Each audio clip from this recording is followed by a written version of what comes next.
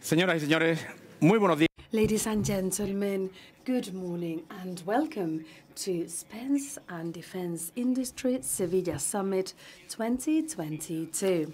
Is the summit for space and defense in Sevilla is the third edition of this summit which is rather different to the previous two ones for a very positive reasons, which is that we are seeing each other in person. It seems that we forgot where we come from, and um, after this pandemic, so after so many virtual meetings, it's finally time to see each other in person, to hug each other, to interact in person.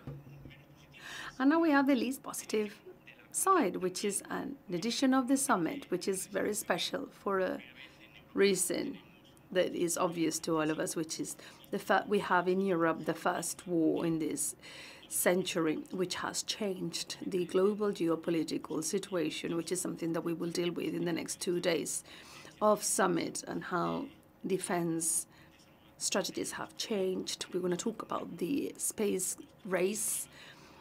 We're going to talk about the moon Yesterday, we saw the capsule of the Artemisa mission over flying the moon around 100 kilometers. So we're going to talk about the new space race with uh, high-level speakers that who will share their knowledge with us, and also with many round tables, with many debates where we will talk about uh, our ideas, exchange opinions.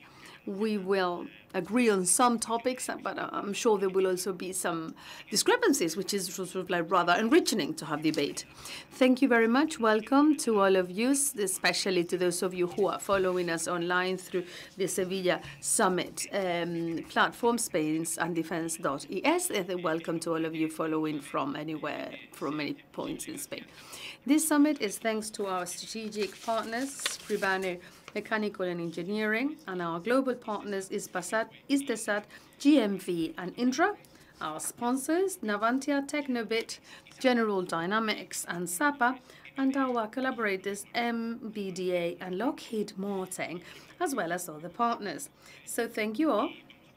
And let's start straight away because we have a very busy agenda ahead of us. So let's start with our first uh, section, which is devoted to defense as guarantee for collective safety in democratic countries with three presentations.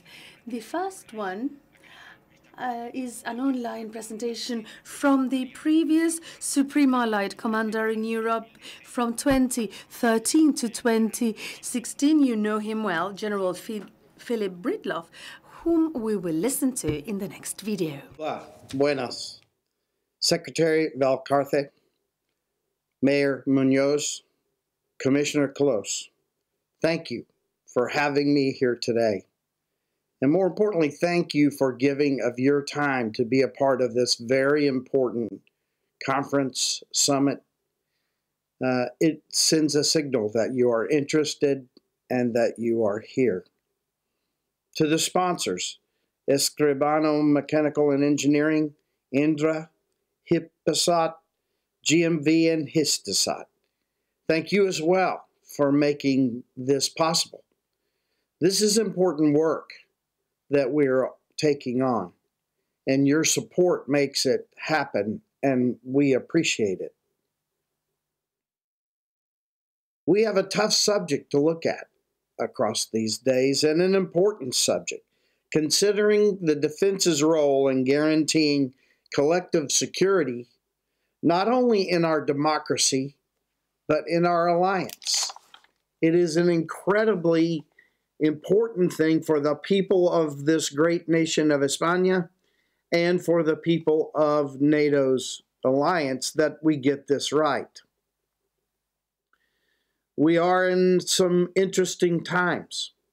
We see that Russia is persecuting a brutal war in Ukraine and that the people of Ukraine are suffering, and now Europe itself is suffering due to the energy crisis that Russia has caused, and to some degree, the the lack of grain and other shipments out of Ukraine have affected us all. in light of these things, there has been a lot of talk about how we in the West should respond. And sadly, everyone always jumps to Article 5 when they discover or talk about that response. But I think it's important to remember, and I had to re remind several during my time as the SACEUR during the first Russian invasion of Ukraine, that in our alliance, Article 5 is not the only article we need to be concerned with. And I remind also that the most important article to be prepared, should we ever have to go there, is Article 3. In Article 3, a nation is asked to prepare first for its own defense, to be ready to defend itself. Not only is it asked to be ready to defend itself, but then it is asked to create capacity that would allow it to contribute to the collective defense of the alliance. In other words, to have capacity above and beyond those that it earmarks for defending its own nation, and then can be able to contribute should the alliance call on it. Again, as we watch the brutal war in Ukraine, we are reminded that we have to remain ready and vigilant. Readiness is to be looked at in two ways, I think. First is the readiness of today. What force do we have, and how ready is it? Should we have to call on it today to defend our great nation or to aid in the defense of the alliance? So, ready now. And then, secondly, we have to consider the readiness of the future. Readiness to now is all about maintaining the readiness of our people and the readiness of the kit that we own, not the kit that we want to buy for the future. And readiness for the people is not a cheap thing. This is all about education, it's all about training, it's all about investing in the exercises that require are required to keep our people fit in the tactics, techniques, and procedures of our national military or of the alliance. And then it's about investing in the resupply, supply, maintenance, and refurbishment of the kit that we have our, our aircraft, our military ground vehicles, our ships, are they appropriately ready in sufficient quantity to meet the call if it is uh, required? This is required to keep our current force relevant. We can see that the enemy is willing to use his force today and now. Is our force relevant to answer the call should our nation or our alliance be threatened. Spain is always focused on these various readiness now and in the future. Some of you know that I served in in in Spain para dos años at La Base Area de Torrejon. My two years at Torrejon were important to me and important to my wife and I as it was our first assignment in Europe. And as an aviator at Torrejon, I looked down the ramp at my brothers and sisters in the Spanish Air Force, a proud force, and I watched them upgrade from their older aircraft to the F 18. At the same time as down on our U.S. end of the ramp, we were upgrading from the F 4 to the F 16. And I was a part of that change and I flew many times with your Air Force. And I remember watching the Fuegos, the fire defense aircraft, at the end of the runway as well at Torrejon.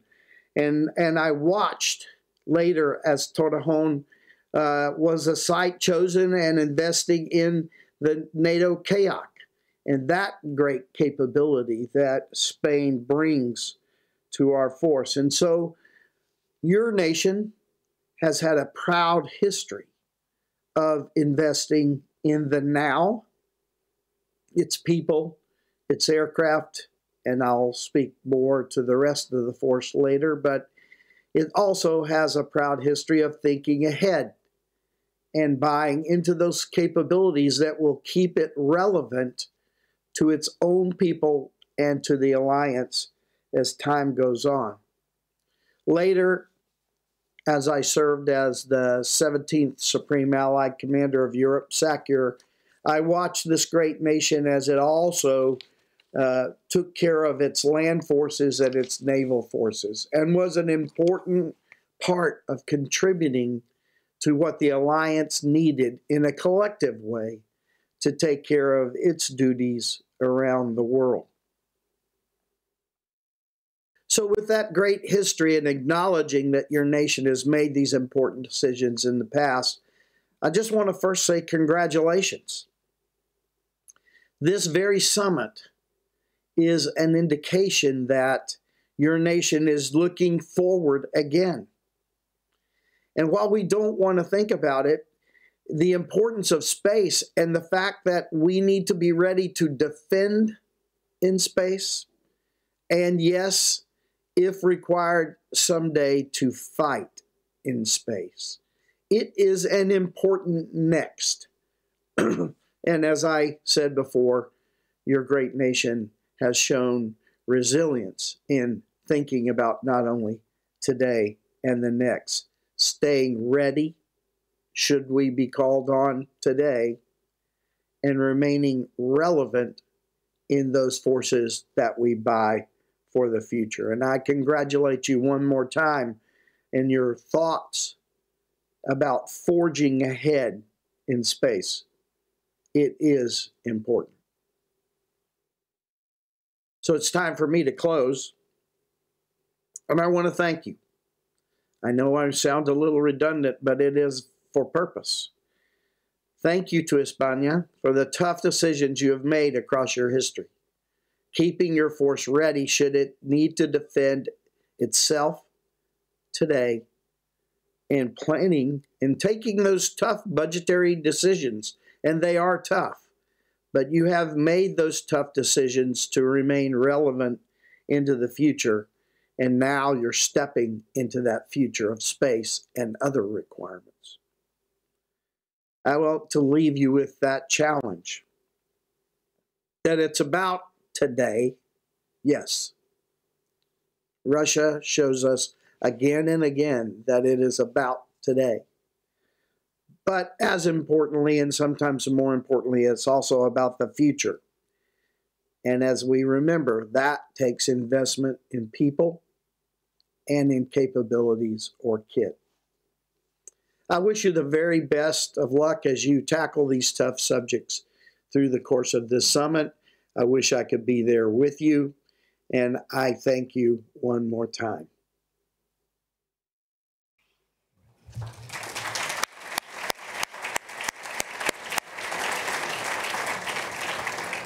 Pues muchas gracias al general. Thank you very much, uh, General Philip Breedlove, Supreme Allied Commander in Europe from 2013 to 2016. So the, for this very interesting uh, thoughts and his memories of his uh, time in Torrejon. So we start with the first in-person speaker the director of the National Security Department of the Office of the President of Spain, uh, General Miguel Ángel Ballesteros.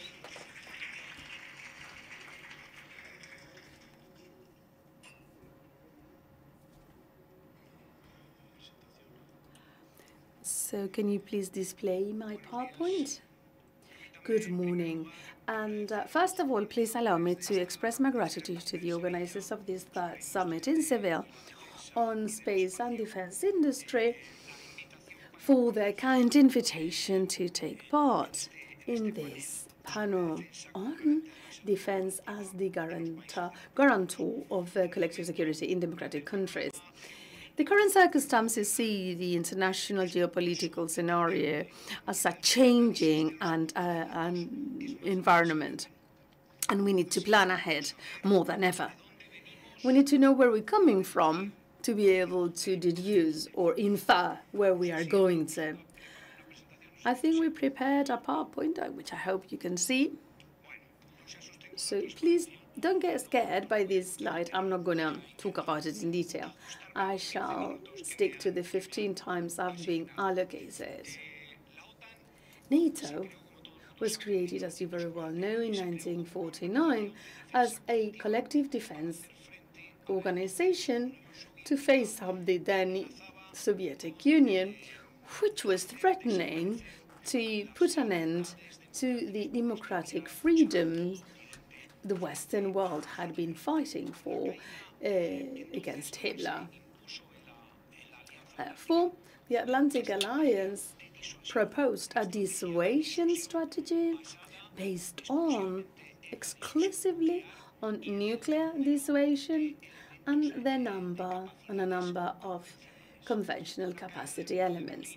With the fall of the Berlin Wall and the end of the Cold War, Russia was not a threat anymore, and NATO focused on shared safety and security to contribute to the peace building in the Euro Atlantic zone without losing Article 5 of the Treaty of Washington, which is the article that gives security to all its members.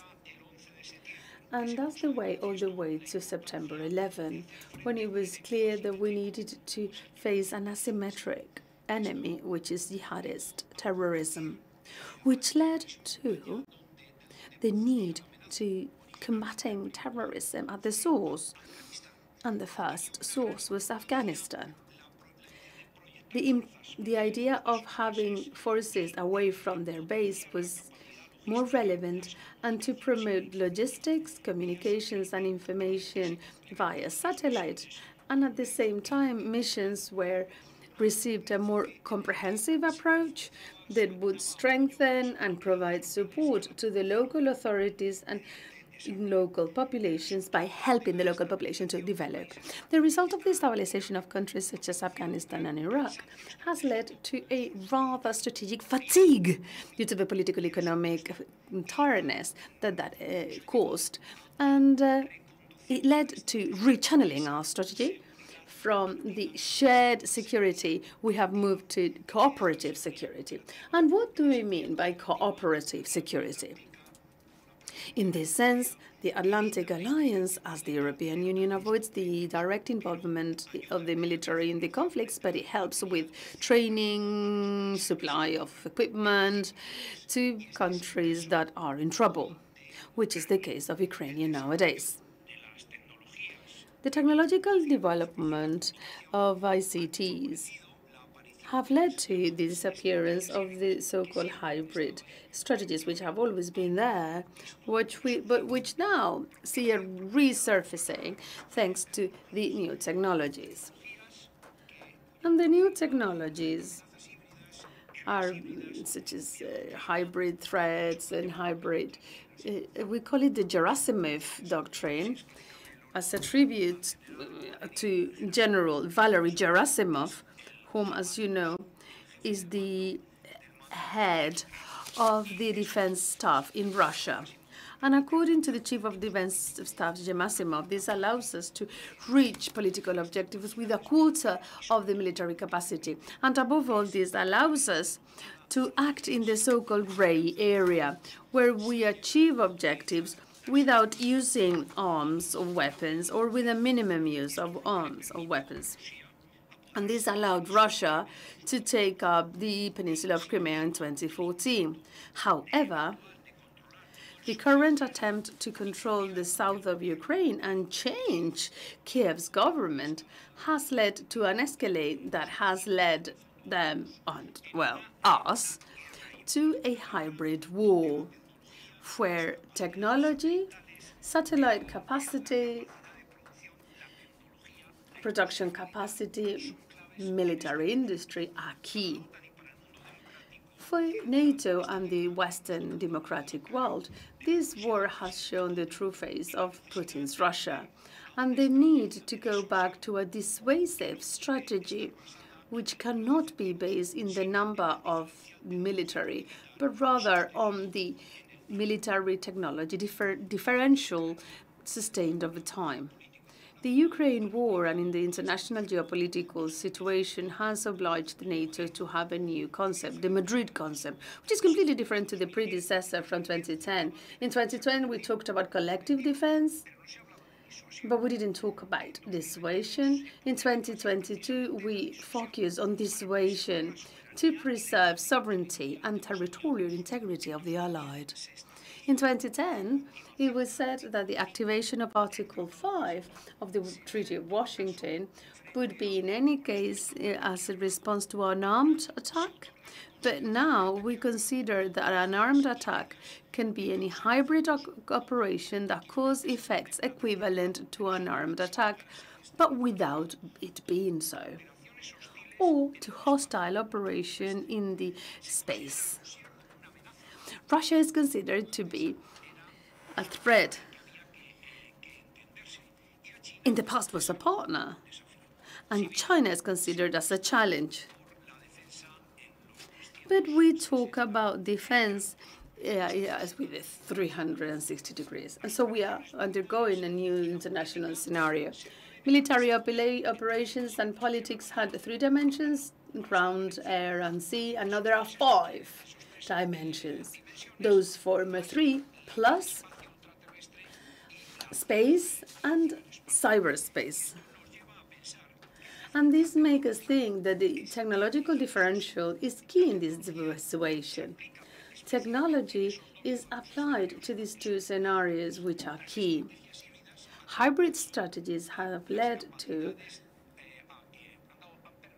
or have allowed to have medium-sized powers to launch operations to attain political and economic goals that in other periods of time were unthinkable. And they do so supported by these hybrid strategies. So how do we face this scenario in which space actions, cyber attacks, the misinformation campaigns that proliferate due to social media, or actions on supply chains, such as the energy, give a lot of power to these regional powers, such as Russia. And the response is in the upgrading and revalorization of intelligence, geopolitical analysis, the crisis management, which is now based on the big data and data integration, the capacity of fast adaptation to new scenarios by resilience. And this all entails a national security system which is properly uh, uh, fit, sufficiently digital, so that data transmission allows the government to know in real time the situation and to know with which private and public situations they have to face them. And this is all done with technology. National Security Strategy 2021 established four main pillars of global trends that are part of the current international arena we live in a higher geopolitical competition with a higher assertiveness of regional powers that I was talking about earlier that uh, leverage hybrid strategies that, of course, Russia could be considered a paradigm of. An social and economic environment affected by COVID-19 with an economic uh, weakening due to the Ukraine war and the brittleness of the global supply chains. The acceleration of uh, technological transformation in hyper-connected societies, uh, where technology is king, that turn data in the obscure uh, goal of desire as the big power and control. The apparition of disruptive technologies that can change the way we live or can change the defense and dissuasion capacities a technological transformation that is making inroads in the space or aerospatial context and also in the cyberspace. So this is the international context where President Putin has made the most out of it to launch his war, which he originally did not foresee that it would get this far. So he sees this as an extension of the Crimea operation. He actually called it special military operation, but which, as you know, has led to a massive escalade in which we don't know the end, where the end will be. So this has shown the need to revitalize the concept of dissuasion. But how does this must dissuasion be nowadays and in the future?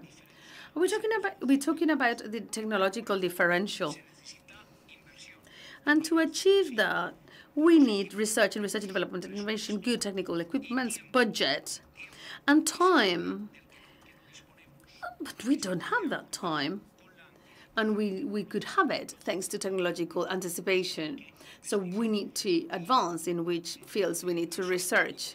And with sustainability in time of the military equipment and capacities.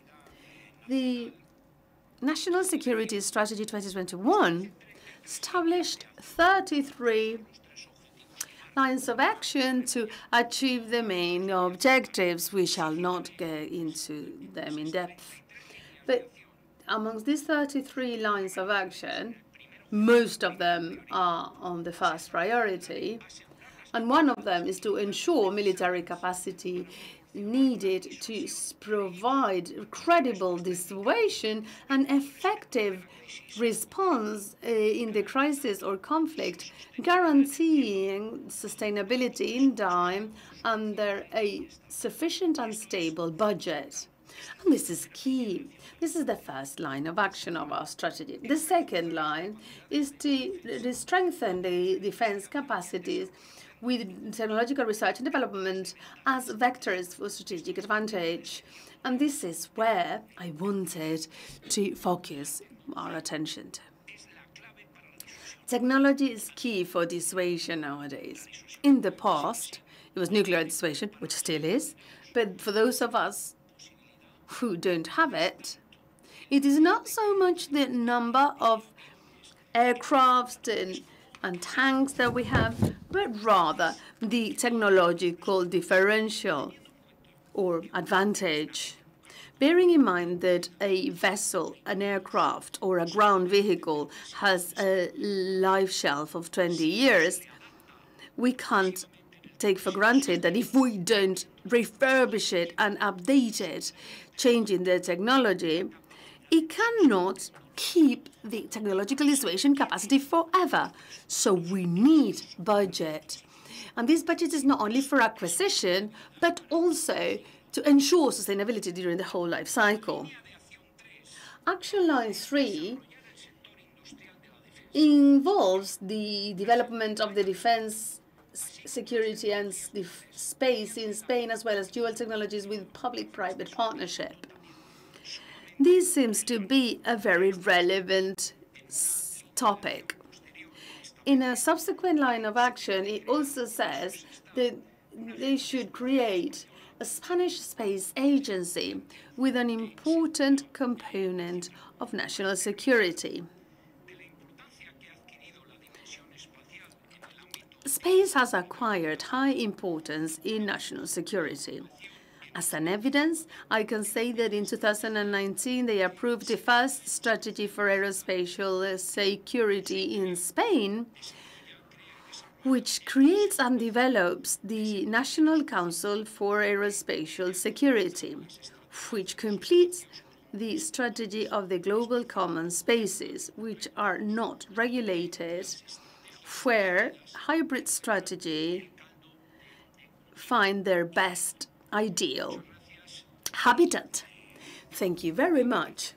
Due to time constraints, I shall stop here. Thank you very much.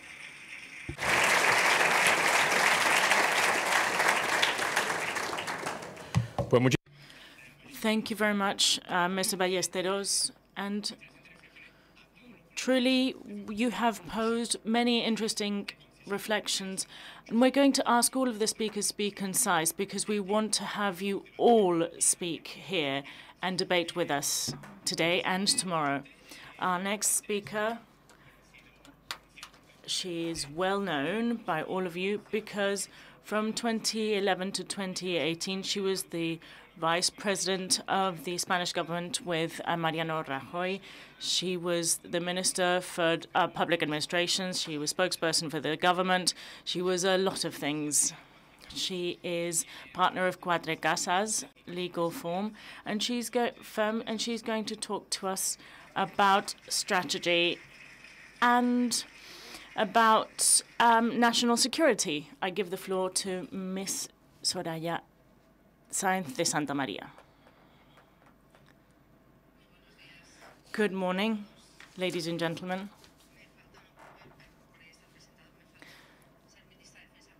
I was not able to be a Minister of Defense, and that is why I like speaking to you here.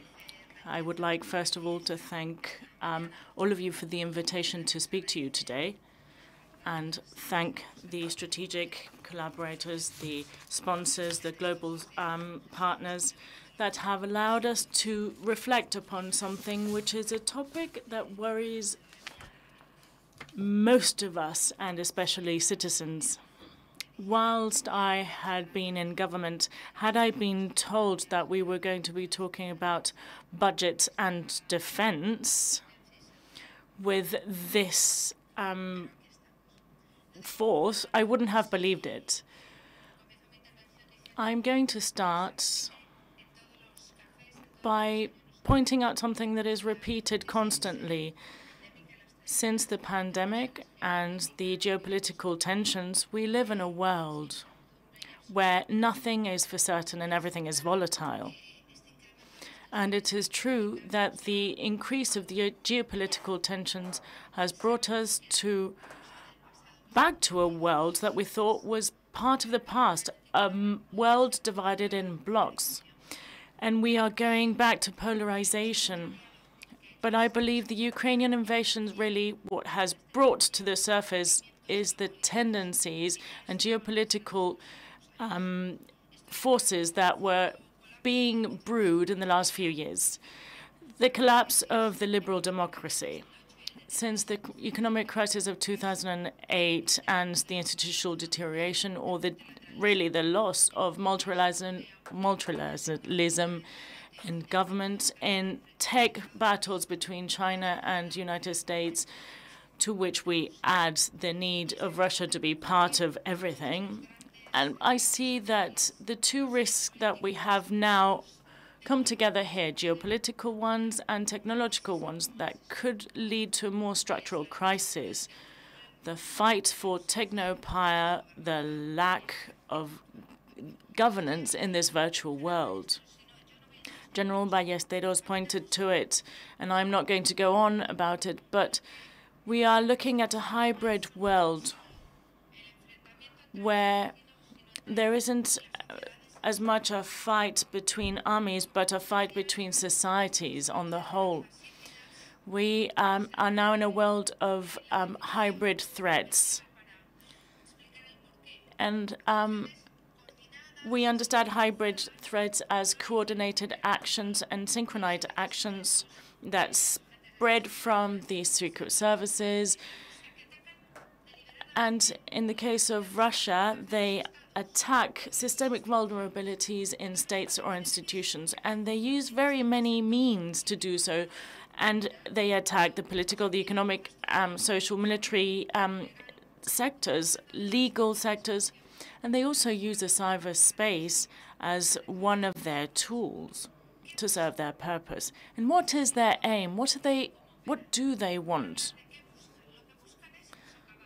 What they want is to poke holes in our confidence of citizens' confidence in institutions and in the democratic system on the whole to convince us that the liberal system is on free fall. Their strategy is not inventing anything. They're just looking for cracks in our societies and diminishing them. In any conflict that there has been in the past, they have exploited instabilities. And what do they achieve with this? They justify and demonstrate the autocratic models and the good things that they have, if there are any. Autocracies and dictatorships try to demonstrate to their citizens that they are more efficient and that they can create more well-being than democracies. Our democracies are imperfect, but we respect civil society and human rights. We have seen a backwards tendency from the um, euphoria of, and optimism of the 90s. Only 25% of the global population lives under democratic regimes. 75% um, live in countries filled with dictatorship or autocratic regimes. So the first thing that I would like to share with you is that in this new time that we are living, the investment in security and defense should be aimed at allowing military capacities to the armed forces and also to give strong response to this situation, adapting the economy of security and national defense so that they can face um, geostrategic um, situations with China and Russia, so that we may defend our democratic model. The second idea is that as a consequence of this polarization and its risks, we are living an inversion of the globalization process that started last century we are going through new regionalization movements. They call them deglobalization, uh, going back on globalization. Um, Larry Fink and BlackRock um, expressed very clearly that the invasion of Ukraine ended globalization as we had gone through it in the last few decades the demand of key um, raw materials, the energy um, crisis, the lack of supply chain is changing our mindset, governments and companies, and we are all reformulating our value chains, which means, and I think Germany is learning this, sacrificing efficiency in order to get back our resilience. And we are going to highlight security because facing dependency, we need to diversify. As a consequence, the investment in defense that we are fostering has to adapt to this new geostrategic concept and strengthen its logistic chains, the security of its supplies, and the strategic reserves which are necessary to dissuade and protect um, Spain and the European Union so that we may be autonomous. For now, uh, and it has been mentioned in the slides, we are witnessing a return to economic protectionism, a higher um, amount of interventionism, and the real reason for this is national defense, which requires more intervention and more presence in spheres that before of states, of course, where we weren't as present before. We're talking about national security in a very broad spectrum. National security um, plans that were planned, for instance, in 2015 already spoke about cybersecurity, energy security, um, maritime security, space security, and, of course, the environment. This concept fits really well with the new priorities and worries and philosophies that we have within the European Union. And we must not forget that the concept of um, strategic open um, concept, which is part of the economic um, section, is part of the defense strategy and facing the vulnerability of our union, facing geopolitical situations, we need to strengthen all of this. We must aspire from the European Union to project um, its influence in the international um, stage and at the same time to defend our interests outside and within our borders. Protectionism within the European Union has seen um, aid, the state aid that could have been given to international companies that wanted to enter the European um, sphere, or the reinforcement of the um, strategic investment mechanisms. There are few questions that are as affected by geopolitics as perception and attitude um, of governments facing foreign investment. Of, if um, a while ago investment in defense and aerospace was um, part of globalization, now we are seeing again that it is a very important example of lack of power in terms of what the government had been doing. The first warning came from the review of the competencies of foreign investment in, by United States in 2018. But now what the Congress in the United States is discussing is not how we control um, foreign investment, but how we control the American investor that may be thinking in investing in suspicious states, so to call it, especially China. Before the pandemics, the European Union and the UK government, whose regime started in January, had expressed the need to reinforce the control of investment.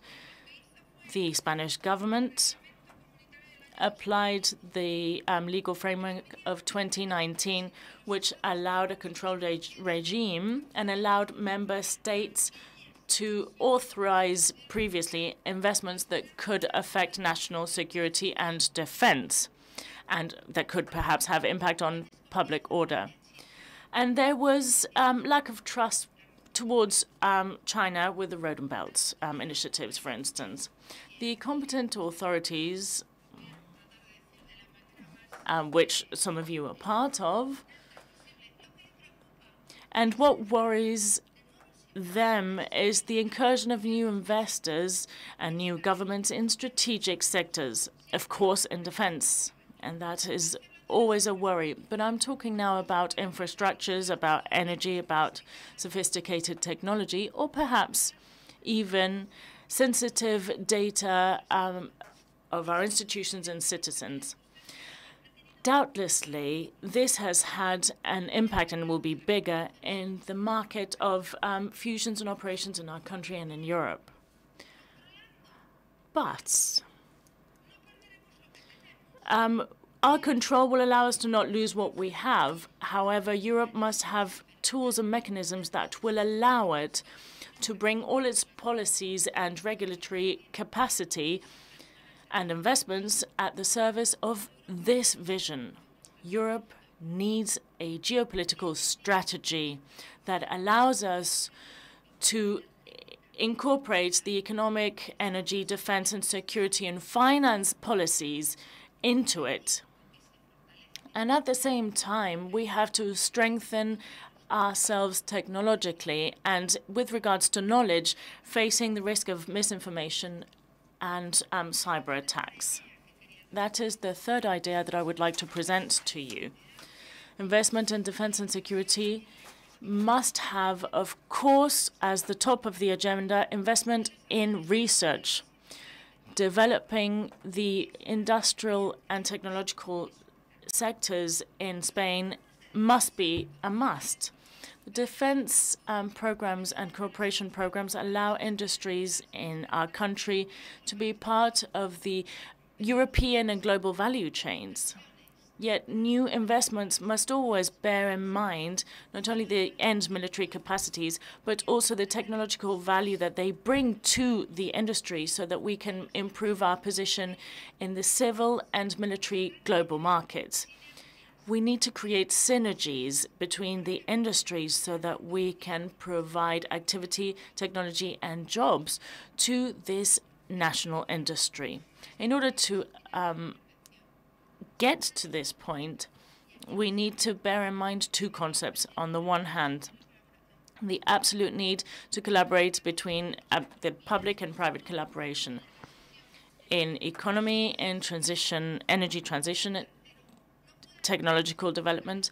None of this can be faced alone. And the public institutions cannot do it alone. They need the private sector. Both must be able to develop um, their um, work and understand the regulatory framework and the economic framework that this must be developed in. Yet our challenges are so big that um, this partnership is essential because of the investment it requires. I come from the public world and now I'm in the um, private world. Businesses are quicker at bringing talent, at giving more flexibility to the execution of projects and more resources to invest in research and um, development and knowledge. We need to keep this investment in a, a long period of time.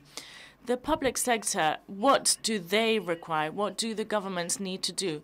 The great priorities of national policy and objectives, they should set them, and then they should align the budget, economy, and um, finance so that we can create a um, law framework and rent that will allow us to bring into our country the necessary investments.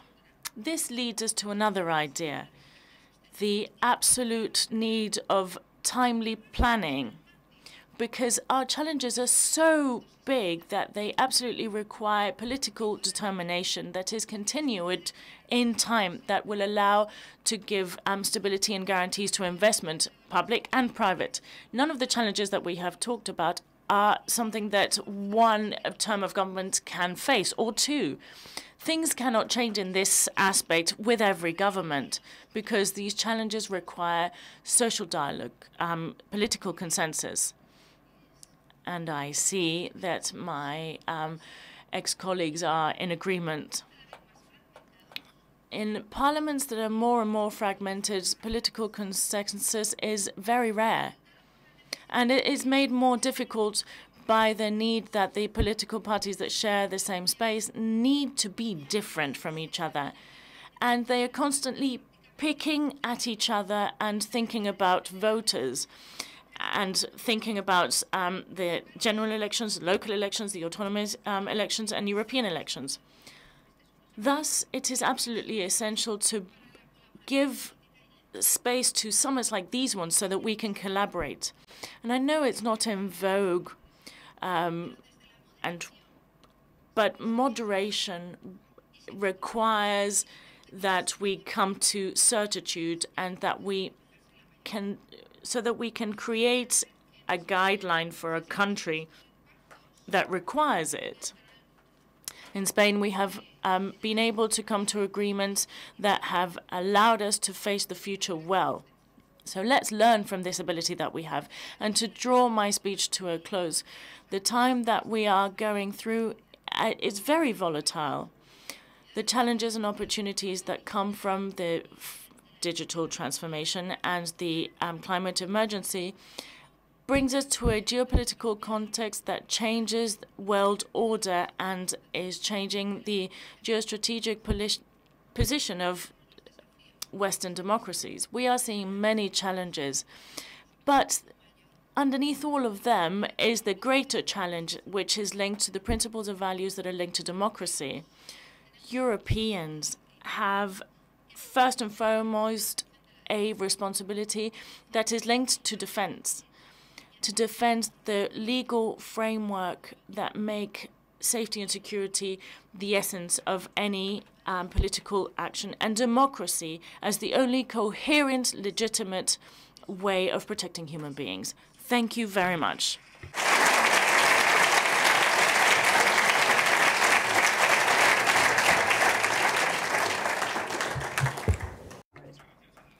Thank you very much, Ms. Soraya Sáenz de Santamaría, partner of Cuatrecasas and ex-vice president of the um, government and minister of pretty much anything except for defense. We are now going to um, move on to the next block of our summit, where we're going to analyze the European industry capabilities associated with security. We're going to be addressed by um, a gentleman um, addressed online by the Secretary General for Industry and SMEs, Ministry of Industry, Trade and Tourism, Government of Spain, Raul Blanco. Welcome to this video. Good morning.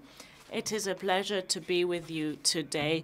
I'm sorry that I'm not there personally. That was my intention from the get-go um, when the summit organizers approached us. I want to say hello to Isabel Joan and the whole organizing committee of this wonderful summit. A summit that should be a reference for Seville, of course, a wonderful city, and reference for the aeronautical sector and of space because of its um, industrial and technology reality that the city um, goes through because we really you really host um, many important companies in defense, satellite, and aeronautical companies.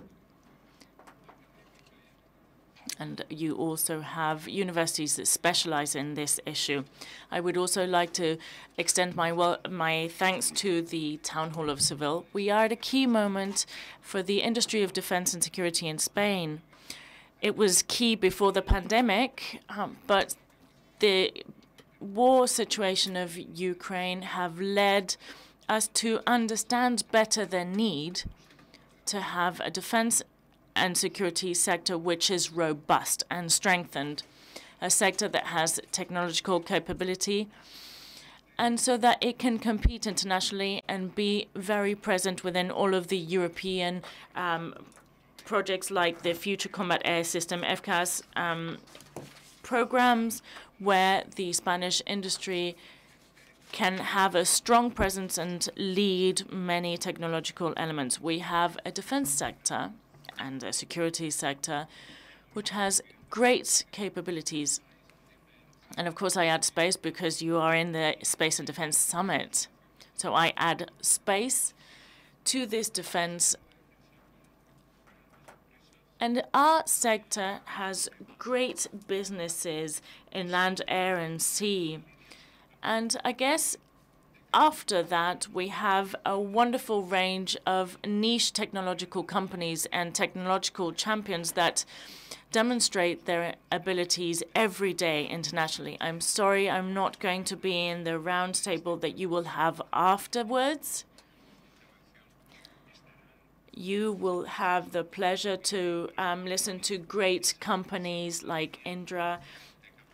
And you will also hear from this uh, wonderful technological champions um, like Escribano, Mataix, um, sorry, like Indra, like Sapa. We all have to work together so that we can um, move forward and so that we can lead in at the European sphere in FCAS and Navantia with its frigates. Sure. We congratulate you, actually, um, because we um, are seeing that the um, the Portugal um, shipyards are going to be um, helping in contracts of the um, British Army. These are contracts at first world level um, and demonstrate our capacity technologically and of systems and all of the um, Navantia businesses. The satellite sector, which is very important also in Seville, which will be very well represented throughout your summit. From here, from the Ministry of Industry, we promote, of course, together with the Defense um, Ministry, the Spain NGSAT and the new generation of satellites that are being designed by Hisdesat for defense and communications within governments. So again, we see local development of systems for communications and latest generation technology elements um, provided by SEGNER, the antenna uh, for this new um, Hisdesat satellites. All of these elements mean a very important peak for the satellite um, program, and it it's also key for the industry in our country, and it's going to mean a great step forward in the role that Spain can play as um, R&D and um, integrator of satellites within the private, private and public spheres. This whole new space branch that is developing very quickly, where companies like Satlantis are really at the forefront of the European companies in terms of optical development and um, observation, sorry, and image um, tracking. Of course, Escribano and Mecanización is going to be in this roundtable and who are always at the forefront of all different programs. Tecnobit in optronics and um, electronic development. I talked to you about all of this to share with you the abilities that we have, and that's what I would have wanted to share with you in person. All of this has to be linked to the moment that we are going through. In general, we're going through a, an industrial European reality, which means that we have recovered our industrial awareness well, derived from the Ukraine war and the pandemic. We need to understand that we have to be sovereign in our technology and in industrial production. And of course, defense and security industry is essential there and strategic because this means being able to be defending ourselves against external threats. General Ballesteros um, will explain this um, need very well. The national security strategy really mark very clearly the threats um, that we may come up against, like um, pandemics, cybersecurity, climate, and defense issues.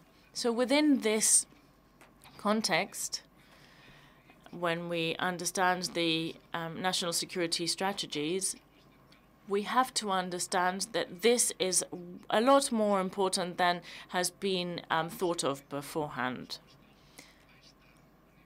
The answer to all of this is technology and interest industry, and thus we need Spain and Europe to be present in this movement forwards, and that's why the government has to reinforce and has to um, strengthen these industrial capacities. So from the department or the Ministry of Industry, our budget to support defense has gone above 1 billion euros. And next year, in the um, state um, budget, we will increase it again. So together with other ministries, like the Ministry of Defense, we are coming together in the understanding that we must invest more in this industry of defense. We must invest in um, long-term programs. We have a very good um, position in, in terms of the European sphere. We are leaders technologically, like Airbus, and we want to continue being part of this ranking. And we want to play a part in this consolidation of capacities and strategic autonomy. We want to be a part of it in the next few years. The programs are broader and broader every time, and the need for funding is broader, and we need more aid. And thus, we need our defense industry to be very well prepared so that when we consolidate at European level, we may occupy our rightful position because we deserve it. That is why we must collaborate um, publicly and um, privately in the next few years, and also take into um, take to heart our recovery plan to promote technology in the realm of defense and security. Many of the technologies that you promote are dual. These programs can be used for more things we can promote them with next generation funds within the different um, lines of the ministry. And we, of course, will create new ways in which we can promote um, technology companies and technology abilities in Spain so that we can look towards the 2030 agenda to um, the dual defense strategy because the defense industry is always at the core of technological um, technology dissemination because many technologies spring from your research. So we must strengthen our industrial and technological capacities, collaboration between private and public partners so that we may occupy the position that we should occupy, within Europe. Continue to provide support to the um, current programs, land, air, and sea. Great news um, like the Avant Navantia ones and also um, use the recovery plan opportunity to promote um, the fostering of technology within the defense sector and, uh, of course, at a medium and long term. So thank you. You know that you can count on us as partners, as supporters, constantly um, for the investment in industry within the realm of security, space, and defense. And we will, of course, um, be in contact in the next few um, events. Thank you very much. Pues muchas gracias al secretario general. Thank you very much, Secretary General of Industry and SMEs, Mr. Blanco. After listening to the public sector's point of view, we want to listen to the private industry's point of view on our industry capacity in Europe we give um, the floor to the CEO of Escribano Mechanical and Engineering, one of our strategic coordinators, Mr. Javier Escribano.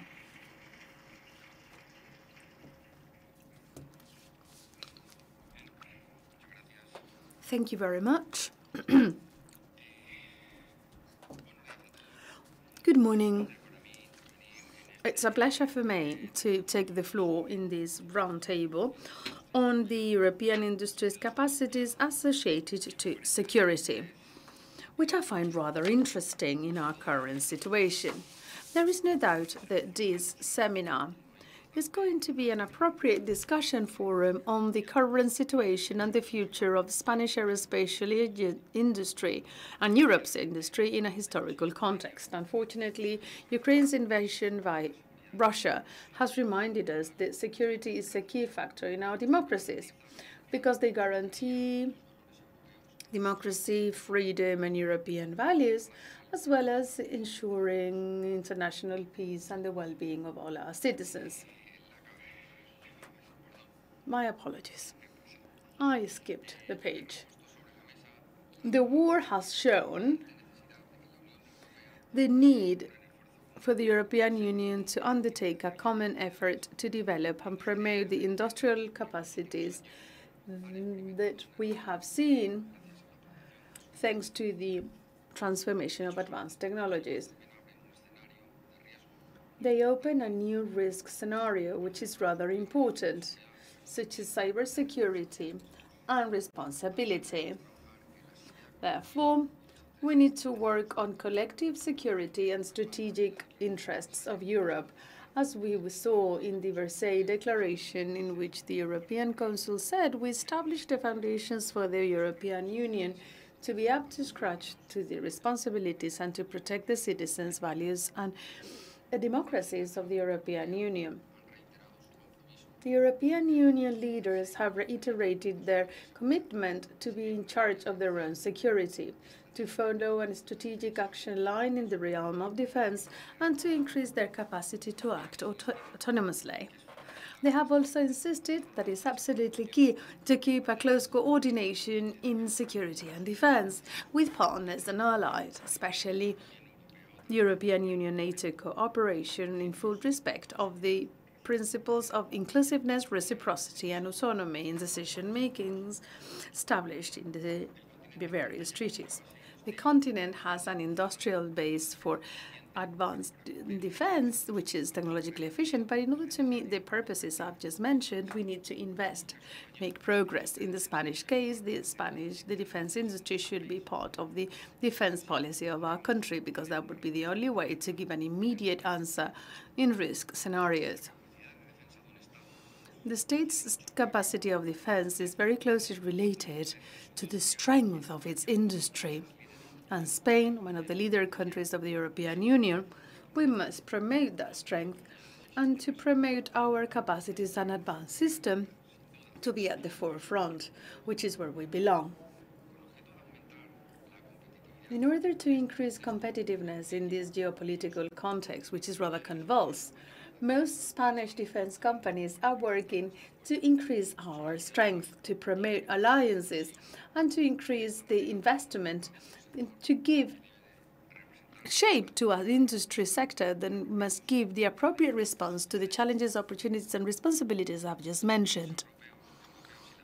European governments and public authorities must also roll up their sleeves and make a budget effort, as they have already agreed, to allocate resources efficiently, to promote technological excellence, and to encourage greater participation in European projects of all types of Spanish industries of all sizes.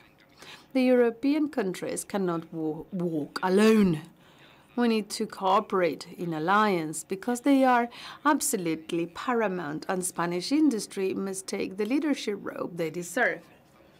At Escribano, we want to invest in innovation, we update our equipments, and we give them the latest technology to develop the most advanced systems in the market.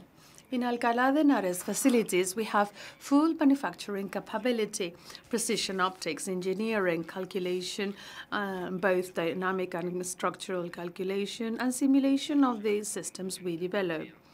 All these research and development efforts have led us to being leaders in important areas, such as, for example, we're the early Spanish and European era that manufactures kits for guided precision products. We export 90% of our production worldwide, mainly in Asia, Middle East, and Latin America. We have recently just arrived in the Indonesian market, where we have signed an important market for one of our products, the Guardian 1.5 station. I am convinced that collaboration is the way to undertake industrial and technological projects of great magnitude that position the Spanish industry, defense industry worldwide. That is why my company collaborates with the main Spanish alliances and consortia, such as VCR 8x8 Dragon and SMS Consortium. Our participation in TESS, T-E-S, where we do VCR 8x8 Dragon, which is an example of success and industrial collaboration in defense, aimed at safeguarding the strategic capacities of Spain for the Spanish interest. So Escribano, joining efforts with other companies such as Indra, Santa Barbara, or Sapa. We are also present in some European programs because we believe in the defense of our continent as are the main actor of international defense. So please allow me to highlight the participation of our company in two projects approved by European Commission from 2021. From the European um, project, or families too. European footage system, the speaker said. So we want to provide added value, and I also want to say that all the components we use in our production capacity chain have been designed, manufactured in our Alcalá de Henares facility, which is in constant expansion, therefore guaranteeing the supply independence. My company believes that it is paramount to ensure training and engagement of young talent, thanks to agreements with professional training centers and universities in Spain. We use the best Spanish talent because we have them, and we want them to stay in Spain. And to cut a long story short, thank you very much for your attention, and I wish you all a nice day.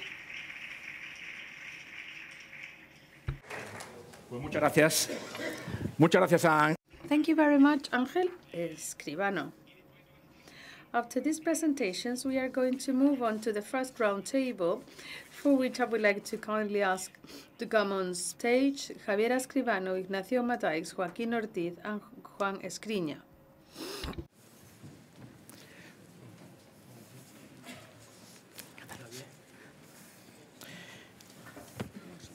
Están ahí.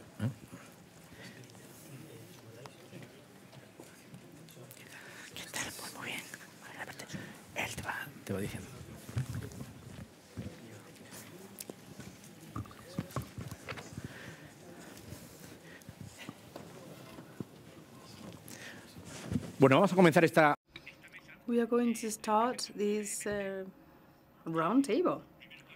Firstly, Javier Escribano, CEO of Escribano Mechanical and Engineering, founder together with his father and brother Angel of this little company which has become what it is today, a Spanish multinational with more than 500 employees and a strategic collaborator of our summit. Thank you very much, Javier, for being here.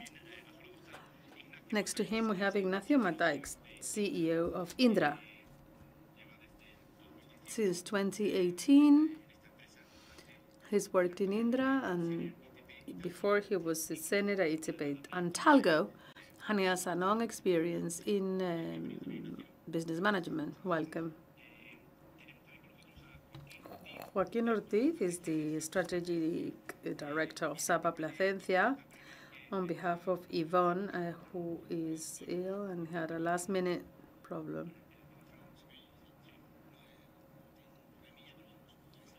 He's around, he's here, but uh, he just rather, he prefer not to speak. In any case, thank you very much and welcome, Joaquin. He has worked in SAPA since 2018 as Director of Strategy. Well, not all in my life. I've, I've been in the public authorities most of my professional career. Lastly, Juan Escriña, Executive Director General of Santa Barbara Systems and Vice President of Artillery Chain Vehicles in GDELS, and we know them well because we have a facility in Alcalá de Guadaíra. So Welcome. I didn't say anything wrong, right? I've been all my life, actually. In this case, is is true, and uh, I'm very proud of it. So I'm going to launch my first question. Capacities of the European and Spanish industry to face up the challenges. So let's talk about innovation first and then about the industrial capacities. Regarding innovation, I would firstly like to have your opinion about where we are, very briefly. And if there's been a transfer of knowledge with the universities or companies, or if that has happened to be able to make progress in this sense. Okay, I'll take the floor. From the technology point of view, the Spanish defense industry is very well positioned because thanks to an intelligent use of the public funds of the main programs, which dealt with the defense PAs in Spanish, aimed at empowering the European, the Spanish industry so that they could be up to scratch. And they were successful in that in Santa Barbara, my colleagues as well, I guess, we have moved from in the past being a manufacturer under license to being licensees of our own products. So we have our own product, which has been nationally developed and is exported. Actually, more than 80% of our turnover it goes to export in Europe which means that the technological status of Spanish defense industry is actually rather good. So we are well positioned to make the most out of the current context. Yeah, uh, well along the lines of Juan, the PA investment, which was 30,000 mi million in the special armament programs, that meant that they broke through the barrier of being just receiving offset to working on the license to developing our own patents. It is then when the industry started to develop. In the 80s, with F-18, the technology arrived to Spain, and with these Spanish PAS, these Spanish public programs for armament, the companies developed a greater technological development. And there's a key program, and some people even say bad things about it, but Eurofighter. Eurofighter has allowed to keep our defense industry at that level. My company, Sapa, did not participate in Eurofighter, but other companies which have found it a turning point for their technological progress. Ignacio? Well, I took up the glove from Joaquin because I think he mentioned something rather relevant. And yes, there have been two quantitative leaps one, the PASs in Spain and the technological empowerment, but the other turning point and the quantum leap of our Spanish industry,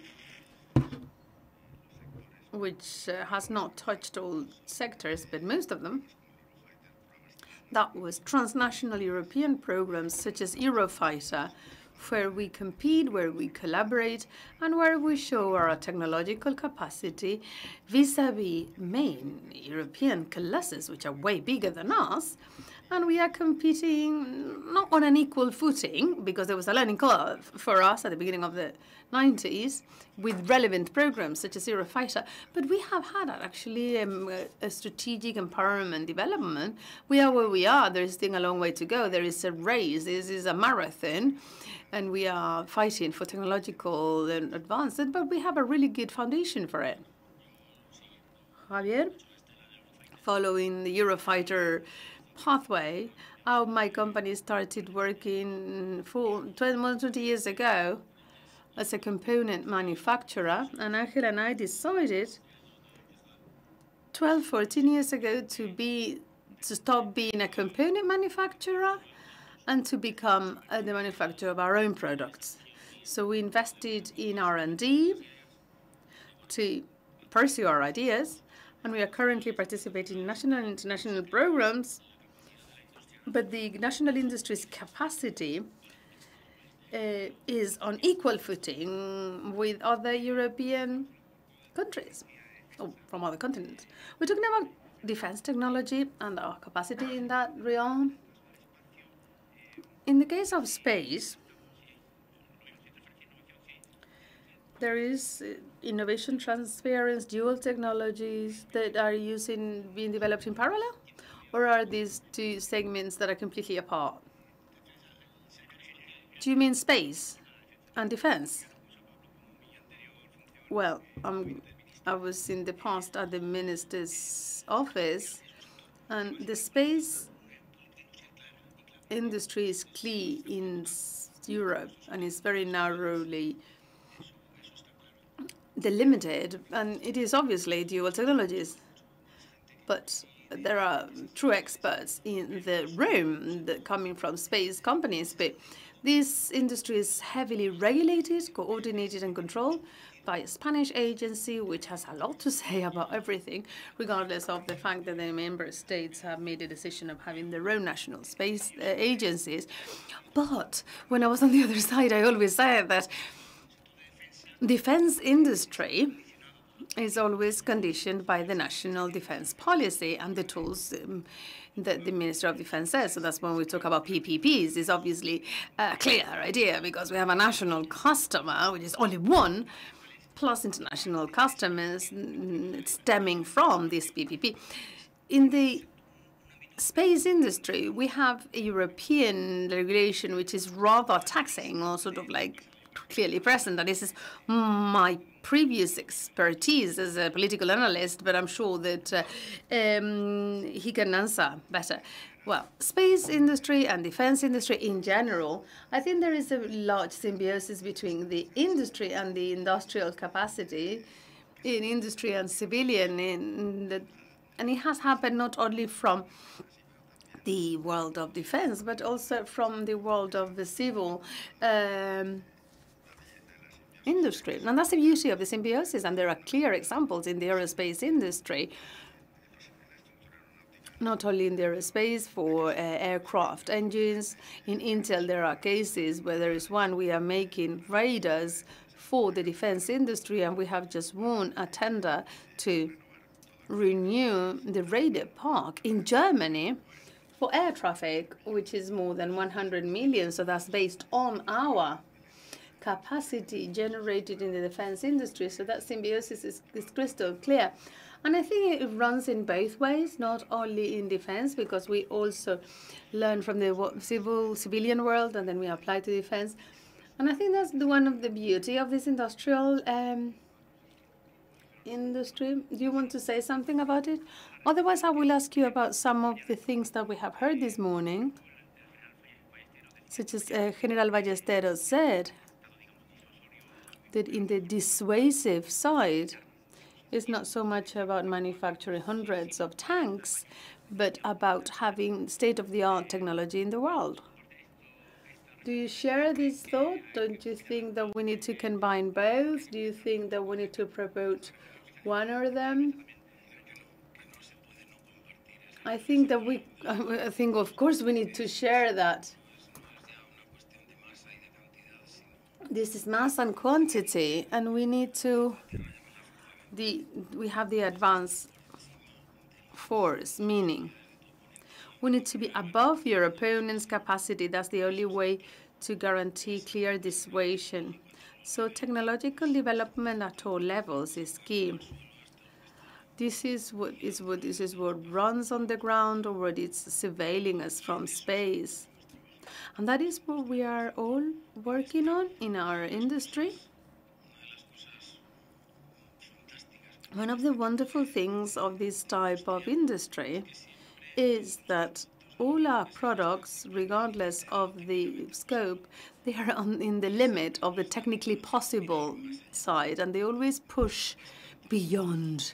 So that's fascinating, actually, for those of us who are fortunate to professionally work in this field. It's amazing because this is a constant challenge, and the only way to be superior and to guarantee this dissuasion is to stay there, to stay up the limit, in the upper limit of what is technically possible.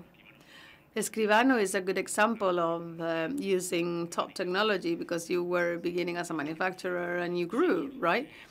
Yeah, right.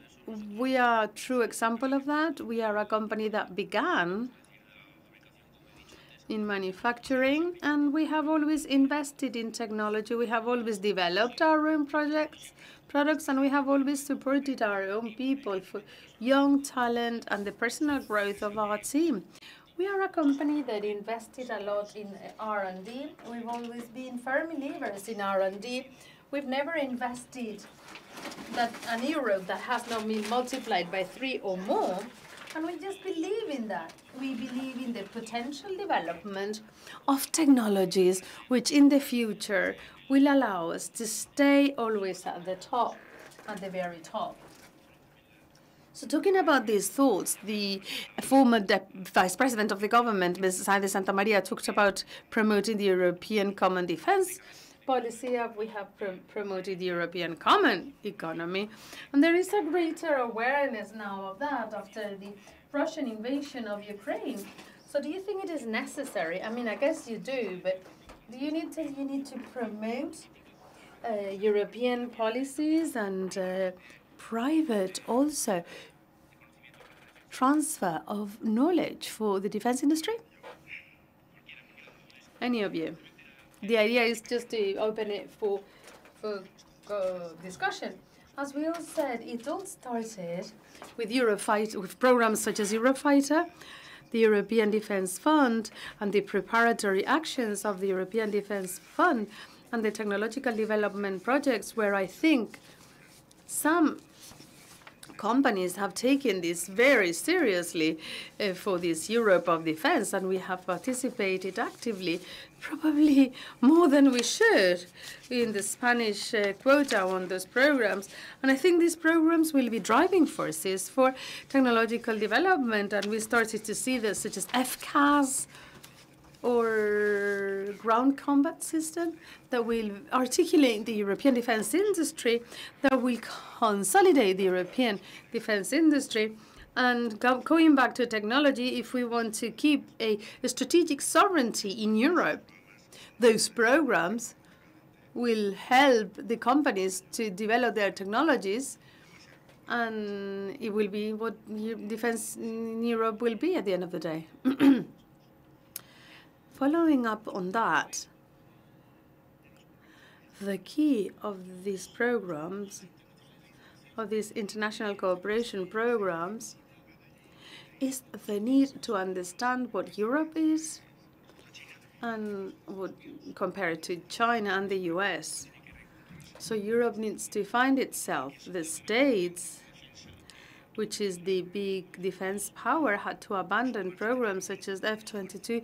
F-25 was implemented with a huge effort and having many countries on top. And Europe has to do its own work, and I think they are doing it now. It is important uh, to talk about FCAS, which is, a, in a way, a pending subject, and it's a need Europe has to try and keep that technological level, which is key. So we're talking a lot about China, but regarding defense and cooperation, well, and the technological race with China is more military than technological. Our rival, our opponent, uh, regarding technologies, the States, Europe has to do its homework to be the US partner, but also to have our own companies at that technological level. As Soraya Santamaría said, companies have an important role to play because they are more flexible and they've managed to be mm, faster in adaptation compared to the public sector that takes longer, but when they, they get to it, they are faster, right? But as private companies, have you noticed in the last few years this uh, progress? Yes, undoubtedly. There's been an acceleration in the sector.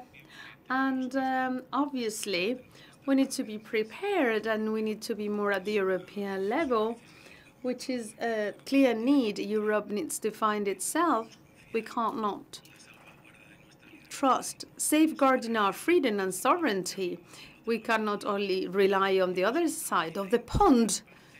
And the industry clearly is part of it. And the defense industry is part of the defense strategy. And we are, or we must be another partner to guarantee that dissuasive capacity that we talked about and that sovereign sovereignty in technology. So we to open up more and more and to know that in the big programs have to be developed in the European scope in the future. Creo que, eh, evidentemente, yo creo que la... Obviously, the industry needs to be empowered and um, technologically and uh, humanly, but we mustn't forget that we need to empower our armed forces uh, from the technological and human point of view. And um, they require more capacity to have this symbiotic capacity with the companies that, that need more support. I mean, we mustn't forget that we need to increase our investment in the armed forces. Yeah, I would like to know how the the interaction is between Spanish companies? Is there a collaboration? Because we are competitors, right? But between the driving forces and the tier two. So what is your experience in that sense? Well, our experience is very good. We were part of TESS, which is a great example of collaboration of four companies and many other companies in the project. And our experience has taught us that we need to collaborate with national companies. I think that the industry is very settled. They are convinced that collaboration between companies is a priority. And I think we are in the right track and taking into account that we have a good future ahead, collaborating and working together. Collaboration is key. Javier talked about TESS, and the four TESS partners are here in this round table, and that's the way to go. We contribute with our field of expertise, what Mr. Blanco said before, about the national champions in each sector. So we all brought our expertise to the common project. So we started collaborating in the company management. We provided the design authority for our systems and we worked hand in hand on a daily basis in this program. So there's unanimity in collaboration.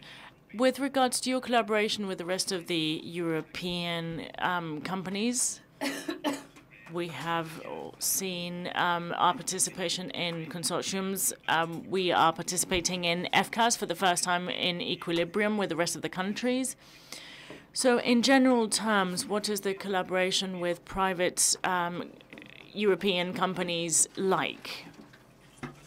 In our case, we have collaborated with European companies, but we don't have the same fluid communication and objective alignment than when we have um, worked with national companies. The smaller projects allow us um, to um, to share um, with companies that are of the same size in the in our country, but not as much in Europe. However, um, the FCAS program is going to allow us to understand how the European collaboration is working, and it will allow us to um, see how well we do so. And I think the strategic um, guide with regards to investment in Ukraine, it states that we need to stress the cooperation within the different um, Eurozone countries, and it fosters initiatives such as the PESCO programs, like the um, European Defence Fund cooperation programs. And so they're trying to foster that relationship. It is more complex, I think, at European level because you're cooperating um, with other industries with regards to a specific project independently or whether you have alliances to cooperate in technology. But it all really has to do with the framework in within which you're working, the European, the uh, supply uh, joint development program.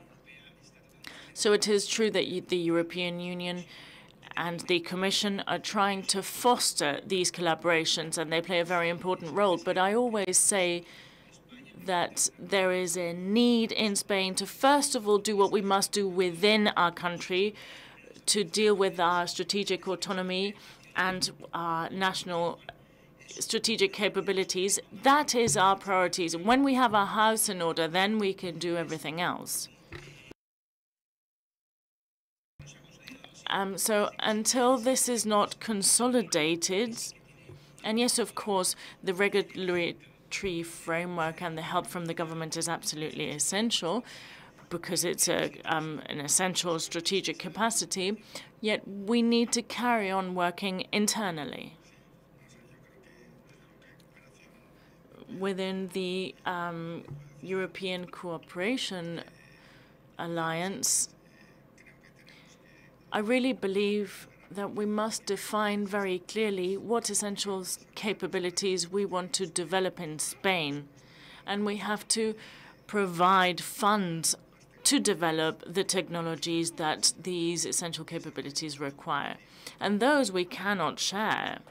When we work in cooperation programs, we share technology, yet our competitors are used to developing their own technologies with their own programs when they don't want to share them. And then we identify the ones that we want to, we don't want to share, and what basic technologies we want to develop. And Ignacio, go back to you because I want to focus the debate on the FCAS program. There's a before and after um, Indra plays a very important role as coordinator in Spain. Please let us know briefly what do you think this will um, have as impact in the next few years. We are um, at the end of the closing and signing part of the program.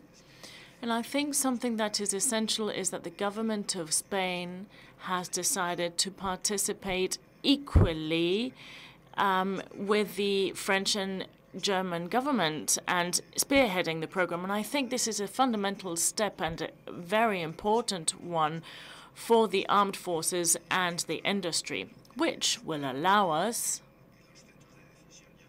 to be part of the decision-making platforms and forums because they're very relevant as they discuss which technologies are going to be developed, how we're going to share them, and who's going to do what. Also, the FCAS is a program which is going to foster the um, technological development of the next few generations.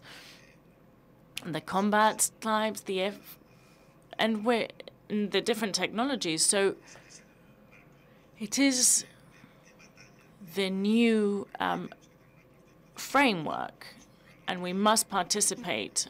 And it's going to really be leading the European industry and the countries that are participating within it. Also, it is a long-term program essential for technological development, which we haven't had before. And this provides stability, and it's fundamental in technological development, but also it's stability for people because they are the ones that um, create teams, and they require challenges and at long term. So the fights for talent and the budget stability that these programs provide are essential. Please, what is SAPA's expectation from a program like this, and what is it going to imply for the Spanish industry and for your companies? And Escribano as well.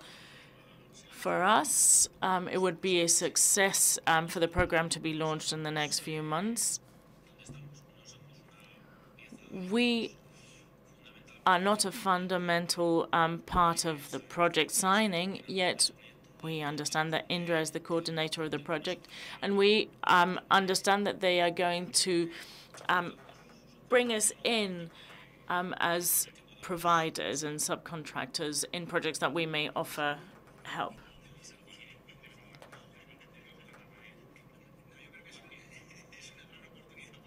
I think it's a very important opportunity for the national industry, and all the companies have to internally analyze what capacities we can bring to the table. How can we adapt them to the needs that the FCAS is going to have? It's a system, FCAS is a system of systems that will allow a lot of the industrial sector to participate. So it is the time to understand the um, strategic capabilities of companies and also those that the administration and defense want to project in programs like FCAS and allow them to grow within these programs because we have this double um, possibility. What does Spain want from this industry, and how does FCAS allow us to develop it, as well as the collaboration with our partners? From our point of view, the advantage of ESCAP, FCAS is the development of the industry of defense and the capabilities. In Santa Barbara, we really are participating on the ground systems. Um, so this system is really an air system, uh, so we're not linked um, immediately or directly from it, but we are going to benefit from the technological development of our national industry because um, that will impact the um, land programs as well. Another question. We have seen that in the current um, Russian invasion of Ukraine, drones are playing an essential role we had um, actually a conference about drones a month ago here, and the people um, addressing us were saying that drones are going to be used a lot more. Do you see a development in the industry of drones, um, and do you see it in the future? Is it going to mark the tendency of the war within um, between Russia and Ukraine?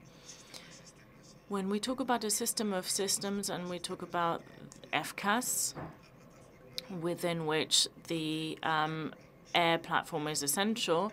We're also talking about remote carriers or drones, unmanned aircrafts.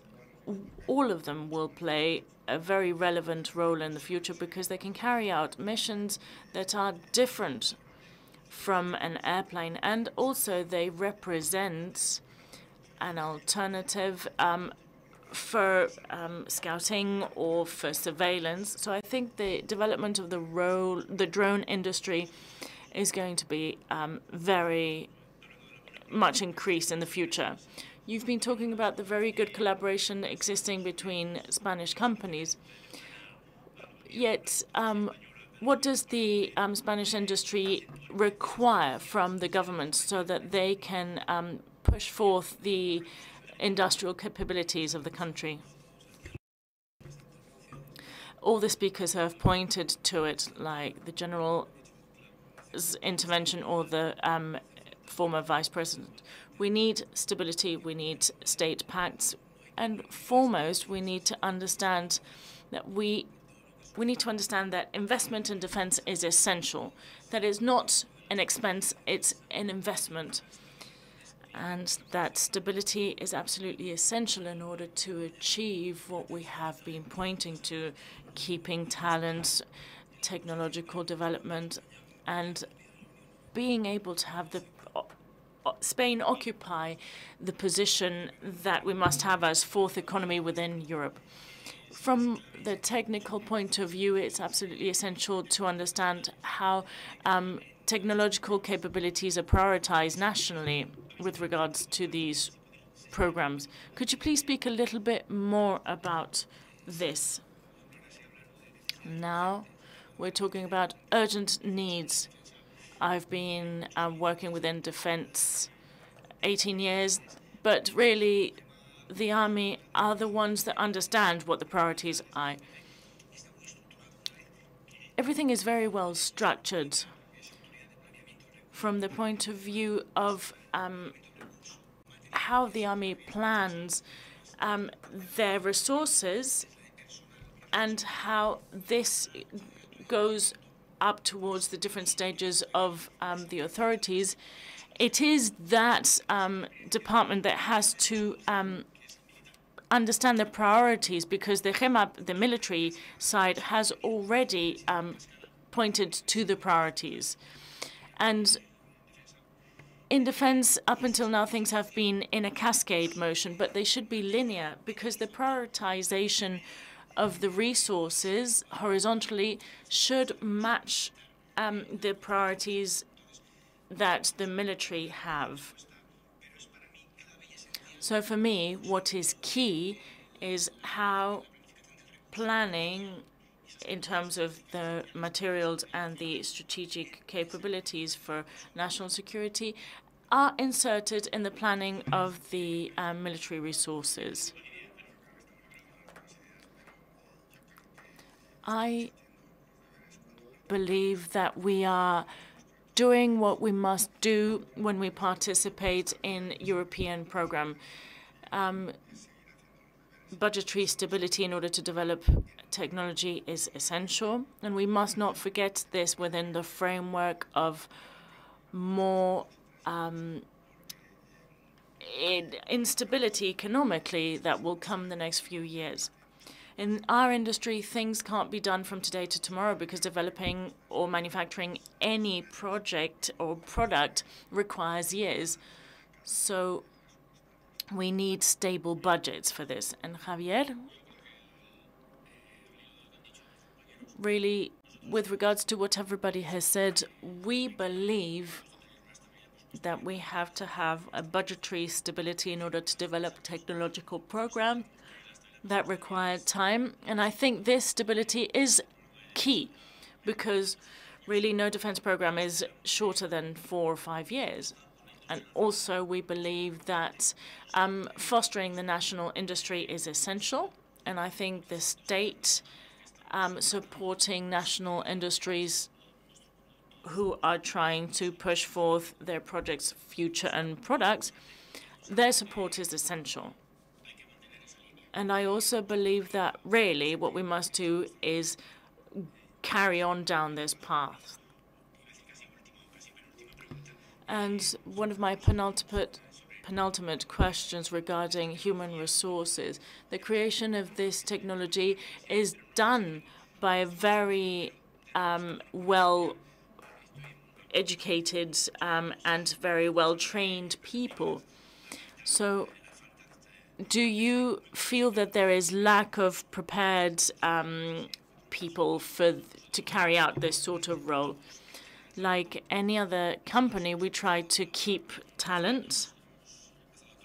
And years ago, we started um, collaborating with um, universities. We have um, agreement with the University of Alcalá and other universities in Madrid, and we believe that incorporating young talent within the defense industry so that in the future we can have a technological team and base which is really um, fostered, fostering youth. Because if we foster young talent, that means we don't need to bring it um, from abroad. So when we say that we want to support the national um, industry, we mean also that we must hire all of the Spanish talent that is already studying and is already existing so that they may not leave and go to other countries. So another question regarding um, human resources, Ignacio. Of course, there is a fight for talent at world uh, and European level as well as Spanish. Within defense and security, we believe that it is a very um, attractive industry, which was not the case a few years ago. And that tendency to not consider um, our industry interesting means that people are not as inclined to work for us. Our industry is transforming um, technology, and I think that this will attract talent. And of course, a lot of um, work with universities and young people that will allow for talent to be attracted by our industry. And undoubtedly, in this day and age, um, technology is developed by people, and is the case in defense and non-defense industries. We are in Guipúzcoa, in the north of Spain, and it's not easy because there's a lot of industry in the um, Basque Country. So we're constantly fighting for talent. We have also got agreements with universities and we have um, grants. Yet our position is difficult because there's a lot of competitivity and competence within um, talent. Yet um, engineering and talent are the heart of SAPA. And Juan Escriña, in Spain there is talent and the defense industry offers a lot of um, possibilities to develop that talent. We're always, always at the verge of um, trying to do impossible things. We are the second sector after the pharmaceutical one that invests more in research and development. And um, really, our industries save the fact that we are not very popular or haven't been as popular because they didn't want to talk about it or be a part of our industry, yet we are a very um, attractive industry for young talent. The rotation between within our engineers is minimum, and the professional development that we offer is great. Is it difficult for you to um, get the talent that you need? No, actually. We collaborate with universities and technological centers. And when we get talent for ourselves, we really don't find it difficult. And of course, we do a lot of internal training. And last intervention, I know you are companies that um, always plan short-term, long-term. I would like to um, discuss um, short-term when we meet next year. In our next summit um, edition, what would you like to have achieved short-term? What are the most urgent issues that have to be achieved in this coming year, publicly and privately, of course? budgets.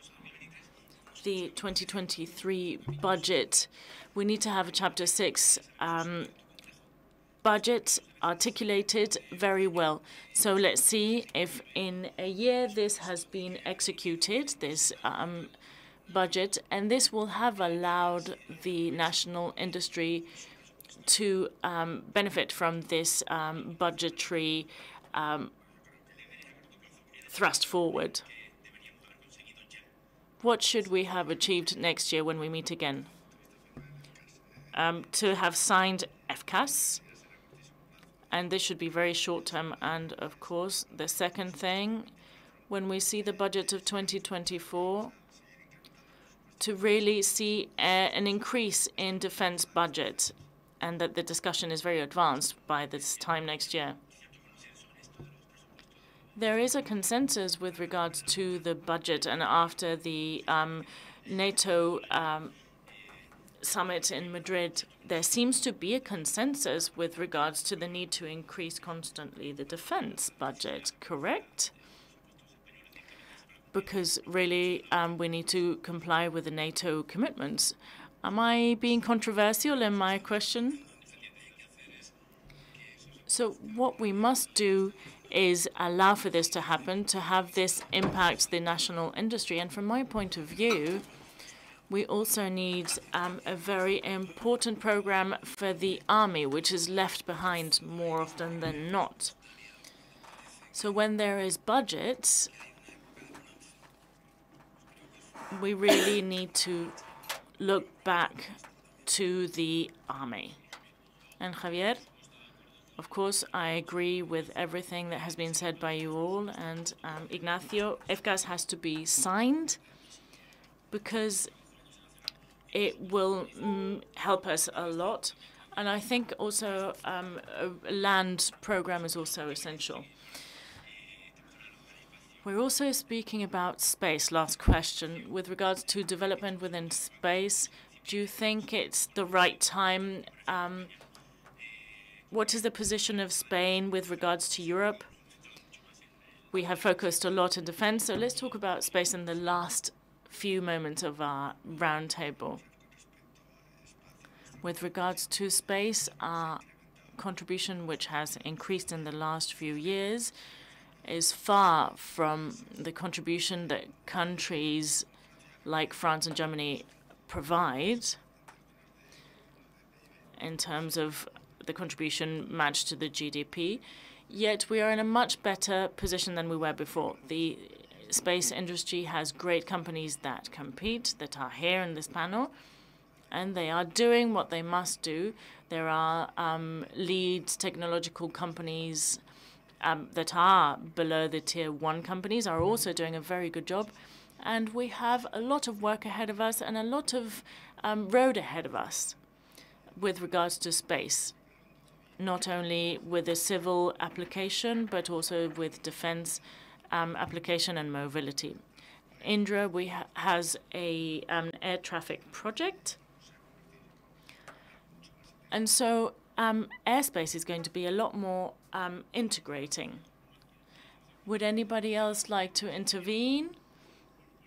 So in this case, thank you, Javier Escribano, CEO of Escribano Mechanical and Engineering, Ignacio Mataix, Chief Executive of Indra, Joaquín Ortiz, Director of Strategy of SAPA, and um, of course, um, Joaquín, the Executive Director of um, the other companies. Thank you very, very much for your participation.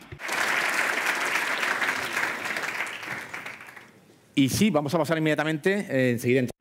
The authorities are going to join us for the official opening of this summit.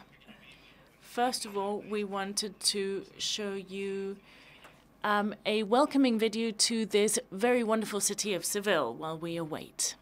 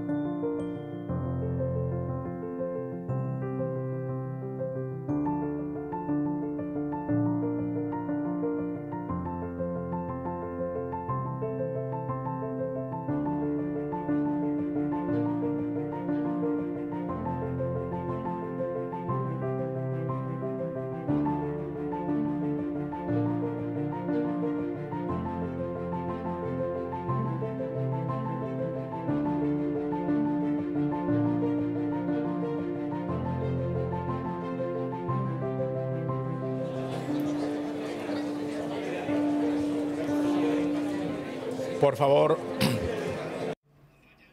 Please, ladies and gentlemen, please take a seat.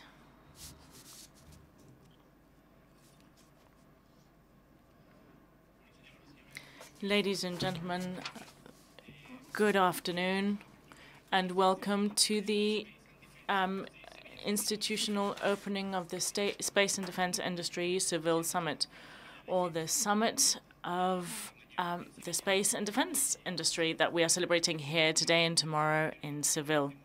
It is the third that we have, but it's the first one where we see our, each other's faces. It's been a year of very many changes. Geostrategically, things have changed a lot. And in this um, institutional opening, I'm going to ask um, Mr. John Clos, the Commissioner for the Space and Defense Industry Seville Summit, to the floor. Thank you very much. We already started working this morning, and I really must share with you that my first impressions are ex of extraordinary work. I want to thank everyone that has been part of the uh, interventions prior to me. They have really set the scene to what we're going to discover within these um, conferences. Many of us will speak to you, so I'm going to be very brief. We are very happy on behalf of the organization because of your participation and how this summit has been so important. It is a very opportune moment, a time when we need efficiency, coordination, dialogue, consensus, and more ingredients. We um, are quite certain that there are going to be more resources provided to this industry, something that has been requested by the different sectors many a time sectors which are innovative and are competing in activities with neighboring countries and are cooperating with regards to industry in Europe. And really, within Europe, the coordination level is increasing, thankfully, but also competitiveness is increasing. I'm not going to mention all of the authorities here present, because if we mention authorities in this sector, we could uh, spend a long time doing so.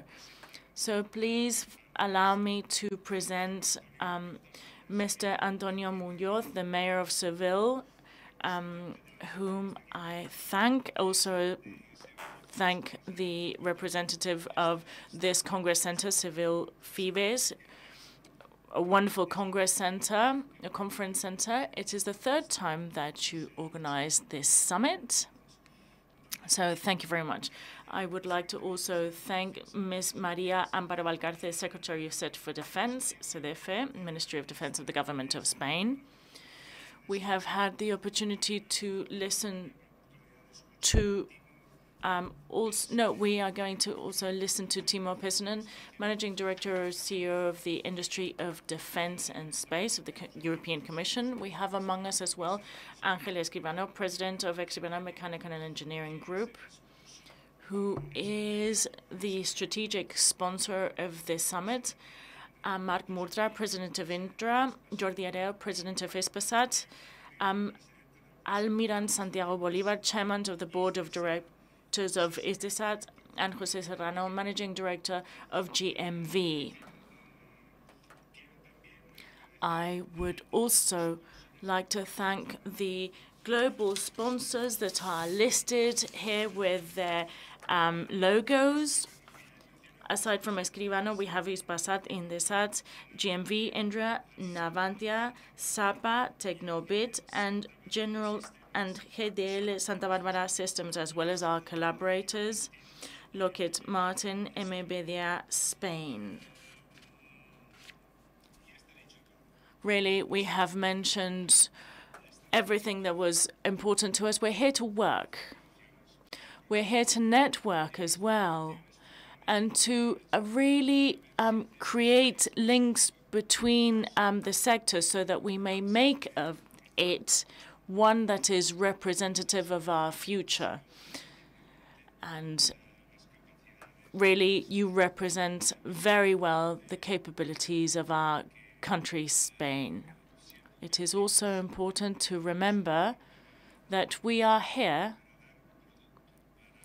to produce, to generate contents beyond the, the declarations that you make. We really need facts, facta non verba, as the classics would say. We are here to make this sector transform and take advantage of the opportunity given to us to take a step forward, a leap forward, in fact. Thank you very much. Muchas gracias a Joan Clos, el Thank you very much, Mr. Joan Clos, Commissioner of the Space and Defence Industry Seville Summit. Now I'm going to give the floor to the different speakers of this institutional opening. I would ask you to be brief. Please feel welcome and feel you're at home, but please be brief. So now we're going to give the floor to the General Director of GMV, Mr. Jesus B. Serrano, or Managing Director, sorry.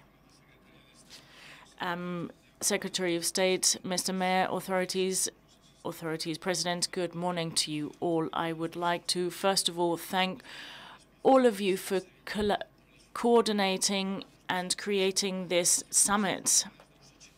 GMV was founded uh, mid-80s with the vocation to contribute to the space industry in Spain. We diversified quickly and started working for the defense sector.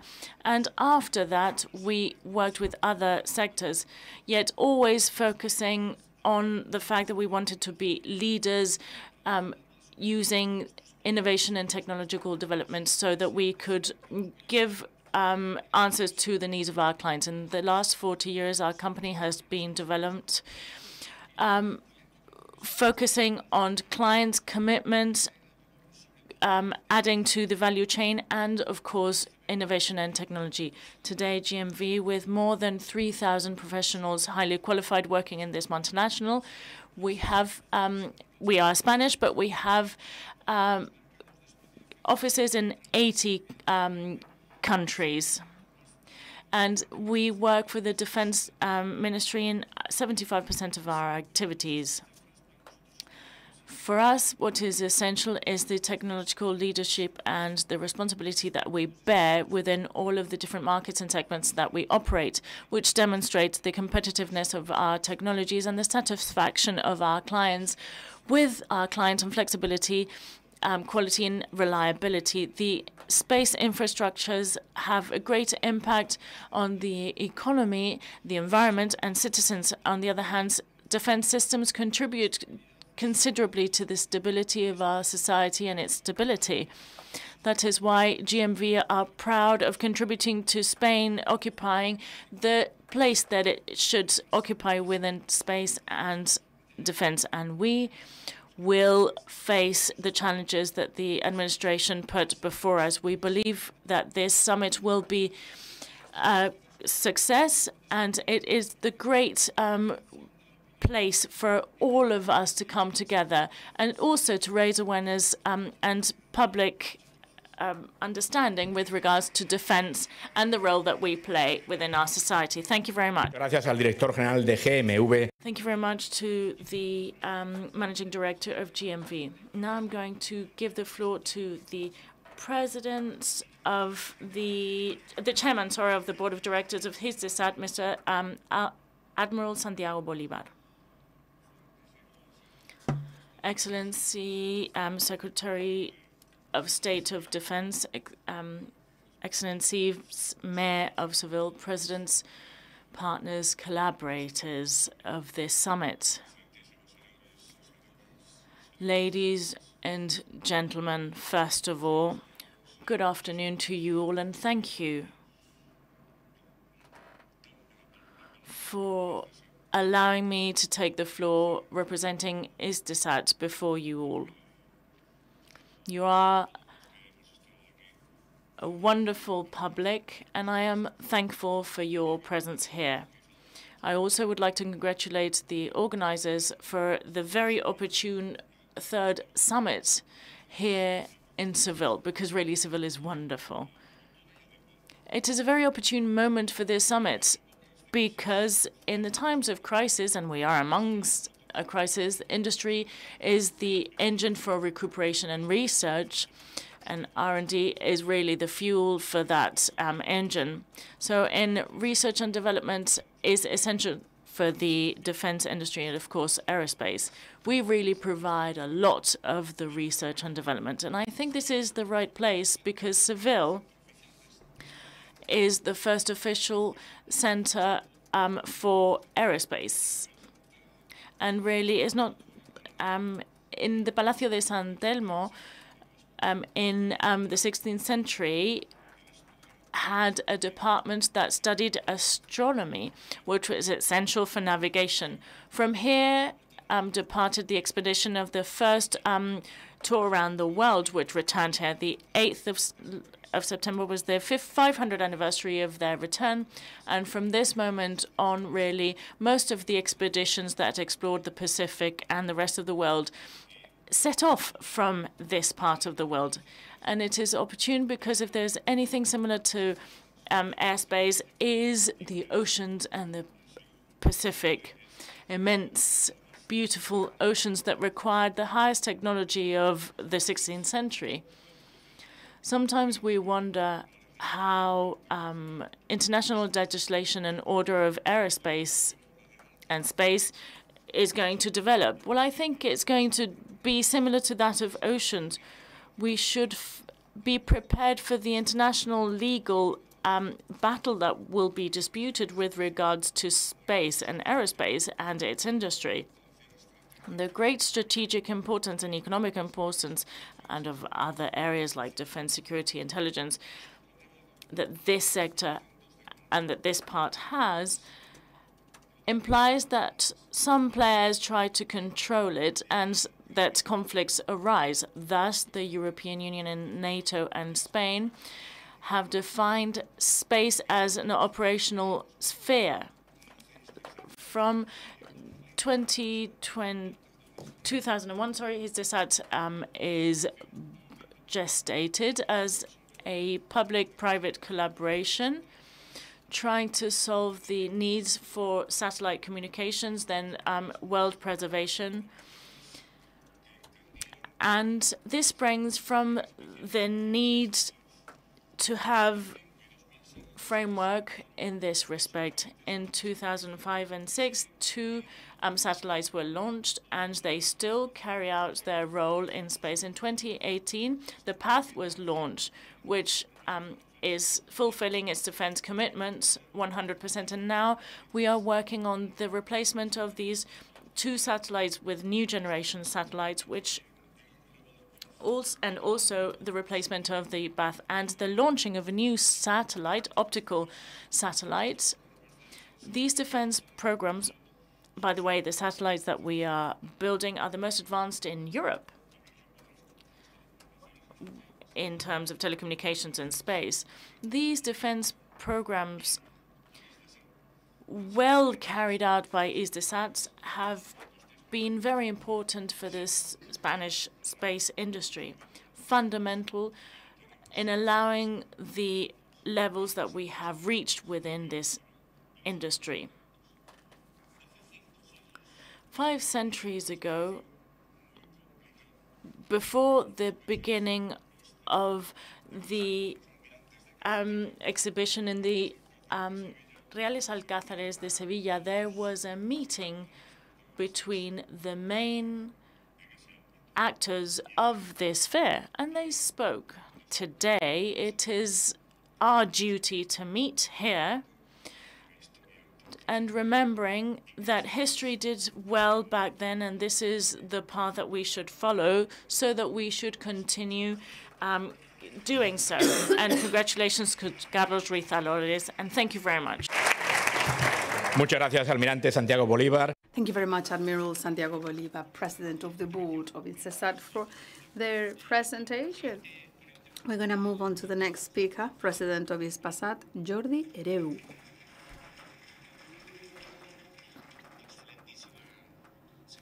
Dear Secretary of State, dear Mayor of Seville, authorities, both civil and military, eh, dear friends. Two months ago in Hispasat, we celebrated together with our stakeholders the launch on the 11th of September 1992 of our first satellite. It was a very ambitious and exciting project. The follow-up of this launch was done from Seville's Universal Exhibition, so it was a big citizens event that uh, happened on the occasion, and my CEO, Mr. Panduro, told me about this. It was actually the kickoff of an amazing adventure for the whole country, actually. Hispasat has had a business dimension because a big company was born, which is a satellite telco operator competing in an international market which is highly competitive, highly innovative, and we have always had the dimension of having a country strategic project at the surface of Spain, America, and now the whole of the Atlantic side of the world, so a big chunk of the planet.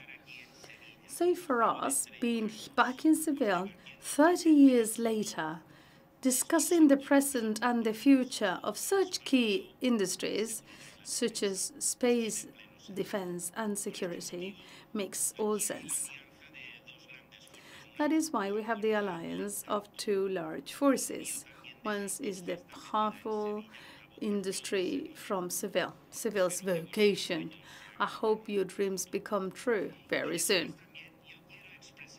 And I also want to express the energy of one person, Isabel Atkinson. The addition of Isabel Atkinson plus Seville make it possible to host this event here.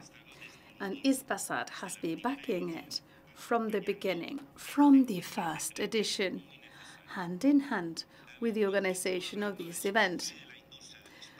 I started talking about space and the, the space industry and the export uh, of the space industry. A year ago, we thought that we should also add the dimension of security and defense. So I think it, it makes even more sense. So after 30 years, we are here in this big event we should be an event for fa on facts and exchange of knowledge to be faithful to the excitement of that collective project, which was born 30 years ago. Thank you very much.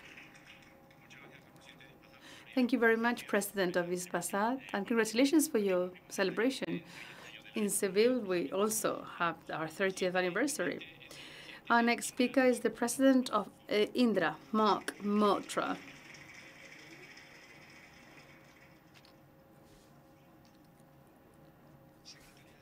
Dear Secretary of State, Mayor, authorities, dear friends. Good morning.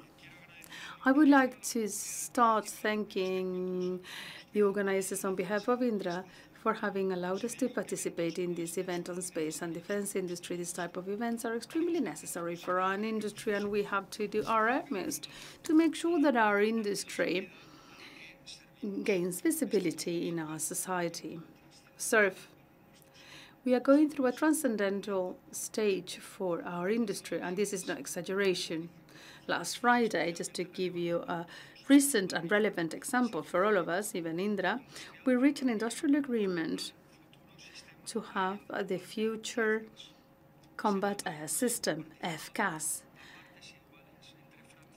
equally participated by France, Germany, and Spain where Indra is the national coordinator and the international leader of the pillar of sensors. This program enables the construction of Europe, the technological development, the creation of industrial fabric and high qualification jobs. As I said, as it was stated by our Ministry of Defense in a press release. In the pathway to arrive to the future air forces of Europe, we can see that we can jointly solve the challenges. And this morning we talked about the importance of Eurofighter for our industry, for our industrial empowerment, and for our future in the 80s. So I think FCAS is equivalent or even higher in importance. The aerospace industry is showing its strategic character and importance. The Russian invasion to Ukraine has dragged Spain and Europe to an uncertainty scenario with greater risks for defense and security. This conflict has caused a sudden acceleration of geostrategic dynamics that were there from before, in which we need to focus more on the European security, as it was already mentioned in all strategic agendas. So a number of layers of the Spanish and European societies, after decades of relative peace and security in Europe, have unfortunately had to discover again that no civilization is possible without defense. There is no democracy without security, no rule of law, no freedom, human rights, SG, schools, companies, nothing. So guaranteeing security is a prerequisite for everything else. Therefore, we appreciate that most of Spanish and European society and their institutions have quickly evolved in their opinion on the defense priority. And, and therefore, the investment needed to guarantee it. Even reviewing traditional historical neutrality policies in countries such as Sweden and Finland. As a consequence, we are going through a moment in which our sector has a lot to give to. The increase of budget and the increase in integration in defense open up new opportunities for our industry. The Spanish industry is an exporting industry mainly, which talks about its competitiveness. We create high-quality jobs and is R&D intensive. I am convinced that our industry can play a key role in the evolution of our economy this morning, uh, we have seen it, and therefore our industry can give response to an intense digitalization and continuous sophistication of the technology. Only if we have our own technological industry, we can preserve our sovereignty, our capacities, our jobs, and we can opt to have a relevant position in the European defense network. A network, and we we know this at Indra.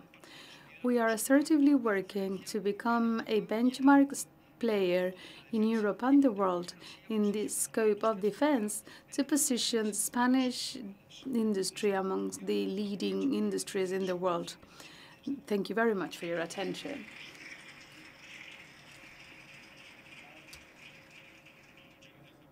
Thank you very much, President of Indra, Marc Murtra. We give the floor now to the president of Escribano Mechanical and Engineering, one of our strategic partners of this summit. Ángel Escribano. Pues buenos días a todos. Good morning. Thank you very much for being here with us at the opening of Space and Defense Industry Seville Summit. I want to thank the Spanish president of the government for supporting this summit and also the authorities present in this opening ceremony, the Mayor of Seville and Secretary of State, Ms. Valcarce.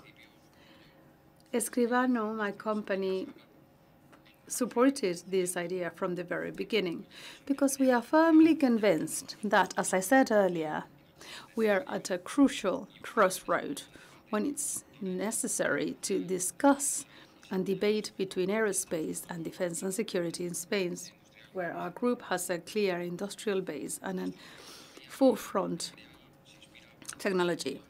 Our business capacity is inspired in an innovative vision with constant innovation, new technologies that have shaped perseverance, commitment, and versatility that we are very proud of.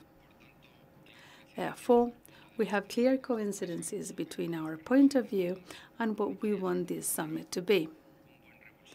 A good stirring to an impetus to launch our industry in space because it's the tool for democracies to keep freedom and evolved in the European framework.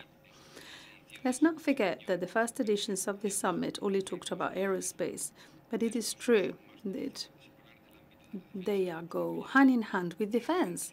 So it's a clear example of cooperation and joint development.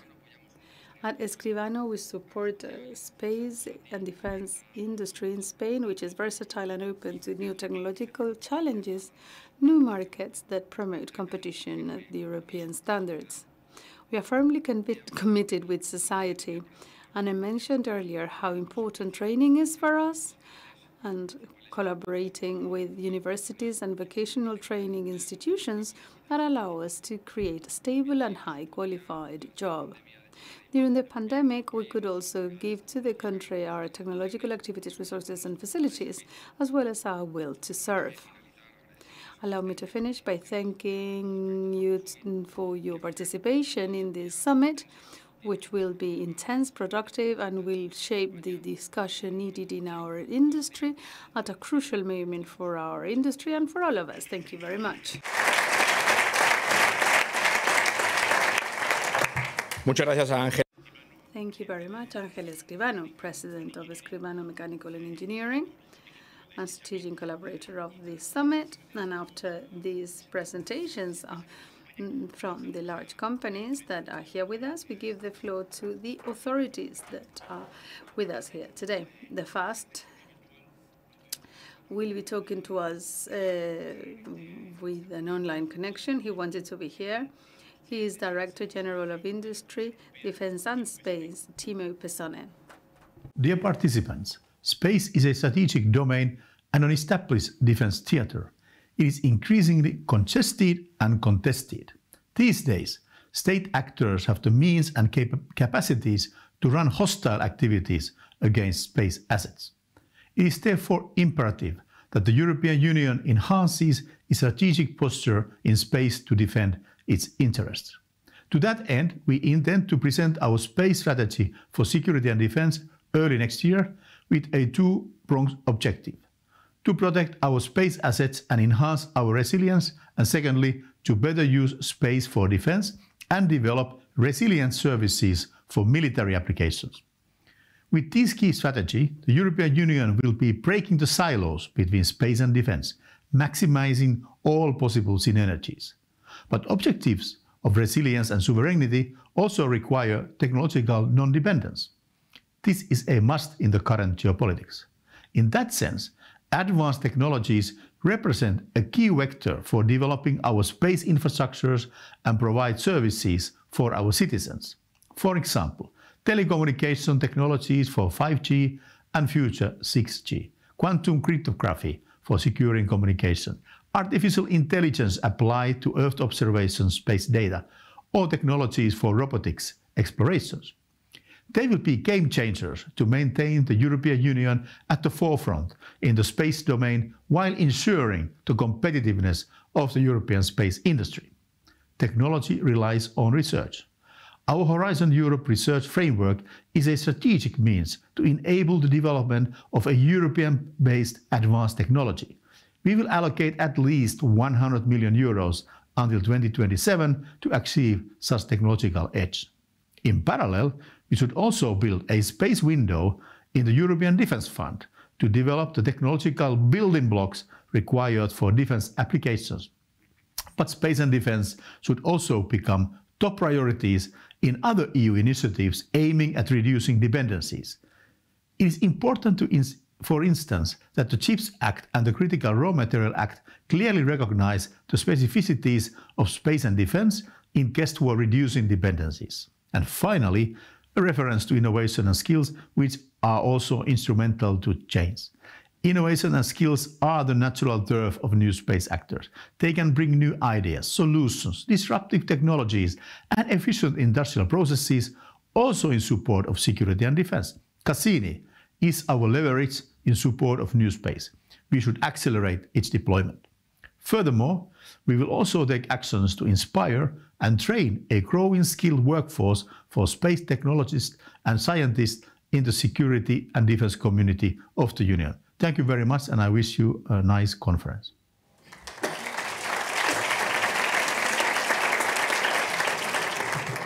Pues muchas gracias al director general de Thank you very much, Director General of Industry, Defence and Space of the European Commission, Timo Pesonen. And now, on behalf of our host city of this summit, we give the floor to the Mayor of Seville, Mr. Antonio Muñoz. Pues buenas tardes. Good afternoon, ladies and gentlemen. Welcome to Seville, especially those of you who come from outside our city. Dear Secretary of State, it's a pleasure to have you back here in Seville with important news such as the organization of this summit, President of public and private companies, which make it possible to organize this main event. I would like to share with you how happy I am because this necessary dialogue between the space industry, the security and defense industry is taking place in Seville. It's not just any summit, and you know that really well, especially in the current situation.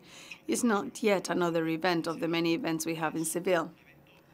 It's a timing an event, a dialogue between three sectors which has an extraordinary growth capacity. If there is any other economic sector that can look at the future with optimism, that is the space sector, and of course, the security and defense as well. So please notice how happy I am as the mayor of Seville to see that this discussion and, and, and reflection on strategic sectors, not only for our city, but for Spain, takes place in my city. And so I'm very, very happy about that. As it was mentioned earlier, the walls of the royal fortress of Seville witnessed the beginning of the first circumnavigation and the so-called colonization of the Pacific Ocean, and Seville was a witness to that beginning. And Seville wants to want to witness also the conquer of space or this challenge that we have ahead of us. We have been for a while, and may I remind you that the first Council of Ministers of the European Commission on Space was held here in Seville. May I remind you that the President of the government announced here in Seville the creation of the Spanish Space Agency. And please allow me to finish talking about how terribly excited we are all in Seville with our candidacy to become the venue of this Spanish Space Agency, a key agency where not only Seville and Andalusia, but the whole of Spain has a lot at stake because the space sector demands innovation and science, and no future can hold without the investment in innovation and science. Please allow me to say that we have done our homework. We have created a solid, high-quality candidacy with the support of the business ecosystem and for research with universities, with the various public authorities, and we are extremely happy with the candidacy file that we have sent to the ministry. So uh, we're looking forward to the news. So we hope that the balance tilts to Seville, the scale tilts to Seville. In many occasions, we have been uh, witnessing the circumnavigation and uh, where Spain was key. Please uh, take into account that we still want to be the epicenter of the Spanish uh, uh, space agency.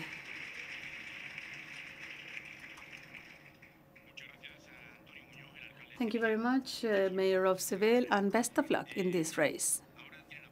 Now we give the floor to the Secretary of Space of, for Defense of the Government of Spain, Maria Amparo Valcarce. I would like to thank Commissioner for his invitation to participate in this opening ceremony of Span Spain Defense Industry Summit. I also want to express my gratitude to the city of Seville, dear Mayor. Thank you very much for your kind words and hosting this event. This industrial, technological, and research meeting is extremely relevant so that the Spanish initiatives have international commercial projection, generate wealth and employment. From the perspective of the Ministry of Defense, And using this framework, which is aimed at empowerment, the defense and space industry, I would like to highlight our utmost commitment with the national Spanish defense industry and firmly committed to promote their capacities and assets.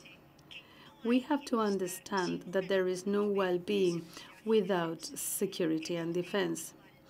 The current global order has led that the Spanish society is very much aware on the need to have security and defense.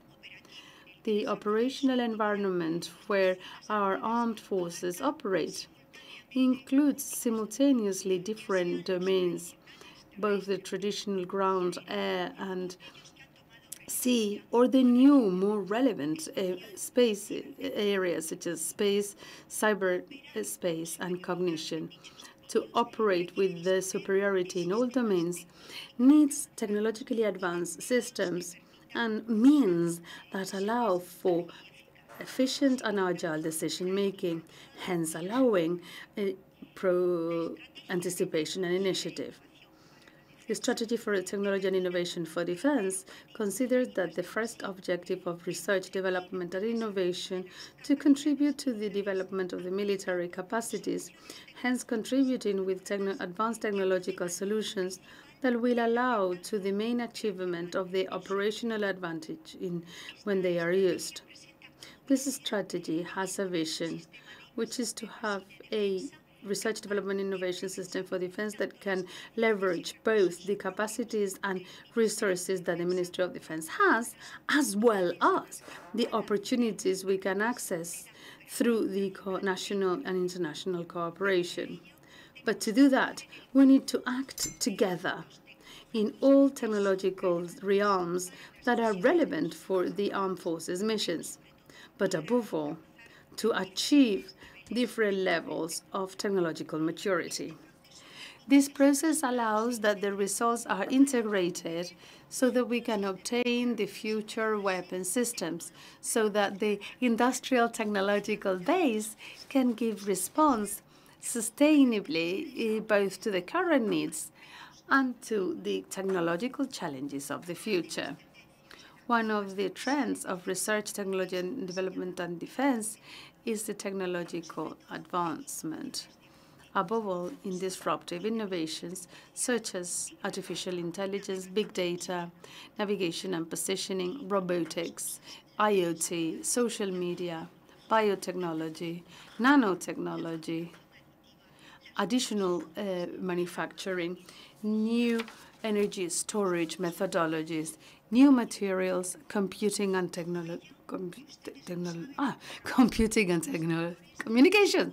You know this because you work in these industries, and these are a clear revolution. And of course, this is very much part of the defense industry. These technologies, uh, which are disruptive, have a clear application in Spain, which has been a catalyst for the transformation of the international relations in the realm of security. The applications of satellite systems show that the daily life of citizens is clearly connected to the space. For the development and well-being of our society, it is absolutely necessary to have an efficient use of the capacities for the control of space so that we guarantee the use of an environment that has a clear strategic and commercial value the national security strategy establishes the need to promote measures to defend the national interests of Spain in space. We clearly support the development of the defense and security component within the Spanish Space Agency, fully aligned with the objectives of the defense policy of the aerospace security strategy and the military planning and, and planning of material resources in space. The impetus and constant update of the master plan of space systems by the Ministry of Defense guarantees the maintenance of these space capabilities already existing and the achievement of the capabilities that will be absolutely necessary in the future in four areas such as communication systems, observation systems, navigation and positioning systems, and surveillance and spatial tracking systems the government of Spain will develop, will allocate our investment priorities to these four areas. And this is an absolute requirement to be established in the technological avant-garde of space and to be able to operate with the superiority we need. In addition to the capacities that we receive thanks to this main system, I would also like to highlight the support of the government of Spain to SMEs and startups of Spain, which have developed capacities from which they can offer to the space, and which have major possibilities and advantages for defense. And please allow me to quote a few. Decreasing costs, resilience because there is many assets already in orbit in a constellation, the variety of payloads, the reduction of revisit times, and the reposition of assets in orbits. Spain is amongst the first five European powers regarding space race. And the Ministry of Defense is supporting the collaboration of the national industry with the European industry through the European Space Agency because we need to solve technological challenges of the space um, sector in defense. We also support the efforts of the national industry to lead and participate in projects financed by the EU through the co-funding method. Let me give you some success stories such as the mini satellite surveillance satellites MEMES, the development of the European capacity of early warning, such as All Inside, and the initiative of satellite communications EPU. Our support of the national industry allows the industry to be better positioned internationally and to participate in the design, production, and integration of satellite systems, as well as in the operation, exploitation, and sustenance of the ground segment. I would like to point out that in 2023, we shall publish the fifth edition of the TAT Catalogue of Spanish Defense Industry for 2023 to 2024. This publication will allow us to disseminate information on the capabilities of our defense industry, both in large industries as well as SMEs.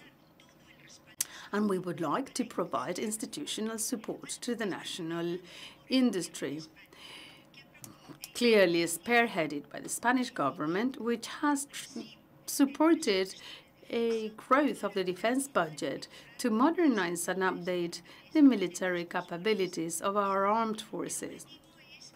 The main goal is to enable the strengthening of the technological base of the Spanish defense industry. At the end of the day, we want to promote growth and, and high qualified jobs ladies and gentlemen. If we take into account the investment in the special modernization programs and in the whole Ministry of Defense budget, for year 2023, the growth will be of 25.8%. As you very well know, this is a massive historical growth as it has been a clear historical decision from the Spanish government to comply with the goal that from now to 2029, we can devote to defense 2% of the GDP. And this investment in defense results uh, in helping programs and actions that are paramount for your industry, the aerospace industry. And I would like to highlight that in the general national budget, there's been a big effort and a vision to because we want to support FCAS, Eurofighter, A400M, Euromale, NH90, SIRTAP, maritime patrol aircrafts, the Air Platform mm, Experimentation Center, CEUS, here in Moguer, in Andalusia, the Center for Space Surveillance, uh, missions for the air forces, and communications and satellite navigation projects such as Galileo. I would like to highlight an independent report which has been published by KPMG for the Spanish Association of Defense Technology, Security and Aerospace Companies. The industry supported more than 70,000 million euros to the Spanish GDP. In 2021, 1.4% of the total of the national contribution, but that has allowed the creation of 50,000 direct jobs, which is a figure that will increase up to 200,000 indirect jobs and induced jobs in the whole Spanish economy. This investment does not only provide a substantial return on the investment, but also it plays a key role because it's a driving force for the local and regional economies of our country. It facilitates the territorial cohesion, the economic cohesion, and above all, the redistribution of the national health. Please allow me to highlight that the Ministry of Defense has endeavored to make sure that all defense programs of a multinational nature should include a national plan that ensures that the percentage of commitment that Spain takes on board is clearly reflected by the return of the industrial participation in our country. And a good example of this, as it has been mentioned by the president of Indra, Mr. Murtra, is the negotiations with our partners in the uh, FCAS program, which has recently allowed to pave the way for the signature of a contract for the next stage. And it has been a long negotiation and an agreement, an industrial agreement has been reached for the program. So congratulations for Indra, because they are the national coordinator of the industrial program of FCAS. We must take into account that in parallel with these industrial negotiations, the Spanish government has held high-level conversations aimed at making progress in the cooperation with the three partners in the program uh, on equal footing between France, Spain, and Germany. The political agreement for FCAS is a big step, especially in the current times. It's an important sign of the excellent cooperation between France, Spain, and Germany. FCAS strengthens the, the military cap capacities of Europe. It gives an important know-how to our industry, and more specifically to the European industry as a whole. So the future air for armed forces of Europe show us that we can solve many challenges together. And I would like to finish by re insisting on the fact that the Ministry of Spain decisively supports the whole Spanish defense industry. We, because we are firmly convinced that they are a key element, as I said earlier, for the development and promotion of our economy. Spanish government has taken the necessary steps to create a financial framework that it is safe so that companies can use it to invest. And that is our objective of reaching 2% of our GDP for 2019, 29. Because security and defense needs an empowerment with top technology levels that allow us to be superior at all um, in all fields. And the space industry is a clear example of how important it is to be at the technological forefront. And precisely to count on an industrial and technological base for advanced defense that knows how to give response to the technological challenge that entails empowering our, our armed forces, and that is the uh, vision of the government. In this event, I would like to I would like you to know that that we will you will always have our support and promotion. So I wish you the best for this summit so that it contributes to achieving the goals that all participants have. Thank you very much, ladies and gentlemen. Thank you for your attention.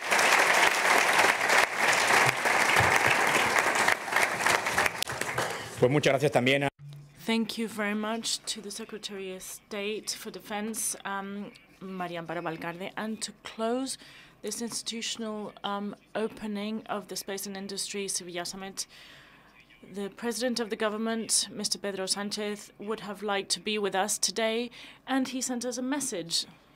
Ladies and gentlemen, I would like to welcome you warmly to this Space and in Defense Industry Sevilla summit and highlight the relevance that this meeting has for the government in Spain. The aerospace sector is more and more important for the Spanish economy. Its development fosters science and technology's impact um, on improving our quality of life and our security. We saw it in the pandemic, the evacuation of Afghanistan, or the volcanic eruption in um, La Palma. We are seeing it again, unfortunately, in the um, Ukraine war or the fight against climate change.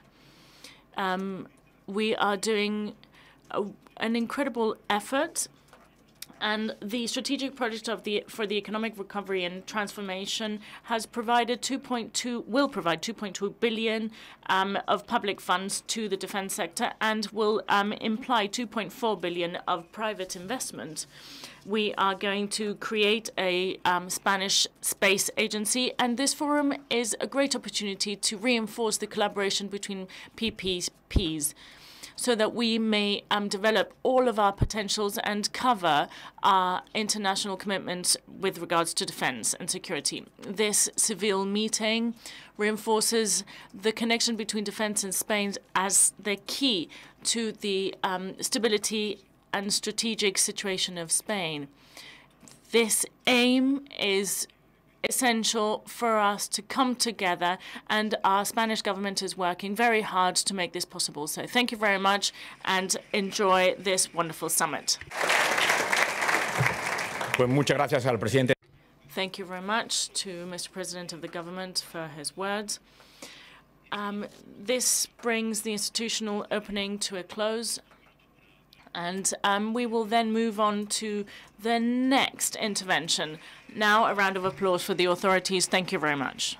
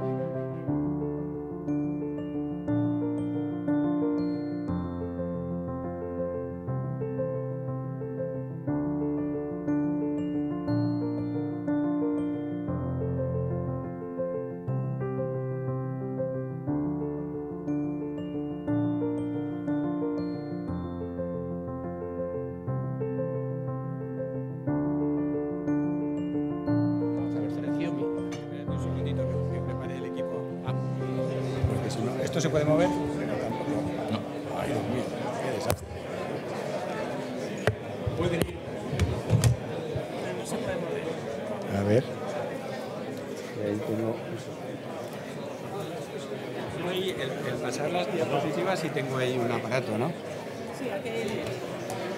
Pero, Sí, perdón. pero la, la- la presentación tuya la tienen ya Sí, ellos. la tienen ellos, claro. pues. Ah, claro. Entonces aquí lo que quieres hacer es... Es- No,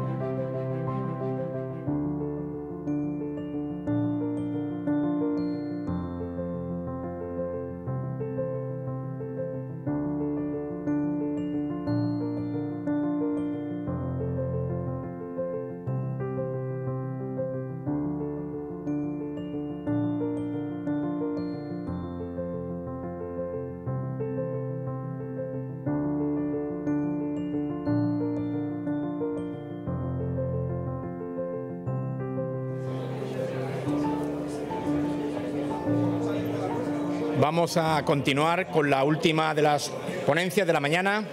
We're going to continue with the last of our conferences. Please take a seat. We're going to start in a minute. Please take a seat. Thank you.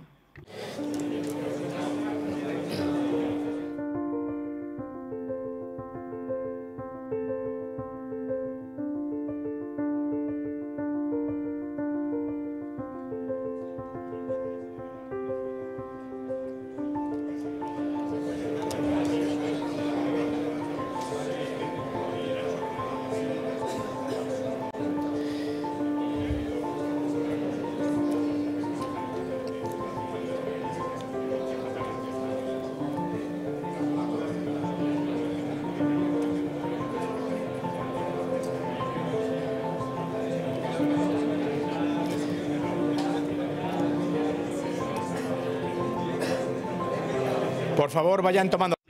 Please, ladies and gentlemen, take a seat. We are about to begin. Thank you.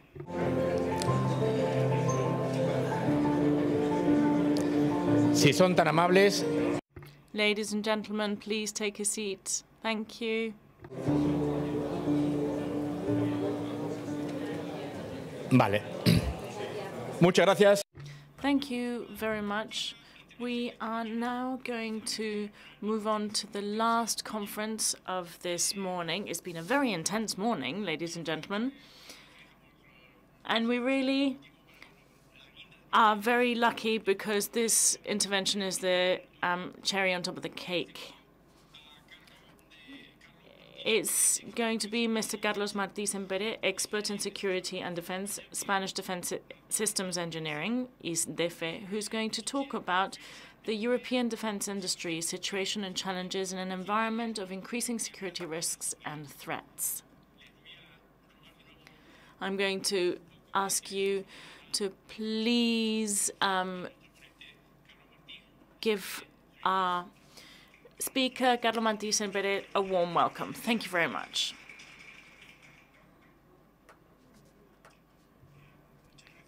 Thank you very much, and good afternoon, ladies and gentlemen, authorities.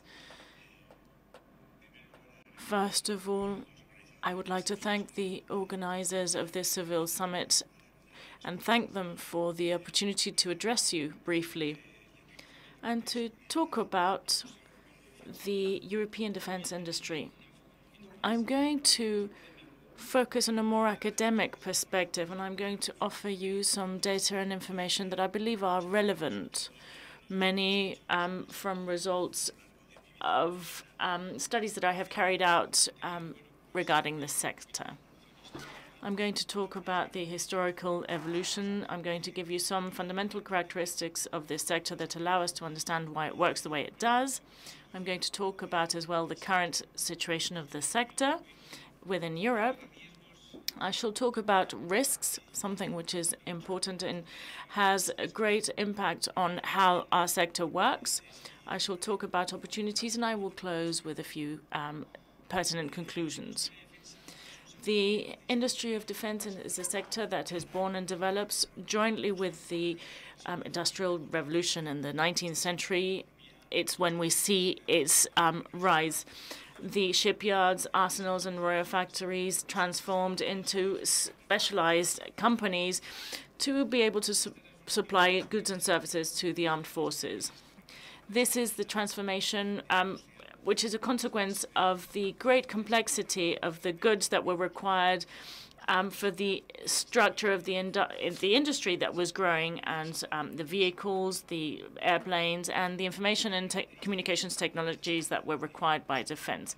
What are the main characteristics? On the one hand, it's a really a cross-cutting strategic interest industry. And when I mean talk about cross-cutting, means that it um, spreads across many sectors because defense deals with very um, different goods and services. We have missiles that have um, chemical loads, um, electronic components, co mechanical components. It's a cross-cutting industry that touches upon many sectors, but the main element is that it's strategic because national defense really relies on this industry, which means that this industry normally um, is very um, taken care of by the government. The goods are complexes and require a very complex and long supply chain. The Leopard um, tank um, required um, 1,200 suppliers to build one tank. So it's a very long supply chain. It is a tech-intensive industry, and really, it is absolutely essential to have R&D and I. The companies um, that provide goods for defense really have to invest to research, um, develop, and innovate constantly more than other in other sectors.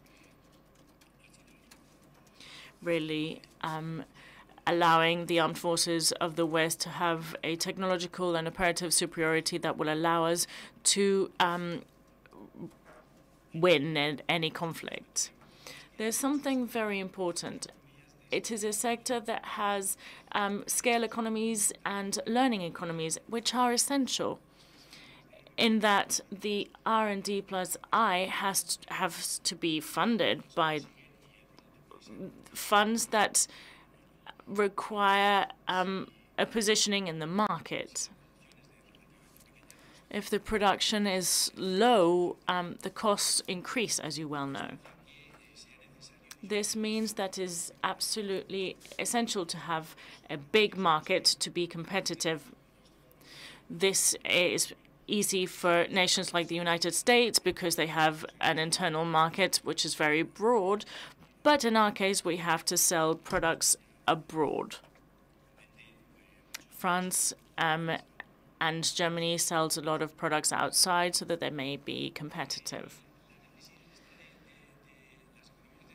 The scale economies and having a big market means that we have imperfect um, competencies, competitiveness. It's very difficult to have um, only one supplier. Sorry, it is very difficult to have several suppliers. And this implies that the number of suppliers is low. On the other hand, it is a demand that tends to be irregular in time when we have a tank or an airplane. Whilst it's being manufactured, the industry has all of its assets functioning, but until the product is substituted by a new one, we have um, low production phases within the industry. So it's very difficult to maintain these assets, and thus the how um, costly this is for companies it means that it's less. Um, it has an impact on the companies. In a European market, having this situation has an impact on us. And last but not least, it is. Ah, there we go. Sorry. I, I've lost where I was. Yes. so, last but not least, it is an, an industry that has knowledge spillover, which means that our research has application in the civil sector sometimes. So we see very important spillover. Uh, the microwave development was um, the fruit of the research in military radar um, spheres, and we all have it at our homes these days. What is the current situation of the defense industry in Spain? In 2020, um, with regards to the ASD facts and figures, they stated that there was 119 billion for turnover, direct employment of nearly 500,000 people, and exports um, that reached 45,600 million euros. So basically, about one third to 50% um, of the turnover is is um, exports. The market structure regarding European Union reports, we have 25 big companies, 100 medium um, companies, and 1,350 SMEs.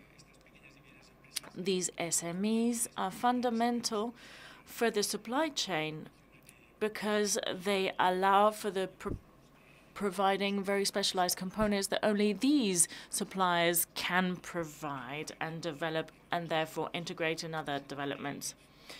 Regarding the KPMG report 2020, and I'm sorry, I don't have data for 2021. They're probably a little bit higher, the numbers, but we have a turnover of um, 7 billion euros, direct employment of 23, 343,000 people, and export of 3,622 billion. If we compare this data of Spain to that of the European Union, we see that our sector is quite small. It's really 5, 5 to 6% of the defense industry sector in Europe.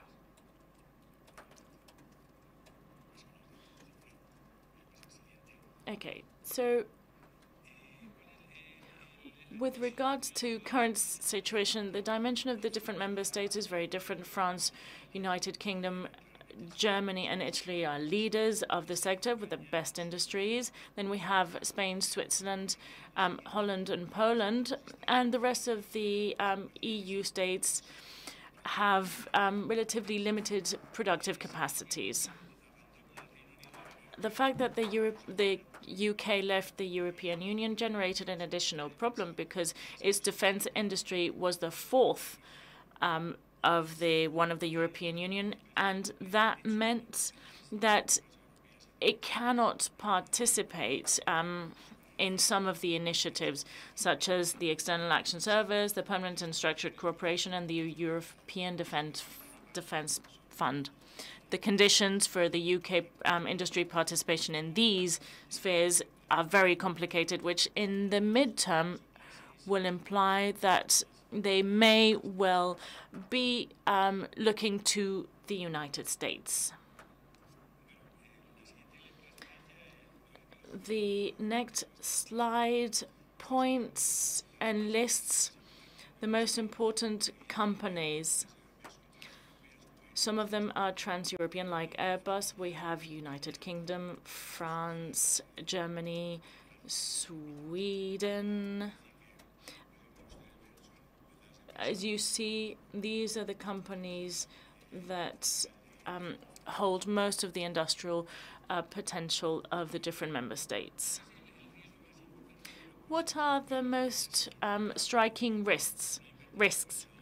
We don't um, invest a lot of in defense. Uh, countries like United States or United Kingdom do um, have a lot more spending in defense. But the NATO guideline, which you see as the green line here, most of the countries do not go over 2%, and the rest of the countries are quite low. Spain is the penultimate before Luxembourg with uh, a 1.02% of GDP for defense. This has been what historically we have gone through in the last few years. If we don't have um, national defense budgets, it's impossible for the industry to grow. So the backing of um, prominent budgets is very important. And most companies have to rely on exports.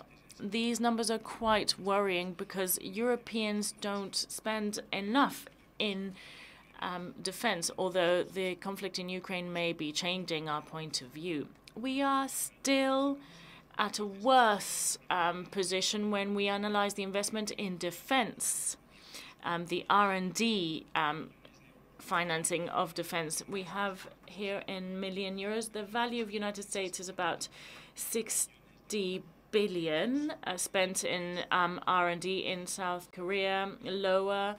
The European Union, quite low. UK lower than the EU, Germany, Japan, and then the rest of countries really have very small investment in defense regarding R&D. What is the problem with this?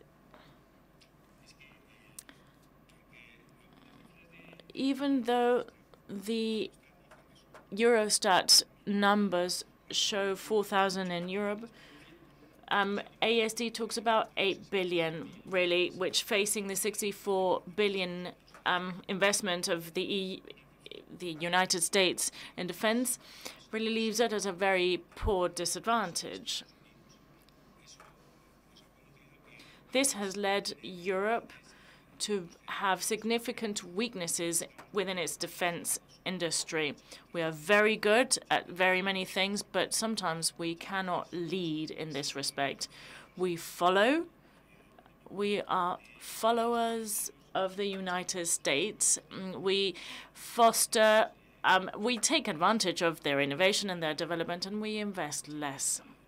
We take advantage of the fact that they are at the forefront, but with these numbers, it's very, very difficult for us to be leaders in this sphere.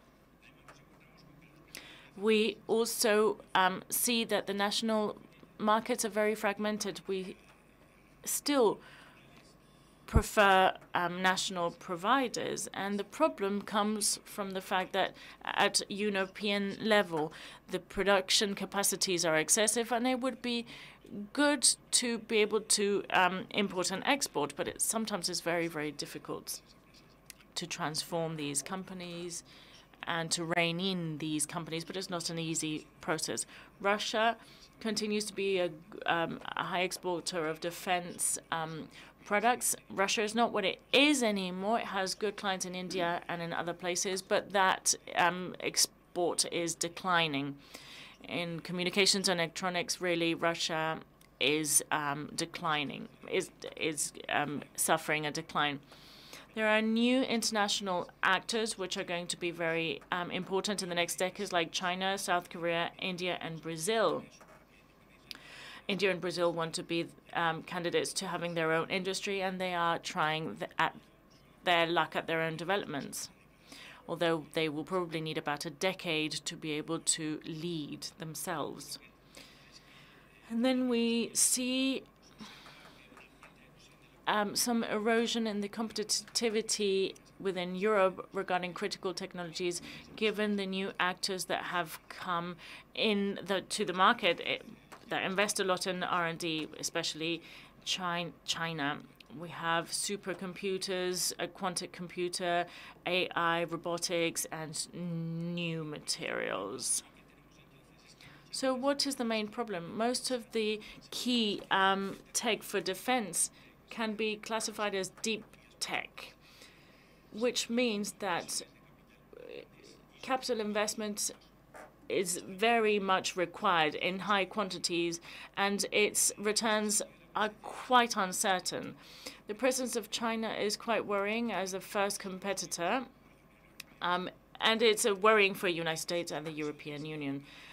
China investment in R&D globally surpass Europe. China does not provide a lot of information with regards to what it invests in defense, but we believe that they have surpassed those of the European Union. And we have also spoke about, uh, spoken about the fact that we have um, graduates from science, engineering, mathematics. Most of these um, this talent comes from China, 26%, and Europe provides 9.5%, and 6% provides is provided by the U.S. as per a report by UNCTAD. So United States and Europe perhaps um, might need to join forces in terms of talent to be able to face China.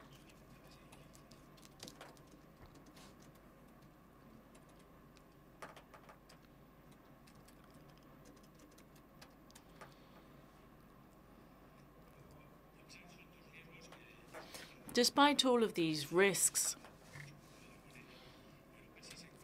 Europe has very many strategic opportunities on the one hand, and the European global um, will to be more strategic, the European global strategy, the reinforcement of the European sovereignty.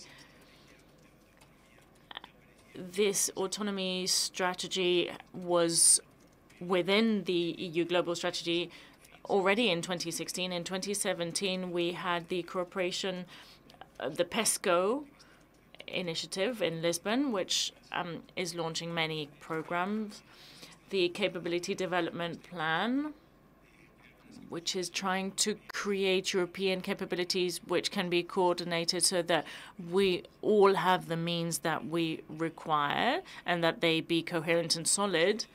We also have the Strategic Compass for 2022, which enables um, many initiatives to be to reinforce the European capabilities, and we will see the impact of this in future developments. And we also have the European will to promote reindustrialization and R&D within Europe. They are civil activities right now, but I believe that they're going to have spillover to the military sector um, supercomputational um, sectors, algorithms and developments and applications, and AI systems that will spill over.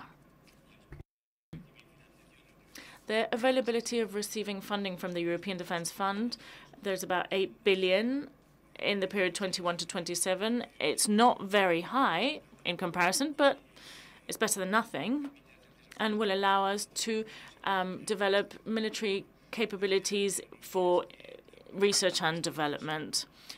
Ideally, the European Union, what, what it wants to achieve is to plant a seed and have multiplication, have these have multiplying effects. We shall see this um, in the future because currently it's impossible to, measure this. But perhaps these seed investments will have um, will produce big trees in the future.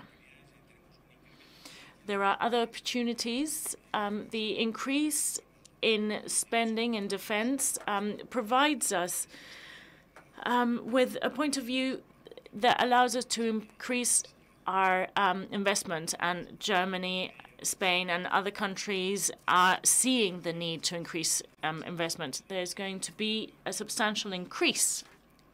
Sorry. And this means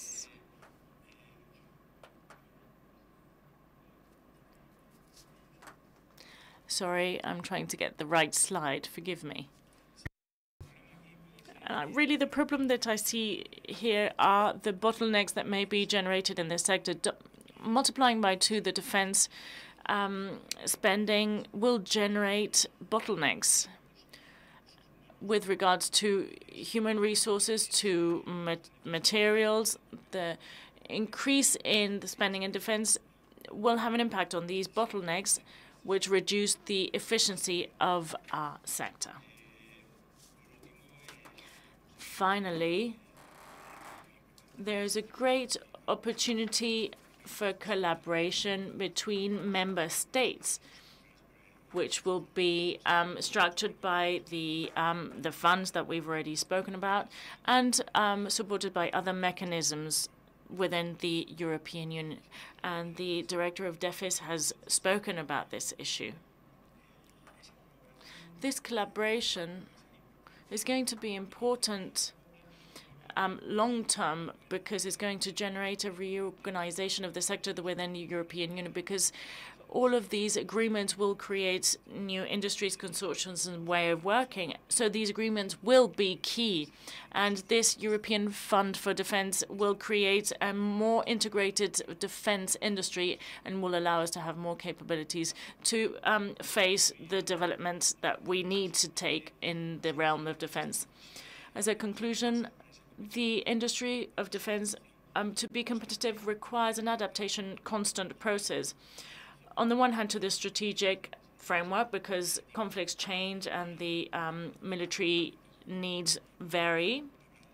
We have examples in Sahel and Ukraine, but they're also linked to the political lead, legal context. Finally, the European Union has decided to invest in defense and um, bring together all of the member states' capabilities. And of course, the technological evolution, the fourth industrial revolution in the 4.0 industry, R&D, all of this is absolutely required for our industry to constantly adapt. It's costly, but it's the only way in which we can have proper defense that satisfies the operational needs of our continent. With regards to the public-private um, partnerships, we really see it as essential. The interests of administration and industry must converge, and we must avoid divergences that um, have an impact on our efficiency. Industry requires um, being able to produce funds. The public administration needs to provide defense for the citizenship citizens, sorry. These objectives may be conflicting and be difficult, but they're essential. The investment to produce defense means has to be considerably high. And so, really, I believe that the market currently doesn't work. We have to create different institutional mechanisms so that we can face all of these um, problems and technical complexity. So we believe that this collaboration is important because these um, defense developments are highly um, they, they have spillover and they're very profitable. They can be exported.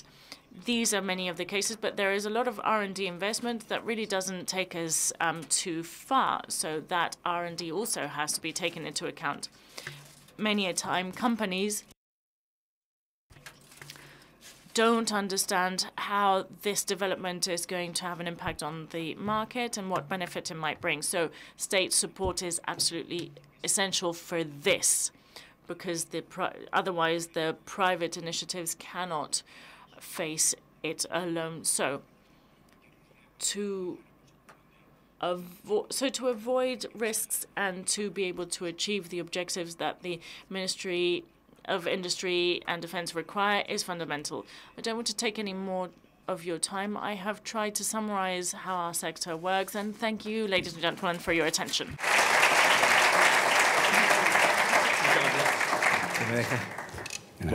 Eh... Thank you very much, ladies and gentlemen. Thank you, um, Mr. Speaker. Thank you for being here. We shall come back and reconvene at 3.30. For those of you that are following us online, we shall reconvene at 3.30. Enjoy the break. Um, and for those of you here, we have a lunch where we're going to network. This is very important because we're finally face-to-face, -face, and we hope that you may uh, make many business deals and shake many hands. Thank you very much. Ladies and gentlemen, a warm welcome to the evening session of the Space and Defense Industry Seville Summit. A summit that we are celebrating here in Seville I would like to welcome all the people that are following us um, virtually and all of the people here in the Palace of Conferences here in Seville. I hope your lunch was delicious and very productive in terms of networking so that um, the collaboration and the PPP um, be useful for all of us. We are going to begin with this section. We're going to have different roundtables, and the first block that we're going to talk about is space, airspace, as an axis of global industrial development. And um, we have as our first speaker Jordi Hereus, the president of Hispasat. Please, a round of applause for him.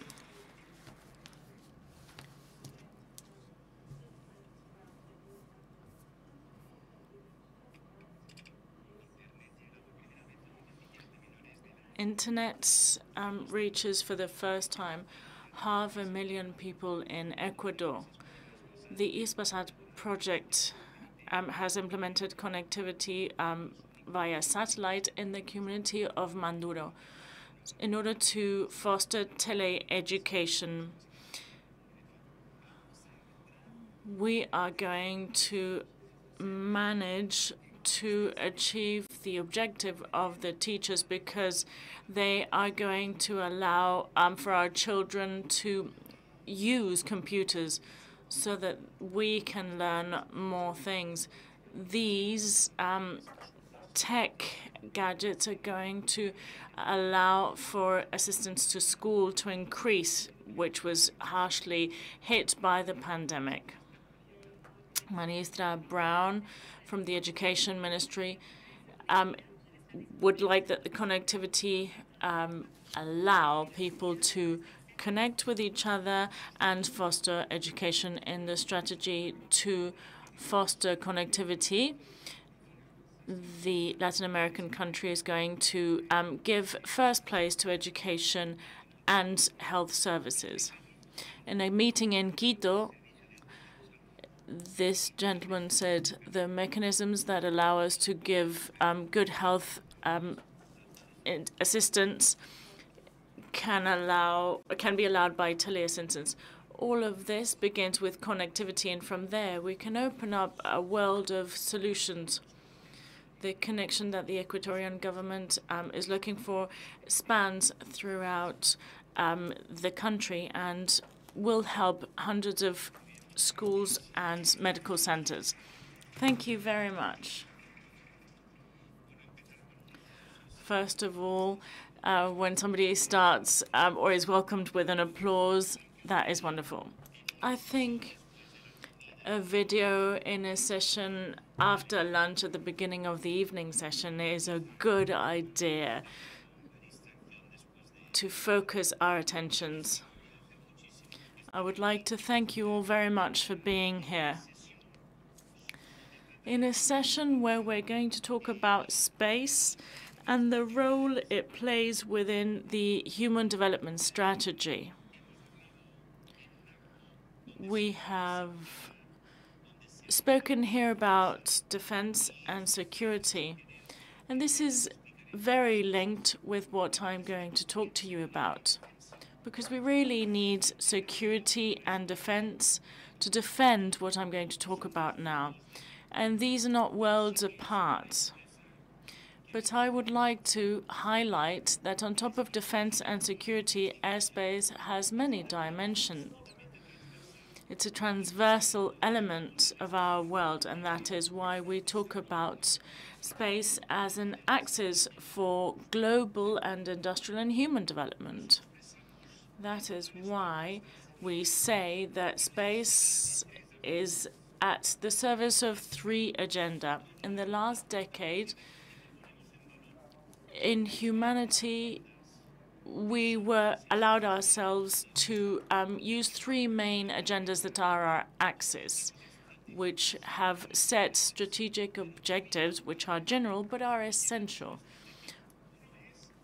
On the one hand, we have the 2030 agendas, the Sustainable Development Goals, the 17 of them. The other is the Paris Agreement regarding um, the fight against climate change.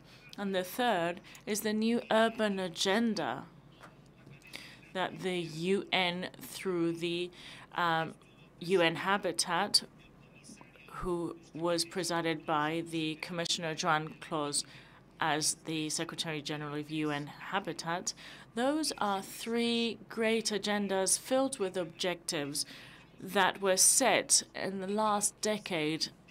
And in this decade, we are going to see um, the implementation of these three agendas. So this decade that we are living in is that of objectives that have to be achieved, evaluation metrics to understand whether we are advancing in this agenda or not. Space plays a very important role in all of its dimensions in the building, in the real building and implementation of those of these three agendas that I have mentioned. And they are agendas that we must remember and evaluate. Space is linked really to most of the SDGs. It really is difficult to find an SDG, Sustainable Development Goal, that is not directly linked to space. So end of poverty or zero hunger, space is included in that because it will create productive change in agriculture, in um, stock rearing, so that we can create intelligent territories, clean water, um, decent um, work, and economic growth. This is a, an economic sector that generates quality jobs and which helps social and economic development of our territories, the reduction of inequality. This is evidently something that helps when we see a video like this. Economic development through digital transformation, and thanks to con digital connectivity. These are just but a few examples. Life on Earth, life under the seas, action against climate change, and peace in solid institutions. When we are defending borders, when we are fighting against illegal um, trafficking of peoples and goods, we are defending solid institutions. And in this realm, space is very present and more so than before. The fight against climate change, I want to highlight within this something. More than 50% of the indicators and metrics that are used to monitor whether we are advancing in the fight against climate change come from space. That is, 50% come from space. And evidently, space gives us a very important element that may be um, subjectives, but raising awareness. When we see images like these, is when we understand, because images is a, an image is worth a thousand words. When you show from space the effects of deforestation or the defrosting of glaciers around the world, we need the space for it. We need space for it. It is also evident that space helps in adapting and creating policies to mitigate climate change. The new urban agenda means a world that is going to be more urban is a world that has become more urban but does not forget the villages for millions of people that are going to migrate from villages to the cities. There is no possible development socially and economically without digital transformation, without the effects of the digital revolution this can only be possible if connectivity digitally is possible. This is basic. So therefore, airspace and space will allow us to reach as far as uh, possible with our technologies. It'll be space that will allow for connectivity for millions of people. And I was saying space is very important in itself and it is essential for what it is useful for. But in itself, is essential because of the actors and what they do and who do what. Um, and I give you a number from the International Association of Satellite, which uh, mobilizes 3,000, um, 3.86 billion. The industry of satellites services launching the industry mobilizes um, 279 billion and um, the part of services is 94 billion, corporate uses 17 billion. And in terms of sensory, with the sensory field and with 5G, we are already uh, mobilizing 2.7 billion. This is all to support the fact that this technological universe and this great industry in itself is a factor for social and economic development because it generates innovation, it generates exports, it generates good jobs and good employment, 230,000 um, quality employment with high added value. So it is a technological universe that is interesting in itself, which has helped for the last 65 years the, the first satellite was launched in October in 1957. We have been working for 65 euros, years sorry, in supporting all of these policies. And evidently, space has future, a future that will allow us to talk about this and to talk about lunar communications. And the technical director of Hispasat is here. These communications will allow us to explore new horizons that science will bring to us. So thinking about the present and the future of tomorrow is incumbent upon the space. It's also, space is also at the service of the integral development of society. This is a person that is connected um, in through space because no other way is possible. We see here geolocation. We see internet for mobility from maritime and air spheres. This is a revolution of space that is transforming everything. With regards to science, the new frontier that innovation implies, we add a new world, an immense world of new applications. Space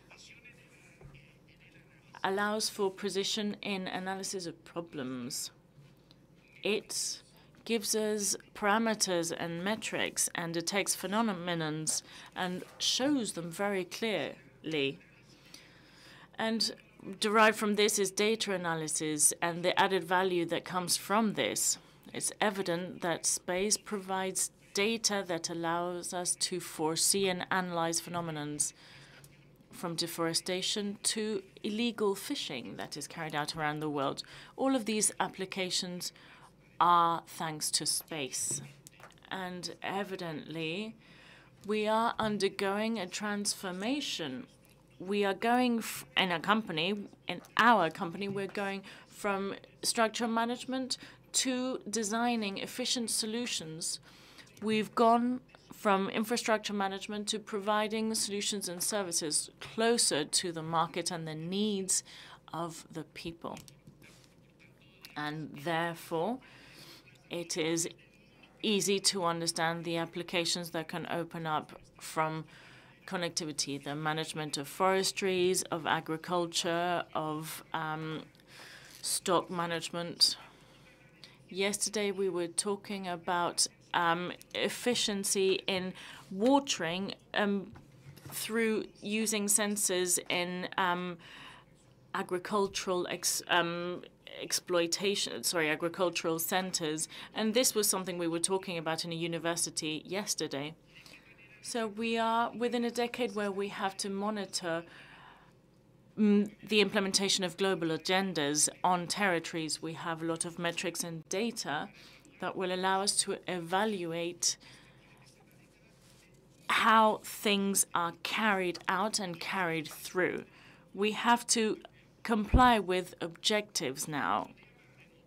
In this very remote um, village, these children are able to use um, these appliances. We are very well connected here, but half of humanity is not well connected. And yesterday I said that 244 million people do not have connectivity in the um, American continent. And without connectivity, it is not possible to carry out further development strategies. There is no digital transformation possible. So it will be through space and only through space that we will be able to reach the remotest of areas in an efficient and economic way. And this is something that we are fighting to include in the agendas but in, of dialogue between Latin America and Europe because we think it's absolutely crucial to create um, a path that can accelerate strategic countries' economic development and who countries that are essential for Europe as well. With regards to security and future, space is essential for um, meteorological purposes to avoid ca catastrophes because to manage emergencies, space is essential.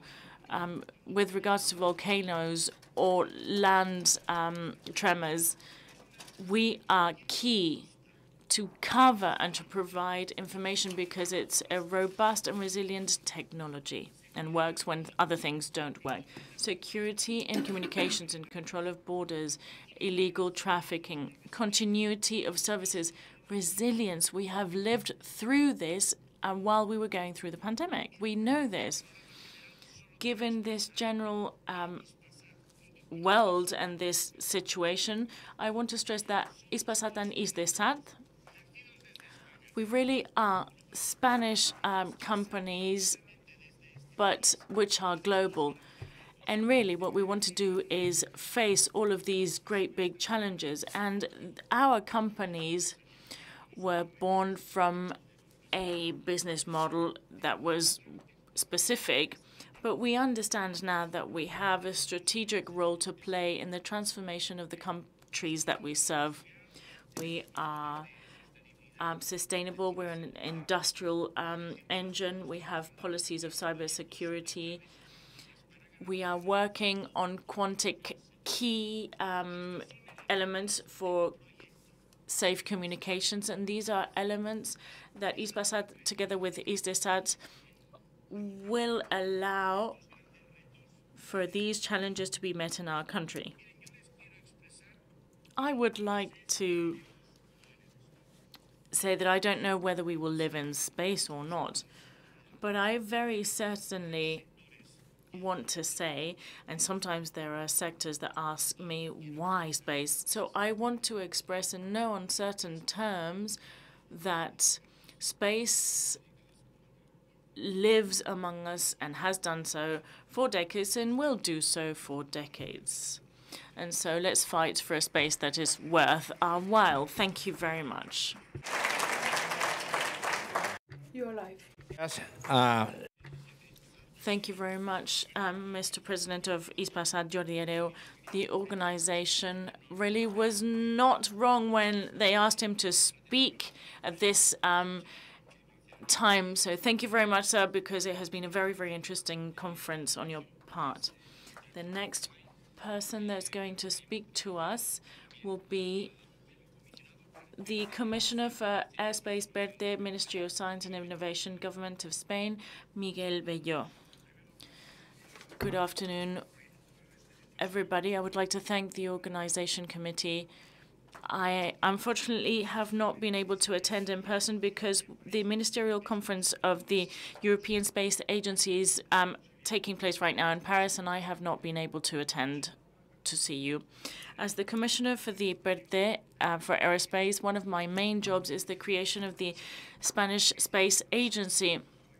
And I want to dedicate this um, message to the principles that are allowing us to create and structure the ministries and the um, models and competencies and statutes that we are going to need for the um, this Spanish space agency.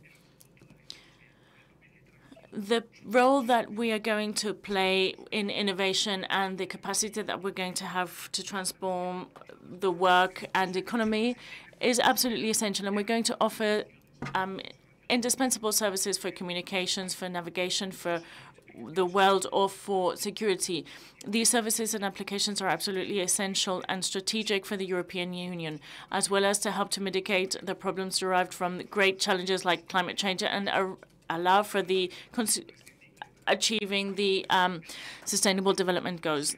The space agency is essential for science and um, for answering essential questions. The government of Spain understands the strategic capacity and the mobilization capacity of different um, sectors and for research and de development approved um, in 2022 a PERTE Aeroespacial, which basically is support for the defense and aerospace industry so that we may be key and can be part of the trans the short-term and long-term changes. The um, ministry has foreseen the creation, the Spanish Space Agency, an organization that will be a guarantee for the sustainability and coordination of the policies with regards to aerospace and space mm, policies. The Space Agency will allow us to coordinate effectively the activities in aerospace from the point of view of its technological development, as well as the use of space um, for communications. The agency will include the functions that currently are distributed amongst different administrations so that we may be more efficient in the sector in Spain. The Spanish Space Agency is going to follow the models of the new UK, um, Switzerland, or Australian Space Agency. We will not carry out technological scientific projects, but we will supervise and harmonize all of the space program. We will um, give legal backing to all of these and coordinate the um, international organization representations. We will, of course, um, include the Defense Ministry and the um, Security Ministry so that we can all operate together um, in a transversal manner. There will be a coordination with the Ministry of Transport and Industry in the competencies that apply to them. The agency is going to foster value chain, the development of satellites upstream, as well as the downstream application services, including um, launching and operations. The agency will integrate the functions that are currently distributed among different ministries and entities so that we may represent efficiently the Spanish space sector. We will also provide institutional support for the commercial use of space, fostering private investment and identifying the PPP um, collaboration opportunities it will always be necessary to have interdepartmental cooperation because we will have to coordinate different um, nature strategic actions, communications, defense, security, information about climate, protection of environment, agriculture, fishing, industry, all of these sectors in really require international cooperation. So we will incorporate them into this so that the agency has enough autonomy and um, action capacity. Its personnel will need to have experience in management of space um, elements and also abilities to coordinate initiatives nationally and internationally so that we may be well positioned in the space world. That will allow us to have better investment internationally and better representation in ESA or the European Commission. On the other hand, with regards to the specific national de developments, defense and transport, we see this as key to the development of the sector. The space um, race um, and the STEM careers will motivate the development of new abilities, experiences, and capabilities within industry, university, and education. With all of this in mind, the principles that foster the need of a space Spanish agency is really the service to citizens because they will be the end users of the development that we will create.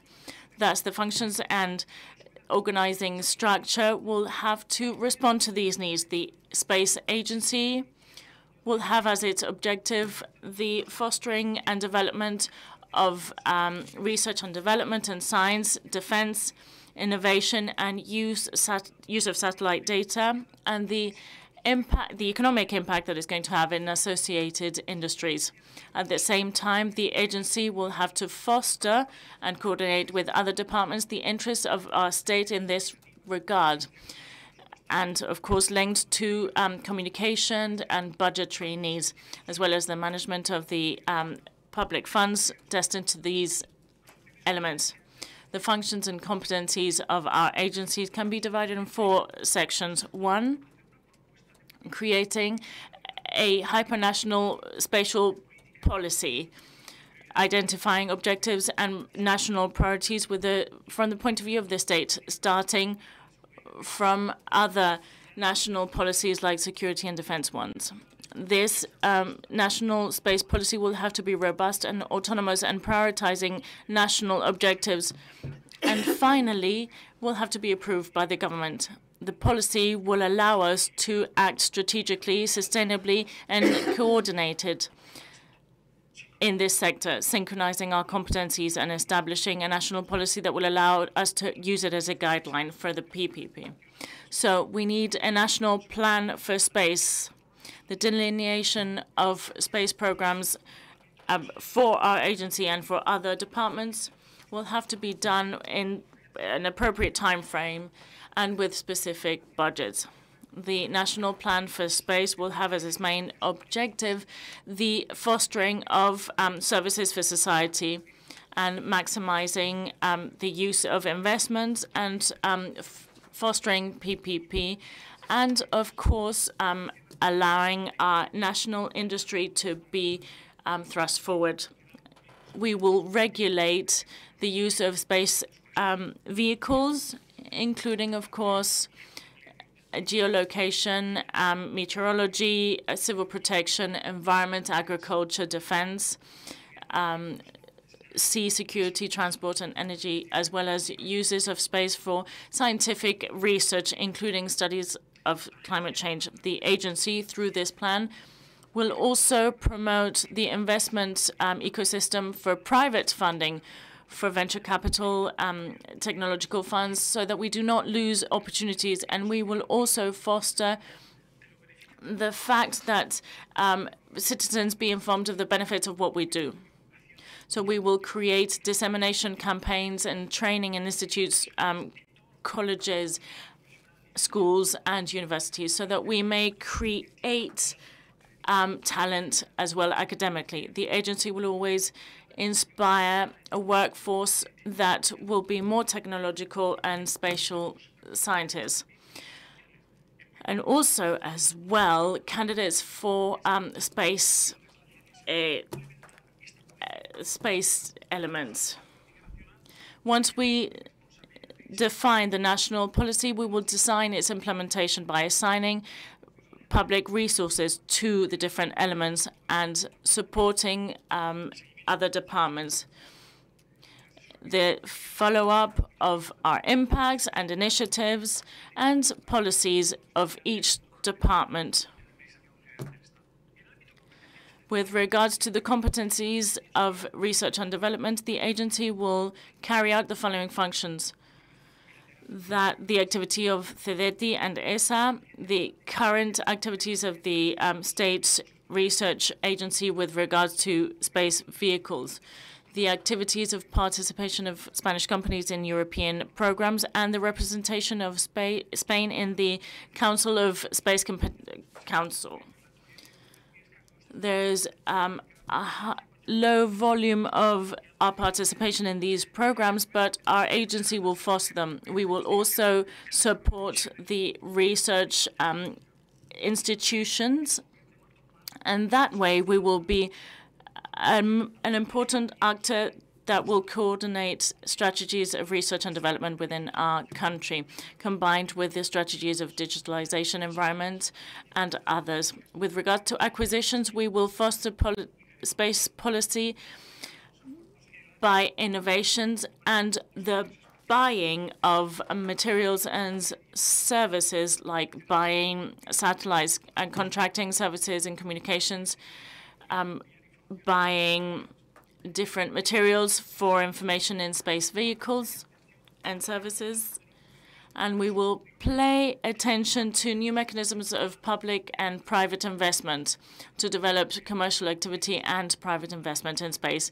The agency will also control the um, industrial returns for the different Spanish companies that require international buying so that we can optimize them we also want to be essential for the coordination of actors in this um, space area, startups, organizations, universities.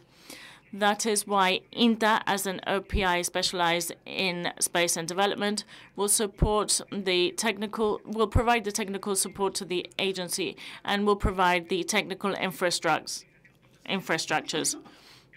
This does not mean that we will not be able to use other um, structures. The third um, set of activities will be the space activity has um, international projection, and this means international cooperation and representation of Spain in the um, organizations of this sector, ESA, EUSPA, and UNSAT. We will be responsible as well for the intergovernmental coordination in UNOSA, UN, and also follow-up and integration on international agreements. The agency will also help to verify that we comply with the international treaties regarding space, and we will also promote bilateral and multilateral agreements of cooperation with space agencies as well. With regards to cooperation, we will cooperate with other ministries and um, areas. And the way we will coordinate with the space, European Space Agency and committees, this will allow us to be more organized and structured and be able to carry forth a unique voice in this forum. I think it's very important the coordination we will carry out with the Ministries of Transport and Defense so that we can coordinate the vigilance and regulation of space traffic, traffic and understanding the policies that will define the future use of space um, outside of our country. Also, we're going to provide a legal framework because we are going to regulate the uh, public and private activities, creating a space law, um, creating an understanding of what uses for space are agreed and allowed and not. And we will, um, of course, focus on the launching of um, space vehicles, launching of satellites, control, control of any aspect that impact the space and its traffic. This law will allow to understand what certifications you can um, obtain to um, certify your processes. And uh, this is something that currently is being done by the OP of Space. For this, we shall have a legal team that is um, specializes in space law so that they can propose um, frameworks in these competencies. This is a short summary of the principles that are guiding us in the Space Committee to create for creating the Spanish Space Agency. And we hope that it'll be launched by the beginning of 2023. Thank you very much for your attention. Muchas gracias al comisionado. Thank you very much, Commissioner, for the Spanish PERTE, the Strategic Plan for Economic Recovery and uh, Transformation. Uh, thank you to, for this presentation about the Spanish Space Agency. So we're going to move on to the next roundtable. I'm going to give the floor to the General Subdirector of Space System of INTA, Ángel Luis Moratilla. He will be chairing the next roundtable. So can you please join me in welcoming him on stage?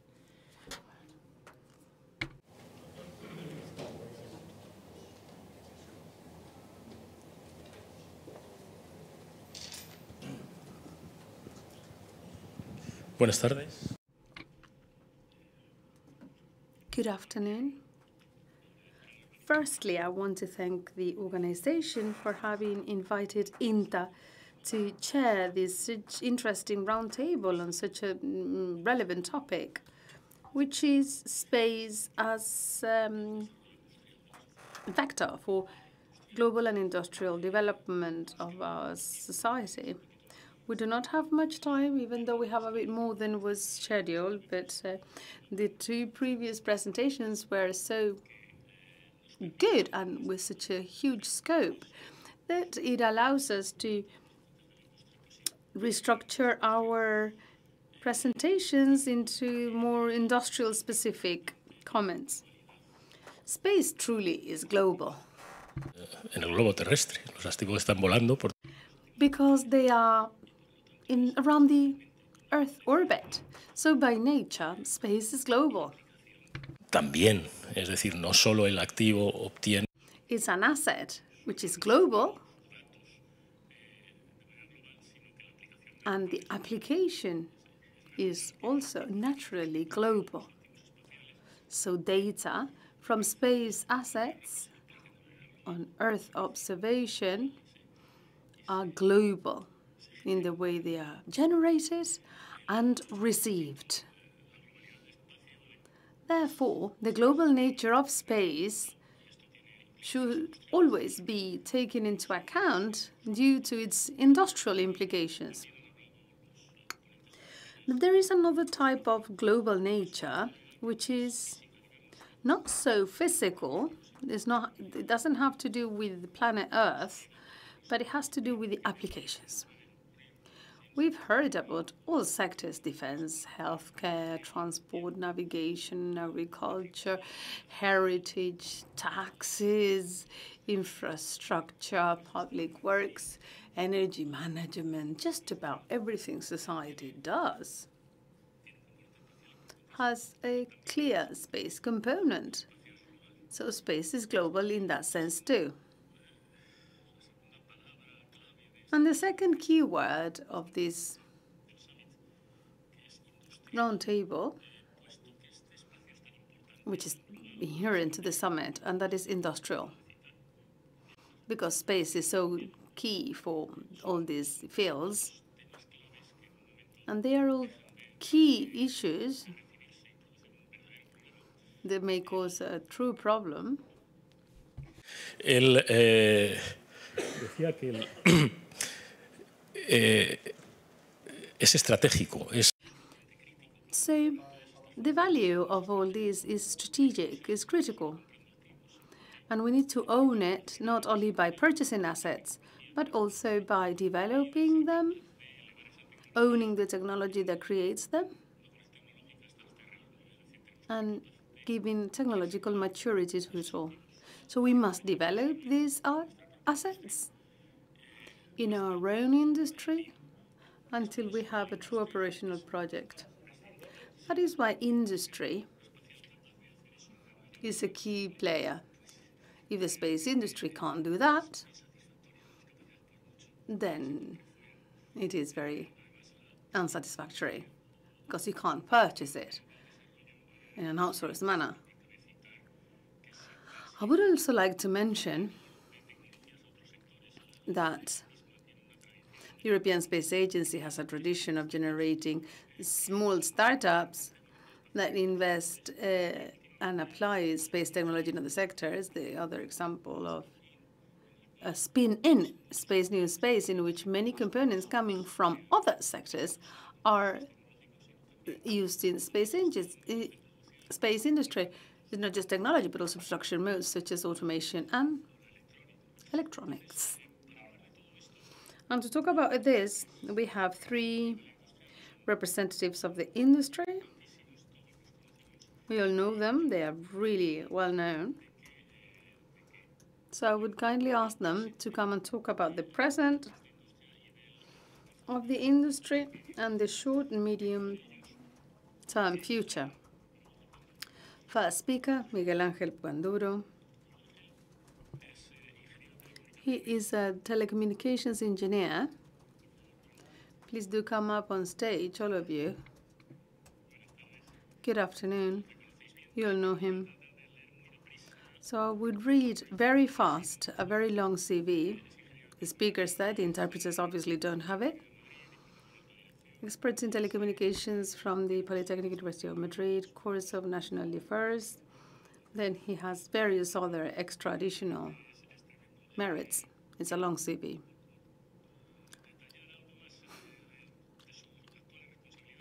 His current responsibilities, I mean, he's worked in many years, in many places for many years. So, so if I focus on Hispasat, he represents Hispasat as the CEO.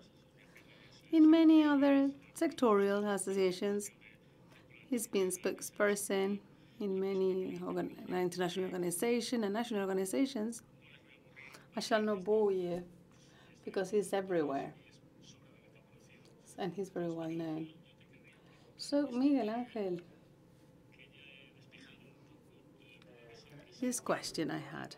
How do you see the present and the future in the short and medium term from the industrial point of view and more specifically in SATCOM? Good afternoon.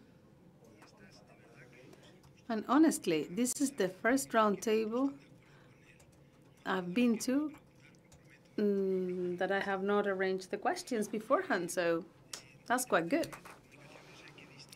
In, regarding communications, one needs to differentiate between upstream,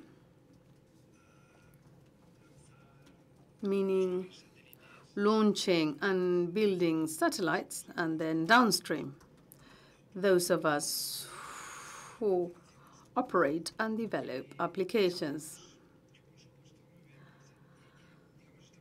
Mm, we are currently in a situation in which we need to face different types of project problems. So please allow me to talk about a medium-sized operator, such as Hispasat. But these problems are shared by most operators, quote-unquote, traditional operators. My president talked about the 30th anniversary of the first Hispasat, so those of us who have been here 30 or more years. We are undergoing a disruptive period. All sectors are. We are also in a transformation sector. It seems that that is not original either, and that all sectors are under transformation. But I will try and talk about life cycles of the systems. So the life cycle of our systems are shortened because the technology is the way it is. Now, in five or six years, satellite assets are old. We still need to invest in significant amounts of money and markets or the prices are in decline and those companies which are listed or operate. We don't. We're not listed, but it seems that the evolution of the operators is not very attractive. But at the same time, people always laugh at me because I always say that we are in a very sexy market. because when you talk about space communication, well, you are drawing some attention. People look at you, right? On top of that, and why is space so attractive? And I've talked about it many times. You may say that I am a little bit repetitive, but there are two persons in the world who probably are the richest people, and I talked about this the other day. A guy called Elon Musk and another guy called Jeff Bezos, and they sort of have a liking for space. Maybe our president convinced them, but they do have this inkling for space. One has invented 7,500 millions with more than 2,600 satellites in orbit, and the other one is very close. And what's new about this? Per se, this won't be very new if you keep the value change, which is what I was talking about earlier, both upstream and downstream. We are in the part of the operators, other people manufacture satellites, other people launch them, other people launch applications. They, these two projects, do everything. They, they build their launcher, they may, manufacture their satellite, they operate it, and they send it home wrapped in socks so that you buy the service when you buy in Amazon. So in my opinion, this may transform our industry because it's currently very fashionable. And we sometimes remember that at the end of the 90s, a guy called Bill Gates tried. But this is having an impact on the investor appetite, investment appetite in traditional operators. And how do we manage this at Hispasat? Well, we are not going to compete against these monsters. And what the president said earlier is that we have become or moved from being an infrastructure-only company into a company that makes progress in the value chain to add services. And we have acquired two companies with the focus very much set in Latin America. And I think it's a very exciting moment uh, for the future. But our answer is that for the time being. Great. Well, thank you very much, Miguel Angel. We're going to move on to Jorge Potti. I would highlight, in a nutshell, that he has a very GMV career. Miguel Angel had been in different companies and positions beforehand, and all the companies ending with S. But he has been in GMV all his life. He's an aeronautic engineer, and uh, all his career has been in GMV. So allow me to mention some figures which are rather spectacular. He has multiplied 3.5 the magnitude uh, of his company with a turnover of more than 150 million euros. His position is rather big. He is the deputy president for space of the Spanish Association of Technology Companies, TEDAE. So he can talk about GMV and also on behalf of the whole sector. So I would ask the same question. How do you see the current situation? But more in general terms, as the deputy president of the TEDAE, and more specifically about navigation. Thank you very much, Angel. I am very optimistic regarding the situation we have in space and what we still have to see. As Jordi said, this is a very young industry. Uh, only 65 years, the industry has developed with major achievements. I'm rather optimistic just about everything. We're talking about colonization of the moon, sending people to Mars and very ambitious projects. But up to now, the space has proven to have more impact on communications and satellite navigation. In communications, I shall not say anything else apart from Miguel Angel said. In navigation, we are going through quite a sweet spot, actually due to the highly strategic role of satellite navigation, or as they are actually called, uh, navigation, positioning, and timing services. It has a strategic value, has an impact on economy. According to the EU estimates, 12% of the EU economy depends on satellite navigation signal availability. And PNT services, uh, the satellite gives this technology with a lower cost than the ground networks.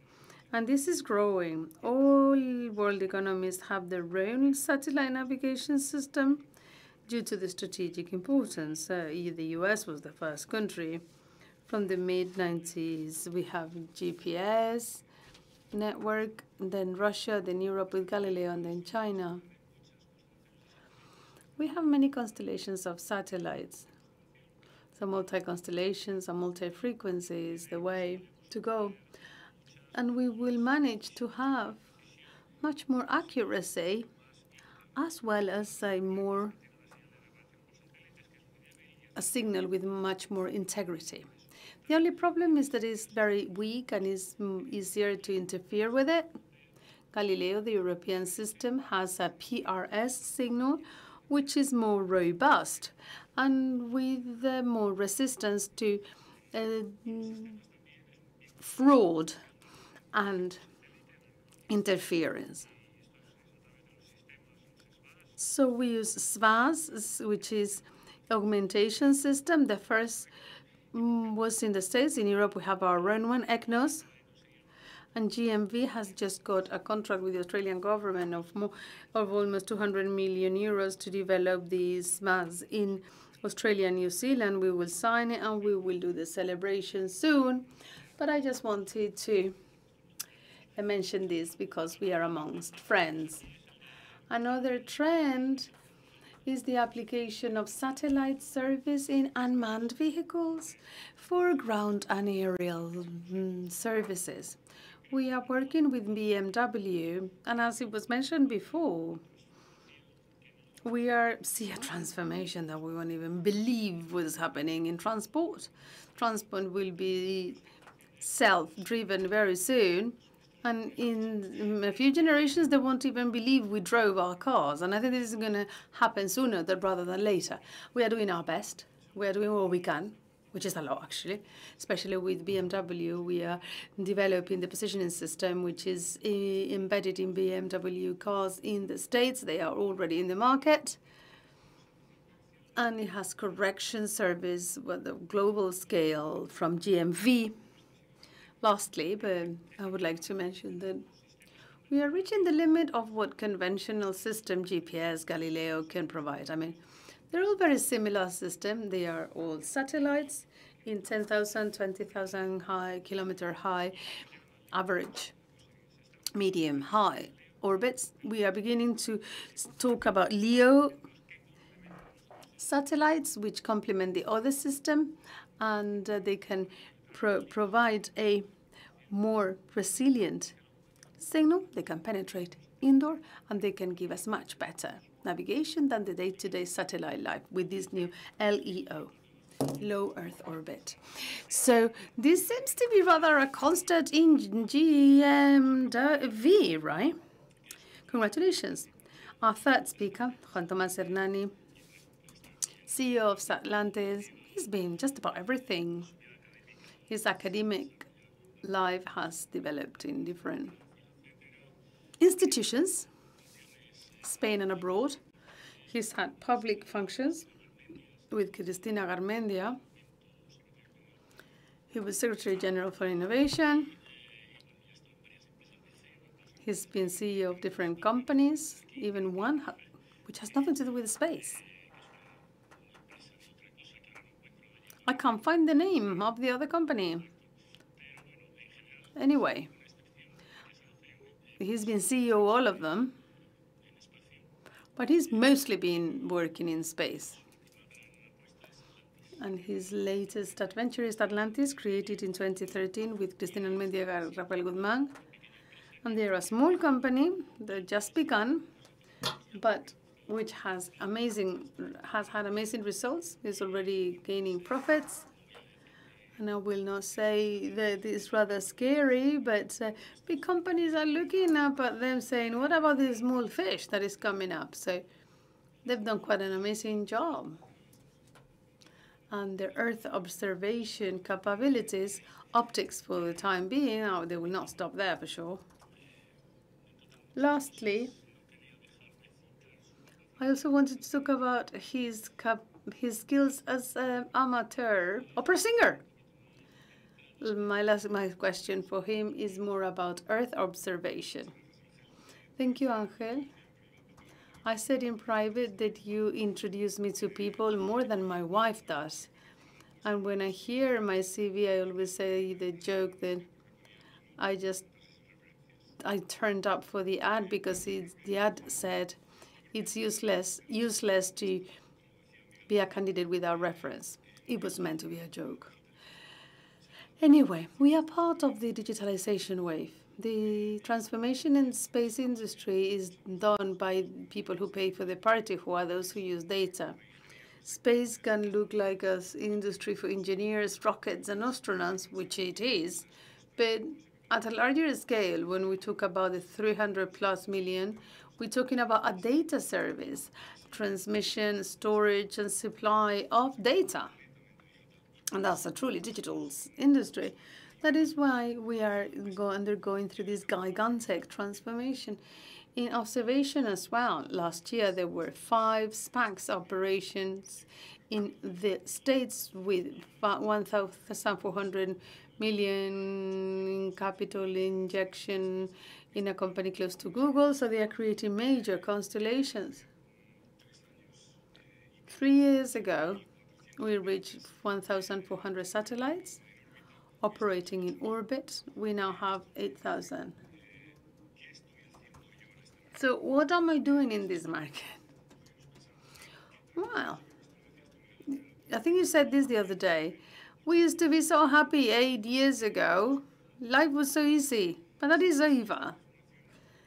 If this global transformation has such an impact, I can't continue thinking about my own specifications, my own requirements, then the next, and sort of like going at the micro scale and micromanaging things.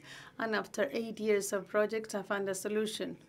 Morocco has 70 centimeters. The UK is going for small satellites. Israel has small satellites. US too. And we need to know that, you know, acknowledge it. This is happening today in main advanced countries. And Satlantis is participating in some of the largest defense adventures in the world. So I think that in this sort of um, gigantic change, we are bound to specialize. International. We must understand this situation globally and internationally. My clients are in Virginia, Tel Aviv, Surrey. They're not in Guipúzcoa, sadly. Perhaps I could have a competitor um, there too, but my clients and competitors are all around the world. And when I go to bid in Thailand, I'm coming up against different competitors. My main competitor is an American company that has decided to um, use the um, ultra high pixel technology that we use. One of the main manufacturers is um, carrying out direct competence um, competence with us, um, competition with us. Sorry, where am I with regards to um, the world? Jorge was talking about um, having um, won a bid in New Zealand. And the question is, where can Spanish companies win bids around the world? We have to specialize and we have to focus because otherwise it'll be very difficult to achieve success in such an aggressive um, world. Thank you very much, sir. You have spoken about United States um, and great sectors, and you have forgotten INTA with the cooperative constellations, which we are going to launch within INTA in March. What you said regarding globality is an opportunity and a threat because all of those um, competitors that you talk about um, are also within this sphere that and in this arena that we're all fighting in. As it is a strategic sector, countries must support their industry because if we don't have backing from our countries, we cannot compete. How much do we have to compete, support, so that we don't limit our competitivity within our own country? That is where the key lies. So, and that is why Miguel Bello um, did such a great job of explaining this that each within the government be dedicated to their own industry. with the very difficult commitment um, that it, entails to um, still be competitive and support your industry. In um, navigation,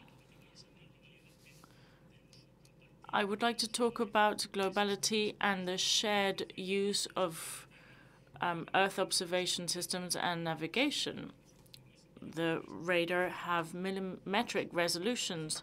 However, in navigation with GNSS, we are looking for millimeter um, differences. It seems like we're mm, gravitating towards systems of systems where we don't only offer integral services, but also um, bearing in mind all of the sectors, uh, navigation, um, sailing, observation of the Earth, and so on. And I want to ask you what your opinion is regarding this, and also what your point of view is regarding the LEO constellations, which will provide coverage to latitude latitudes where the NEO satellites cannot reach. The multi-domain applications and all of the navigations applications requires um, communications in 99% of the cases. With regards to Earth observation, this is also very frequent in applications. So yeah, I think that there is development in that sense. I briefly talked about the LEO component and we haven't um, spoken about it, but it's the Secure Communication Program of the European Union. And I only bring it up, perhaps Miguel Angel wants to extend on it, but they wanted to create a complement of um, navigation or observation of the Earth as part of the um, Safe Communications constellation of the European Union. This communications program, which is multi-orbit, will have geostationary and LEO and other components. Within the LEO component, they were thinking of um, applying satellite loads that will allow for the next, taking the next step in um, satellite communication, because as it, they are closer to the Earth, um, it allows to use other frequencies that allows to um, penetrate buildings, and you can have indoor navigation. So one of the programs that is currently being um, discussed in the ministerial conference of ESA is this issue, and we hope that it is pushed forward. With regards to globalization, in the broader sense of the word, globalization has um, taken a step back, yet that doesn't mean that we don't live in a world where cooperation and collaboration is essential, especially internationally. I must say um, that we have also um, signed another contract of 421 million um, in United States of with a um, co air connectivity provider. And the 1st of February, we expect to launch a new satellite, the Amazonas Nexus, which is linked to this contract, which is linked to aerospace navigation. And um, to many of your surprise, it has um, a useful load of the um, American Defense um, Department. So we foresee a world in outer space where cooperation and collaboration is essential. Our satellite has a um, defense load from the United States because that allows us to diversify the risk. Thus, commercial operators allow us to implement um, certain capa capacities and capabilities that, even though are not critical, may be essential for certain service providing. So I think this is an absolutely essential access. I wanted to say that um, regarding Armenia, that is close.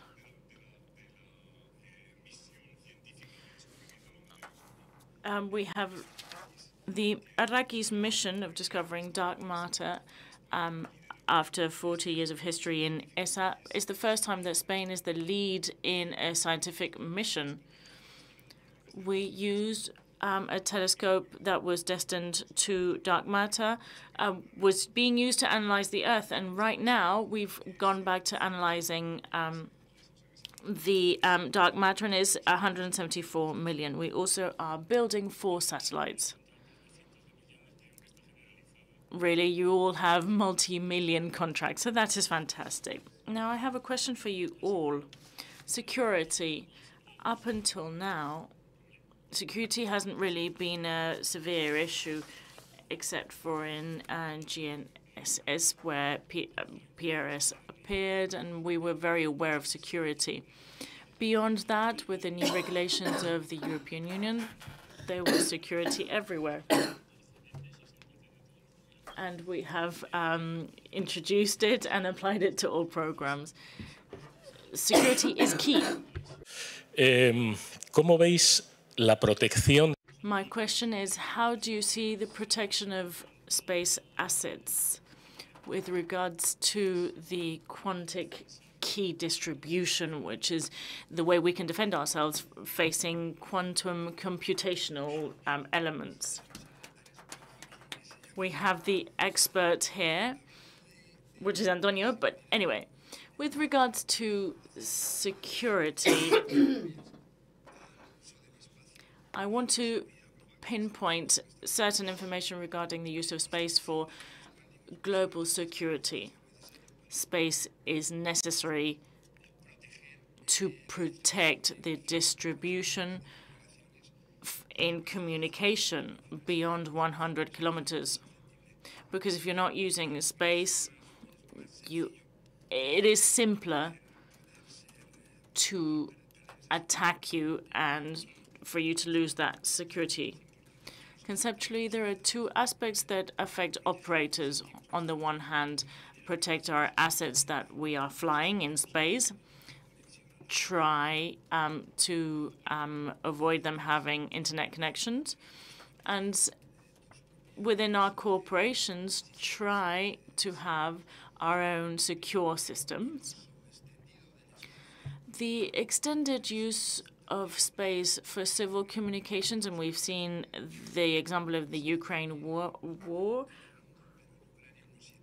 We have seen that there have been 7,000 terminals that were operating with the Viasat um, network. The terminals were cyber attacked and there was a confusion regarding whether it was the satellites. No, the attack was on the terminals and was carried out through the hubs, and they were blocked. So in the future, I think this issue is going to be key. That is also the opinion of our clients.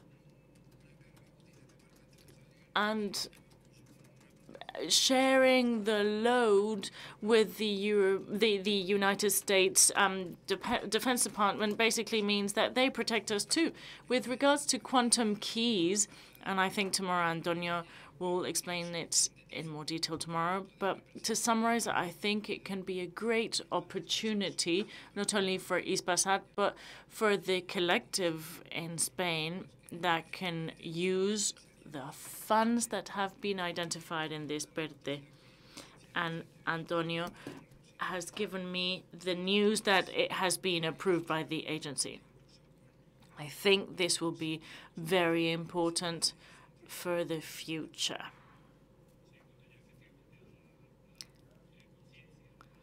The awareness of security being important is growing, and that is fantastic. And I think that the situation in in Europe has really awakened us to this need. It's this is a transcendental need. It's very important. And as a result, and in connection to what Miguel Angel was saying, that we are in a, um, in a world where two multi-billionaire United States people could possibly monopolize communications on the planet has made the, United, the European Union understand that we must be sovereign within our governmental communications at least. That program that has not been launched yet, which will be soon, is going to be the European Galileo for um, safe communications via satellite. It's an essential program, and I hope that um, we will foster the Spanish participation within this. I am not going to repeat um, what has been said with regards to quantum communications, but with regards to the Earth, I think it's essential to use certitude technologies, which allow us to see the data and timestamp of the position through blockchain technologies. This is something we will incorporate in the satellites um, that we will produce in 2024, and this will allow us to have uh, more security with regards to how the data that we provide were gathered.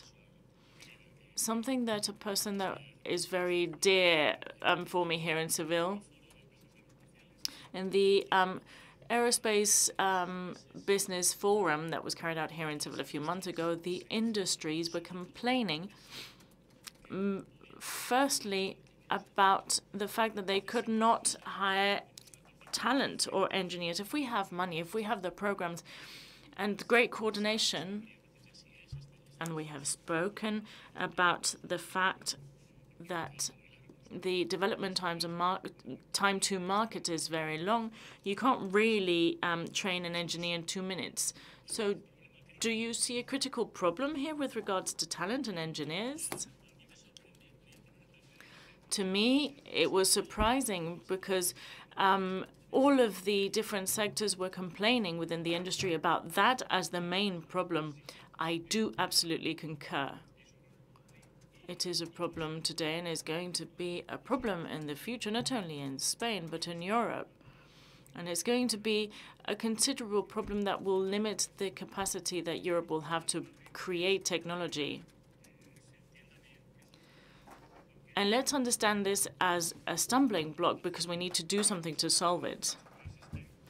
The um, vocation for STEM disciplines has been decreased considerably and therefore the enrollments, and for the industries um, that um, that get talent um, straight from university. For our industry, we have um, a high rotation um, of personnel in terms of what we do.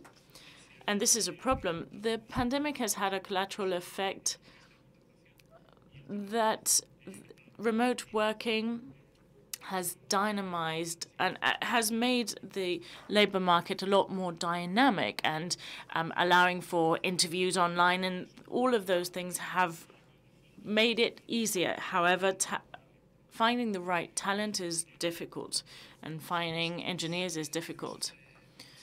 For us, we also have this problem, and especially in Spain, we have personnel in Brazil, in Peru, and Colombia, but particularly in Spain, this has become worse. And the pandemic has made it even more problematic because engineers that were perfectly um, capable were working with us in the offices and have offered um, double the money for working for a Washington um, company and they were working from their house in Spain. What this means is that they have double the amount of money and they live in Spain and then they work for international companies and that, that poses a problem for us. I'm absolutely in agreement with what you have said. And I wonder whether we have um, the doctors we need or do we lack them? Do we have the nurses we need or do we lack them? Do we have the teachers that we need or do we lack them? Um, because there are vacancies um, everywhere and restaurants don't have enough personnel. So really, we are suffering the consequences of the um, age pyramid. Engineers are just another um, stage within this whole um, problem. It really is one of the problems that the country has that we really need to think about with regards to our children and immigrants because we need to solve our problems. um, bringing over an engineer from Turkey is currently very difficult, and it should be much easier. So, having said this, what we do is we have created the Atlantis schools where we have 12 people that um, are um, studying engineering, and when they finish their degree, they have also um, been working with us for four years. And I think really it's important to be aware of the problem be before one can solve it, because we have had lack of support with regards to science in Spain. It's not only science, it's technology, it's mathematics.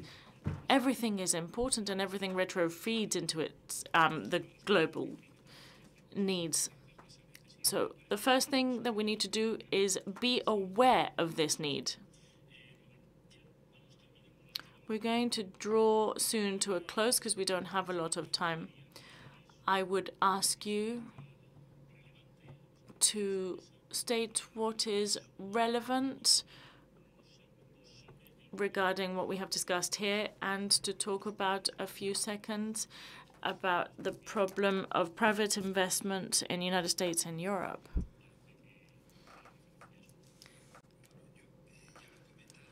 I have talked about it previously.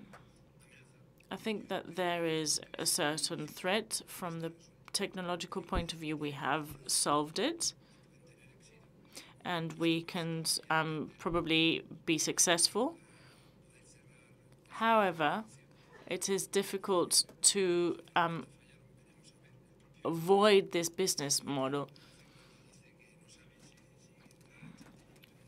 Um, and in Twitter, they say that they don't know whether they should um, go into Chapter 11 or not. In any case, we mustn't get depressed. We can work with them,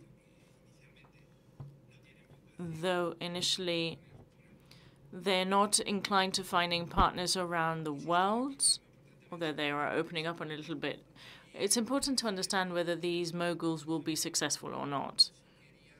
Finally, I'd like to say, and it's uh, regarding our industry, our space, defense, and security, we do not reach the masses enough. There's no dissemination. So from the point of view of space, which is perhaps a little more attractive, and it may be easier. But in the years that I have worked in defense, we have spoken a lot about a project of um, defense culture dissemination that for one reason or another have not been put forth. And I think it is an essential time for the dissemination of the defense culture and um, space culture, because right now is the right moment for people to understand it, because it's closer to home. And I think it's quite um, striking that there are very few journalists in an event like this. We want to convince our citizens that this is worth investing in, we must work hard. And I think this will help the agency because up until now, the competencies have been distributed in different um, official um, organizations, and none of them have felt that they had full-fledged competencies to do things. So this space agency is going to help in that. And what about defense as well? I think the agency is going to um, foster defense too. Jorge. I agree with you, Angel. I think the space agency is going to help, and again, I agree that defense is important too. The agency is going to help, but together we must help too. To draw my intervention to a close, the threat that these graced American investors, um, well, I don't think they're not going to um, find partners, uh, but I don't see them being the monopoly of the world. I don't know. We'll see what will happen.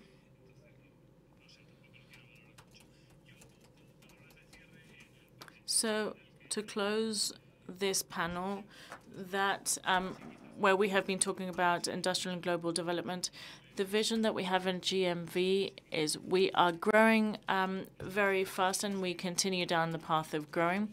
We believe that the only way to reach um, the international global market is growing and using a company that is strong. And we've grown a lot, like I said, but we have not hit the targets that we wanted. We have to continue growing in value chain and the capability that we have to carry out great projects. And I think this is something that attracts talent. So STEM are looking for great projects and great technological challenges. That, that's what we're trying to do. And to close, I would say that technology, internal demand, and international markets. We are, with regards to technology, in a wonderful country.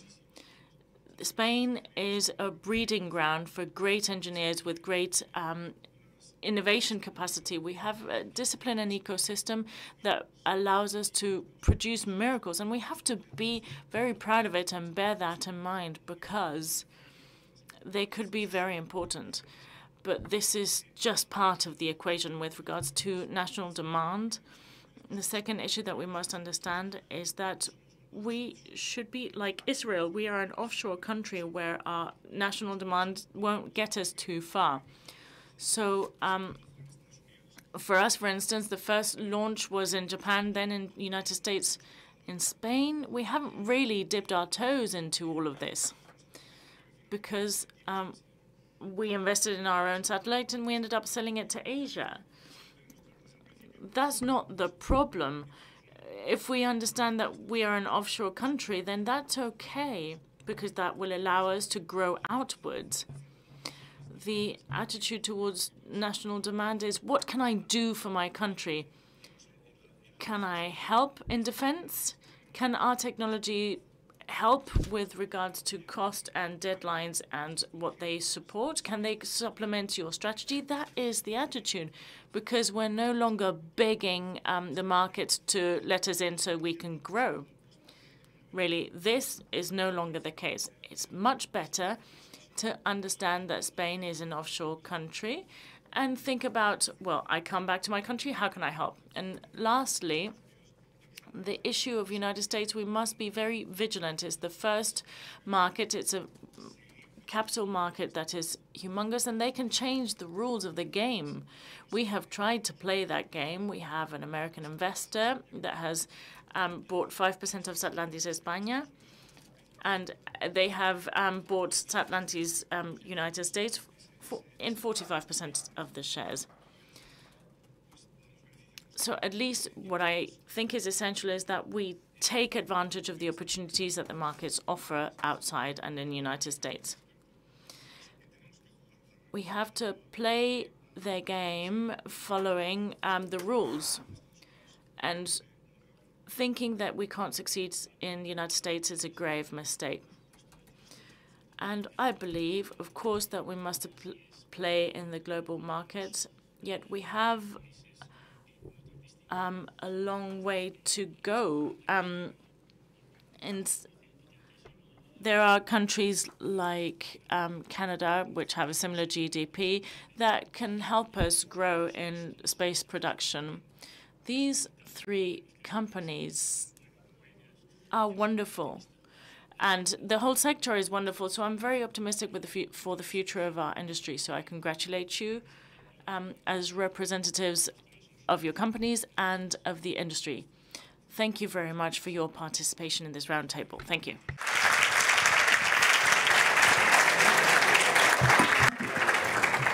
Pues muchas gracias a los, a los cuatro intervinientes. I want to thank the four speakers in this very interesting roundtable on space. So we've talked about defense and um, we've talked about space and the next block will combine both. We will talk about the technology, defense and space as vector for change. So the first presentation this afternoon is by Director General GMV, Jesus Serrano, for whom I would kindly ask you to give him a round of applause.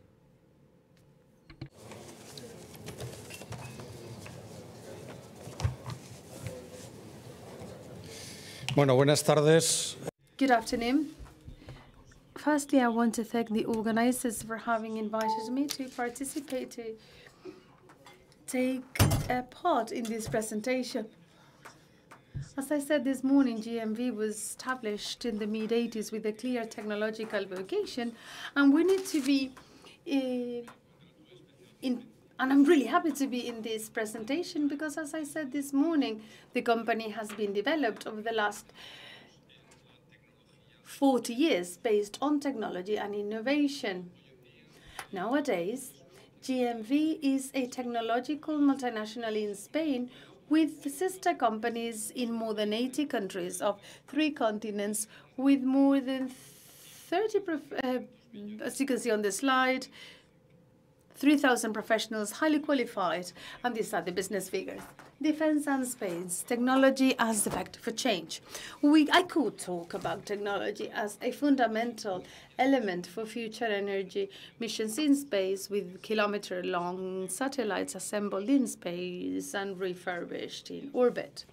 Or technologies for future missions of space mining or even the technologies we need to inhabit the surface of Mars but I thought it might be more interesting to land on Earth to talk about technology in activities in the short term, to space uh, and scopes, which are dual use, space traffic management and satellite navigation, and to share a few considerations with you on the technology and future of defense.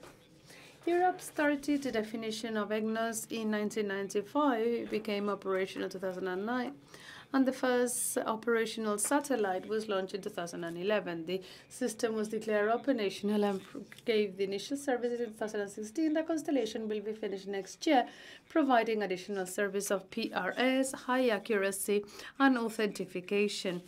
In these three decades, the development of critical technologies for satellite navigation system has been key to make sure Galileo gives very good positioning and meets with the established requirements, atomic clocks, algorithms to process orbits and time sync, estimate of retardation, giving need to the need, giving place to the need to develop this technology, signal processing, receivers, and maps.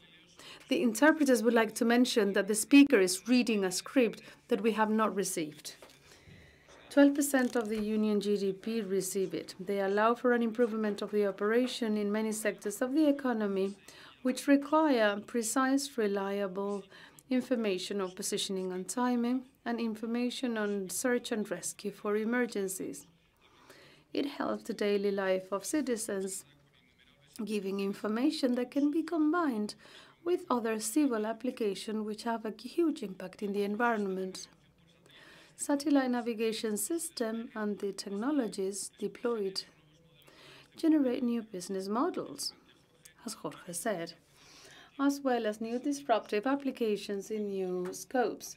One is autonomous driving, in which we know, knowing the precision and the level of confidence or trust, reliability of the information are key to comply with the requirements for those systems. Even though Galileo is not complete, we started developing the second generation with electric propulsion. Interestingly, uh, links,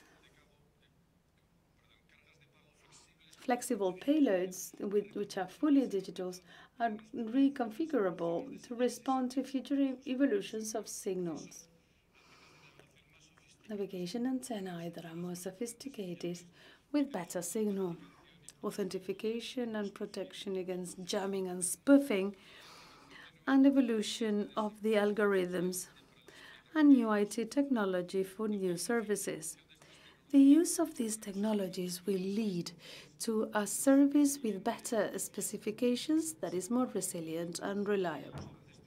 But as Jorge said, technological progress has no end, and the current market of devices and applications is estimated to be 150,000 million euros, with many receivers in the world.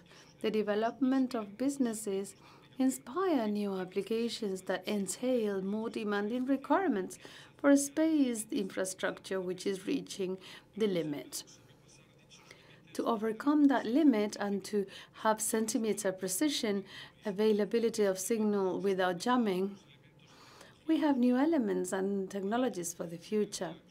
One of them is low orbit satellites that um, Jorge mentioned, and it is currently being discussed in the ministerial conference that we convey new signals, avoiding interference and with higher penetration indoor, and the capacity to do data transmission, accelerate convergence of precise positioning, or monitoring the integrity of GPS and Galileo signal before they are received on the ground.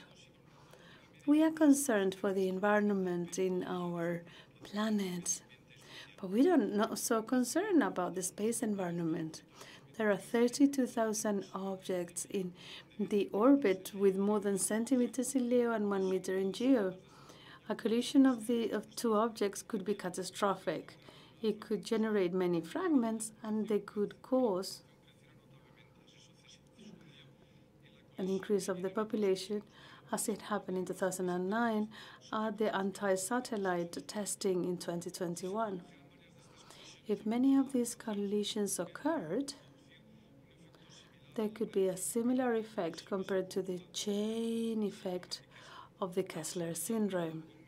There are more there, there is more than 1 million of fragments which are not catalogued or monitored, and in case of collision, there cannot be the catastrophic, but we could entail losses.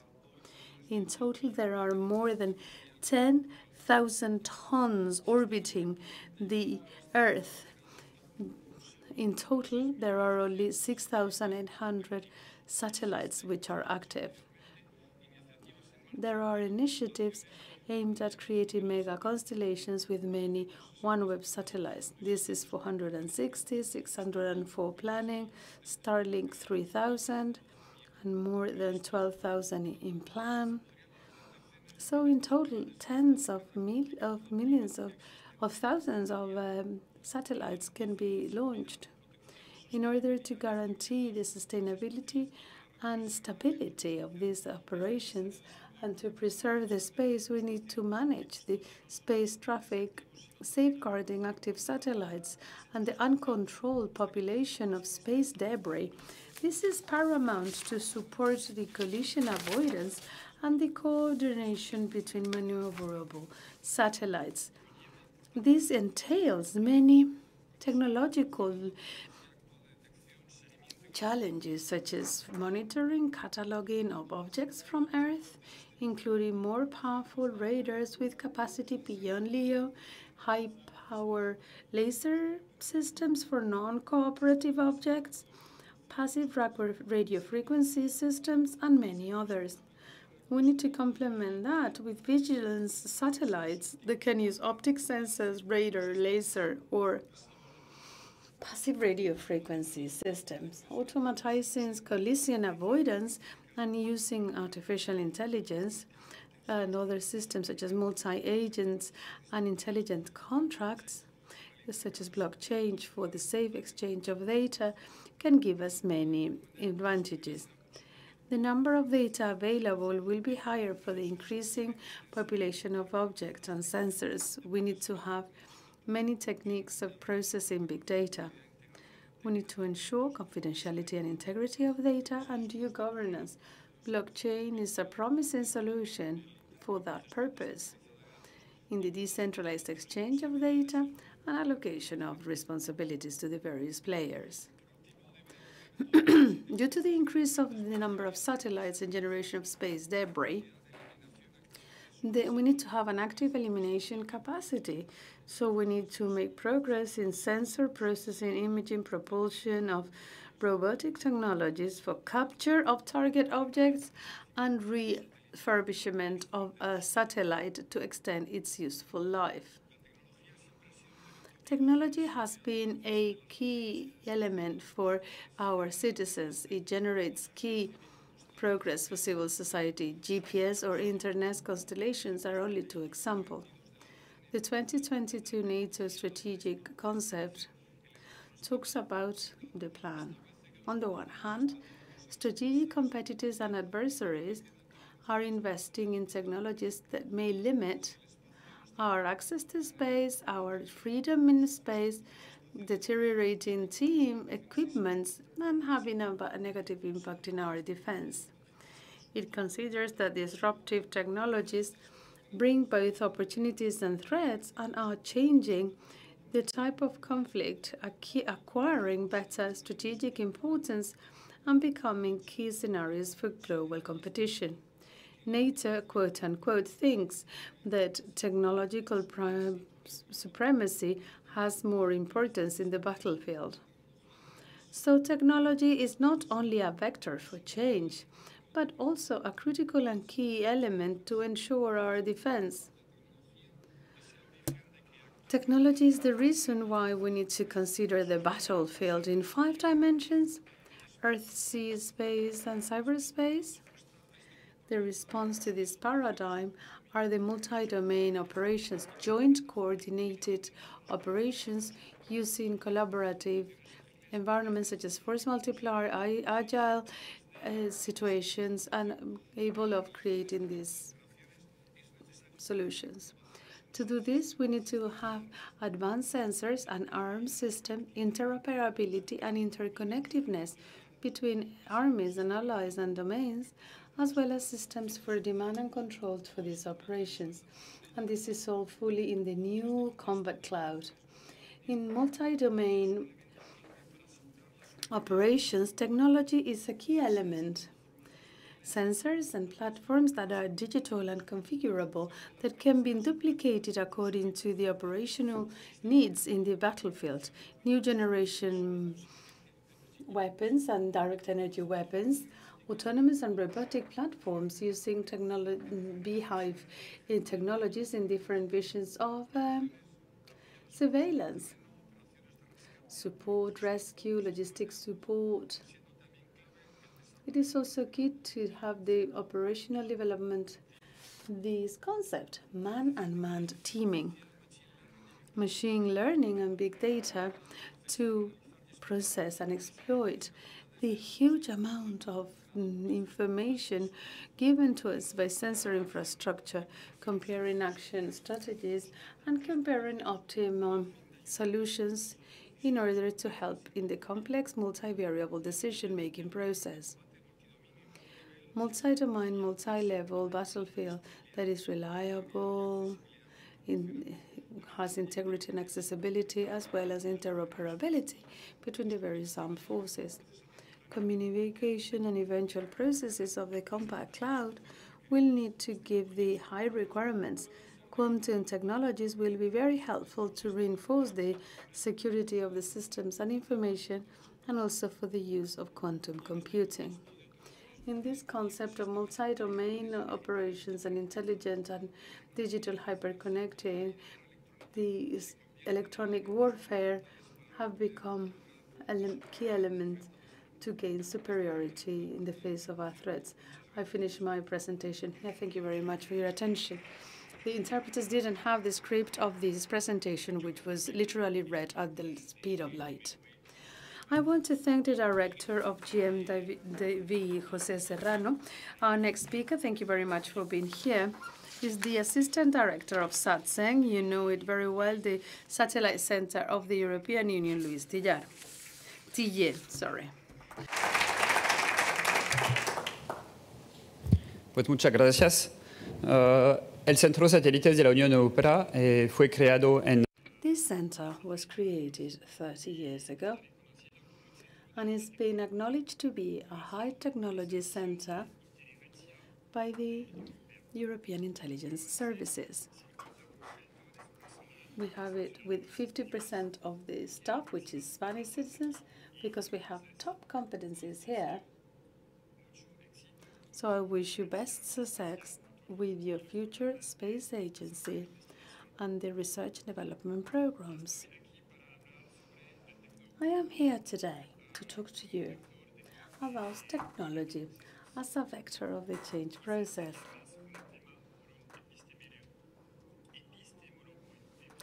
This would be more of a topic to be covered by an epistemologist, but the organizers made sure you would not get bored, so they chose me instead. So I'm gonna go back to English, it would be easier for me. How far is technology driving processes? Technology is becoming very, very complex. And I will first share personal experience before going into the subject, not in space, but in deep seas, when I was a young Navy officer on a submarine. I was impressed by the knowledge of my commanding officer in this time.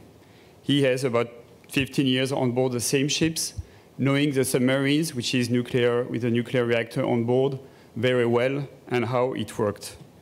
Once we had a technical issue, and he didn't have the answer, because technology was so complex. So what he did is gathering the people who knew about it, having discussion, getting their advice before deciding what to do, because we could not get any support from the outside as we were underwater. It is an important lesson of hum humility on highly technical issues I have kept all life. Then, to go into our subject, war has always some surprises. Since SATCEN was created in 1991, well, the political decision and the creation on 1st January 1992, how war has evolved. In 1991, the Gulf War outlined the use of intelligence from space as major in US bomb bombing and targeting. Later, in Serbia, in 1999, internet proved to be quite resilient, even if it, was a, it became a civilian technology, as internet was still working despite bombings. It was the age of the network-centric warfare that was seen as a revolution in military affairs at the same time from this book that was published in 1999. In the last decade, we had some also more technical and affordable technologies rising. In 2012, for example, there was some jamming of uh, TV broadcasting from Deutsche Welle, Deutsche Welle, Voice of America, or France 24 in Iran and Syria, uh, originating from those countries especially to avoid uh, accessing to the information from those Occidental channels. More recently, in 2018, the first drones were, which were bought on the market were used to put some grenades on, on it and to also bomb and attack Iraqi forces. If we go back in history, I would just like to point out the Strategic Defense Initiative launched by 1983 by Ronald Reagan. It was impossible to achieve to most scientists, but it has driven huge research and development investments, accelerating the pace of progress. It was about space, it was about networking to provide information, and it was also about computer science. Would a Google have appeared later if they didn't have this huge investment at this time? I don't know, but I think it played an important role.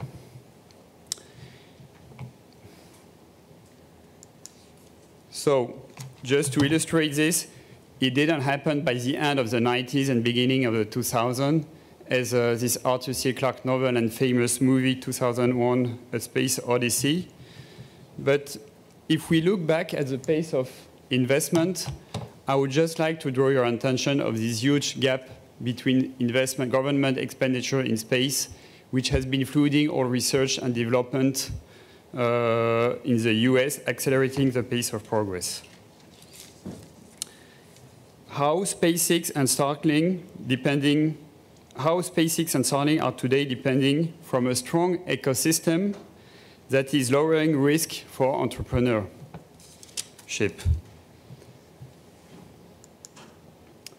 Now I will go back to the European Satellite Center. When it was created in 1992, it has been here for 30 years. I will divide it in three periods. First one, uh, it was a Western European Union uh, center, and it was using spot images mainly, which were 10 centimeters uh, accurate. In 2000, President Clinton has freed the use of the GPS. It, he said everybody will now have use to GPS, whether even if it was a military system. And also, he authorized uh, operators, satellite operators, to, to sell imagery that were very accurate. So, very quickly, the EU Satellite Center were using IKONOS images that which accuracy was under one meter. At the end of, I would say in 2010, 90% of our production relied on US imagery coming from US operators. It was also a period of strong political commitment from the European Union. 2003 was the first war European, well, sorry, EU mission in Bosnia. It was also where the foundation of the External Action Services was set up with Javier Solana. Then in 2011, there was a launch of Pleiades, which gave access to uh, same accurate image uh, to European. And today, SATCEN is providing its images through uh, at about 85% from European providers. So it's just an example of how, when gathering together at European level, we can come back in the competition and also provide some strong uh, assets even in space, where the technological uh, competition is very hard. SATCEN mission is to provide a common strategic culture by providing, supporting the common security and defense policy of European member states. It's also maximizing synergies and complementarities with EU activities in space and security. It is working in space, in security, and also in defense. Whereas our operational production in the 10 last years have augmented 10 times, our budget only augmented twice because of strong, uh, and how to, to do it, it was about catching the best from our research and development and adapting processes. Today, SATCEN is also quoted in the strategic compass in the four pillars about acting, securing, investing, and partnering with, uh, with, uh, with uh, partnerships and third countries. Just to show what we have been doing through the last 30 years, first, that is uh, images we were working in the 90s, 10 meters resolution. Computer science was at this age in the 90s. You had these big, uh, big screens. Uh, we had to take also to pictures with the old, uh, uh, well, paper pictures. Whereas in the 20s, we are working today with some images which are about uh, down to 30 centimeters accurate. We, we, are also working through digitalization as all our products are digitalized and we, with a strong support from our IT sectors. So first, what I would like to point out, how did we did this? First thing on the over is operational service. Our operational service is about the spatial intelligence. Second, we need to have a strong human resource policy. We have our own training because taking people and finding people who can interpret images, you don't find it like this uh, everywhere. So we have our own training unit that trains 50% of our personnel, and the 50% others are training the EU member states uh, staff. Then it is also combined to the strong information technology policies to provide the support we need and get the best from the computer science and also investing artificial intelligence issues. Then, to foresee the future, we are also working on capability development. We have a team that has to foresee what will be the future of the, technical, of the technology we are using and where we should look at. It is uh, projects can fail, of course, because if you want to look into the future, we have to look take at them very early, test it, and then after it keep the best of it and the one which, which, which, which will succeed and improve our processes. And the last part is having a wide community of users through cooperation with EU bodies and member states. Our users are military, for example, from the EU military staff. There are also intelligence services from the member states. There are also from agencies of the European Union, like Frontex, when we survey, when we look out at the borders of the European Union. But they can also be partners like the United Nations and, uh, formal, and uh, through the, uh, for the prevention of chemical weapons, for example, in, in Syria. But it's always very important to get this tie link with the users just to better understand what they are looking for and if the service we provide is the one they are looking for. So just to illustrate technology as a vector of the change process, I took out this picture from the uh, library of the Monastery of San Lorenzo. I find it quite interesting to see in this big room where you have some books uh, from in different languages, in Hebraic, in Greek, in Latin, and also in the middle of it, this uh, uh, sphere, which is presenting the, uh, which is presenting the Earth at, at center, and we, that's all we have in front of us. We have so many different technologies, but which one will be the game changer tomorrow? We really need to have a wide open. I will come back to my first lesson of humility. Things are getting so complex and even more in space that we need the skills of everybody. Thanks.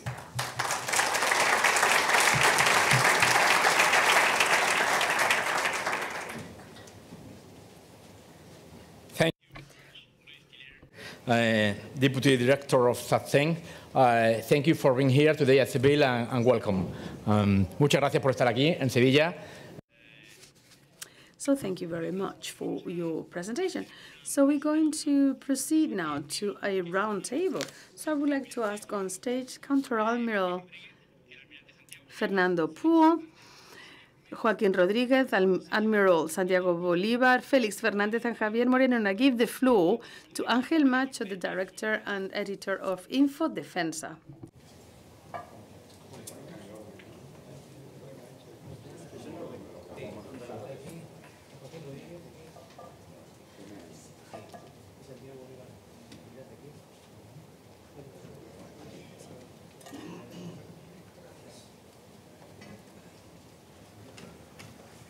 Sí, yo creo que están bueno. Hola, buenas tardes a todos. Good afternoon, and thank you very much for holding on there. It's been a long day. We're going to try and shake up things a bit with this round table. Firstly, I want to thank the organizers for having invited me to chair this amazing panel with amazing panelists that I will try and coordinate. So I'm not a big expert in maths and science. I'm more of a humanities person, but I try my best to understand. But that's the whole idea, to try and understand how technology is key in the change process. This morning, General Ballesteros talked to us about technology as a dissuasive factor, which is key. And then Timo Pesonen said that technology is based on innovation, which means that we should always start by innovating. In any case, technology is in the air, is part of our lives, and thanks to disruptive technologies, it is even harder to follow what's going on. Our top panelists will help us clarify and understand the topic. Firstly, please allow me to introduce them. I will do a very short uh, presentation of their CVs. And I'm going to ask a comment to all of you. So I'll give you all three or five minutes to talk to me about your point of view on the topic of the roundtable. How is technology having an impact or will have an impact in the future in the change that we are witnessing? Rear Admiral Fernando Poole Quintana, head of satellite systems and cyber defense at the General Director for Armory and Material. He was in the Navy, uh, then he's an expert in communications and has a diploma in state and war naval warfare. He's in the NATO in the in the in Brussels, combined maritime forces in Bahrain, participated in the Balkans War, uh, in the fight against piracy in Somalia. He's the Rear Admiral since 2018. He's Chief Admiral for Technical Assistance Uh, and Head of Satellite Systems, and he's been an aggregate for defense in the Spanish Embassy in Washington and Ottawa. In August 2002, he has his current position as head of satellite programs and defense at the General Di Directorate for Armory and Materials.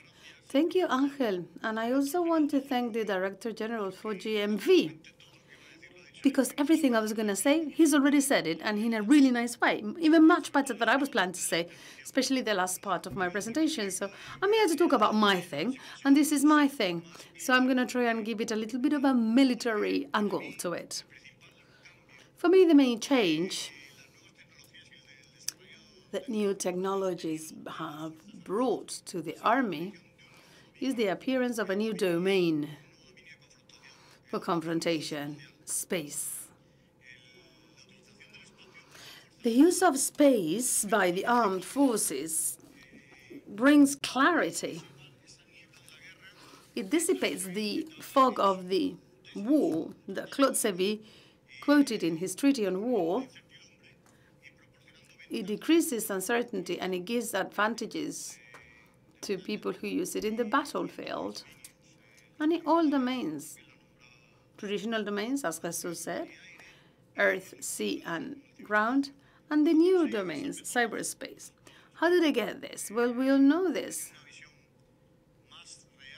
They had a more realistic and accurate vision of the operations theater of the enemy's position, improving communications, making them more reliable and safer, improving the position of our units, and allowing for data transfer all along the planet facilitating the establishment of networks, and of course, with greater accuracy in the armament, improving targeting, etc. Eh, this possible use of the armed forces in Spain for everything that I have listed really implies an expanse of the confrontational um, sphere to space. And also, satellites from the nations that use them are strategic elements. They require um, critical installations, which in conflict times is the main target, a priority target. And depending on um, which side is fighting, we have to defend or neutralize. That depends on where we're fighting. Until now, the use of space was limited to very few nations especially um, in defending and attacking. However, new technologies, which is what we're dealing with in this um, panel, like the um, reduction and miniaturization of components, the calculus um, exponential increment, the um, production and storage of energies, all of these new technologies imply a reduction in cost um, for using space, being able to use satellites. And right now in space, there are satellites from very many um, companies and organizations that have launched them. This space organization, as Jesus Serrano has pointed to, has meant that there is an exponential increase of um, orbiting satellites, more than 30,000, including space debris that is bigger than 10 centimeters. This will bring um, collisions and accidents to um, our world.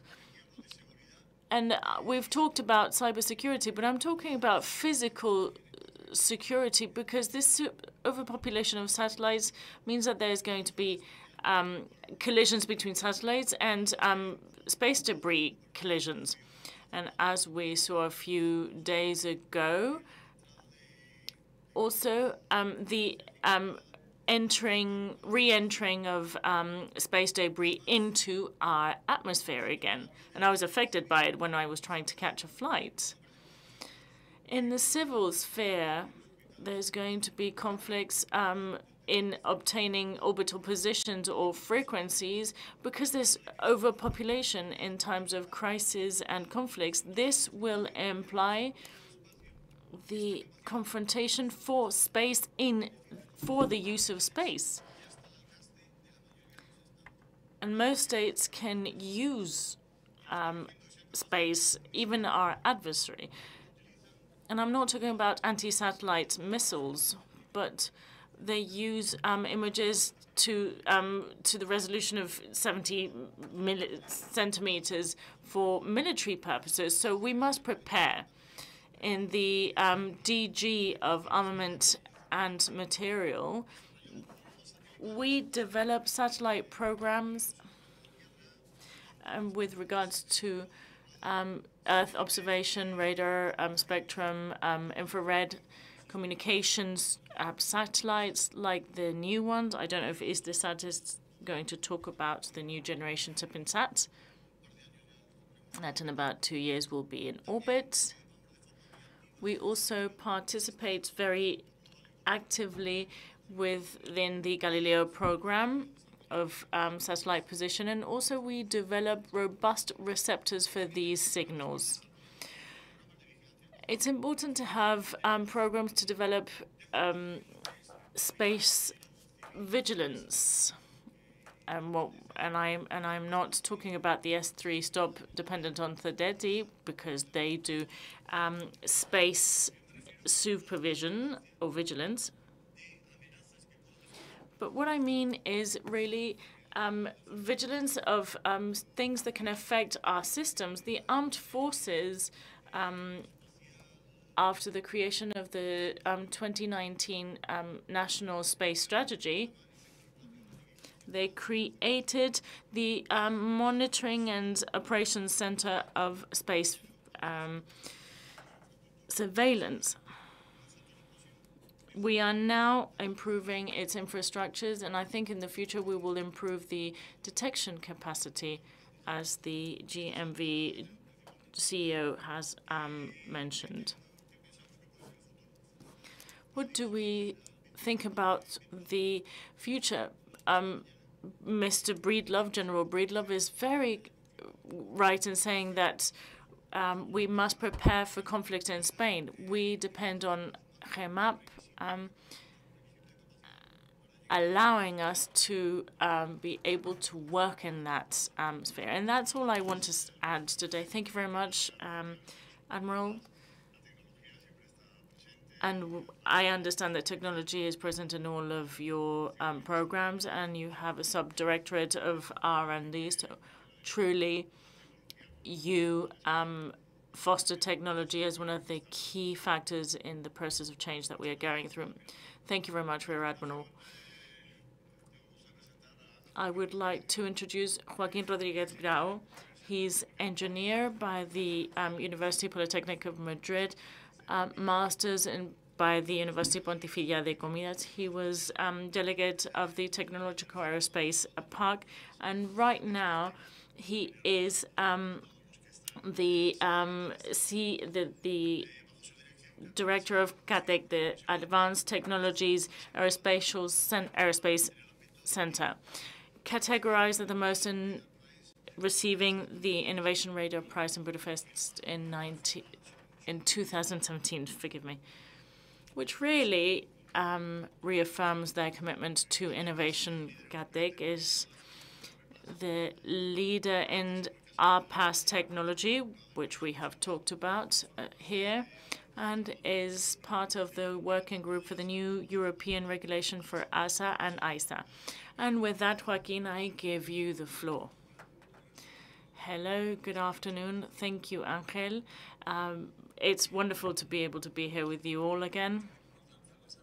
The question that you asked is how does innovation connect to change? How is it a um, change vector? And I want to um, reiterate that Timo Pesonen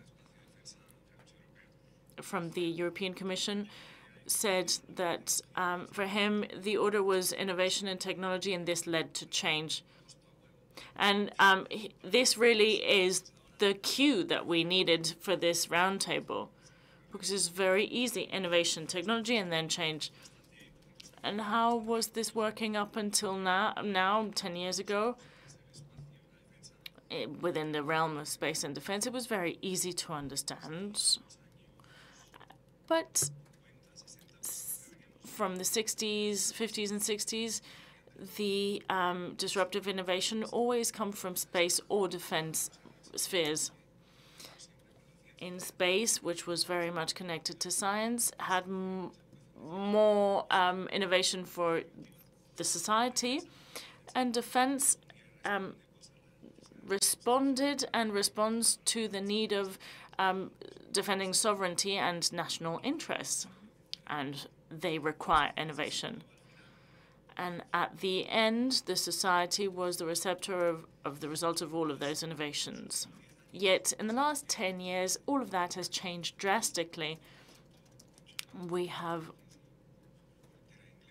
all seen the B2C concept develop. Great corporations are selling services directly to people, to the consumers, not to other corporations. And I don't know where Miguel Ángel Panduro is.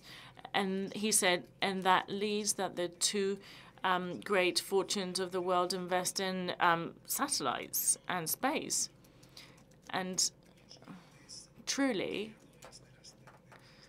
the big creators of the business tendencies worldwide detected that it was very important to have an 8 billion um, market of their services in terms of technology. And from this point on, when we can buy whatever we want from our mobile phone, we as consumers can have an influence um, on the technology that is created because we are a broader market than the defense or than um, ministry or than a country. So the new market niches are the things that we consume the most with mobiles or iPads. Data and mobility.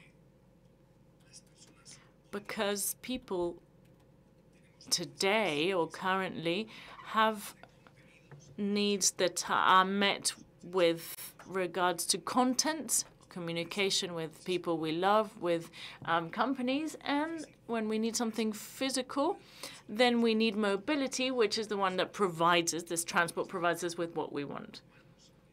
So this humanity made up of 8 billion people can um, consume products from Jeff Bezos and Elon Musk. So when people individually can choose what they want with such purchasing power, we have an influence on the change of society because we're not the receptor of technology anymore and innovation, but we are the ones that are fostering it.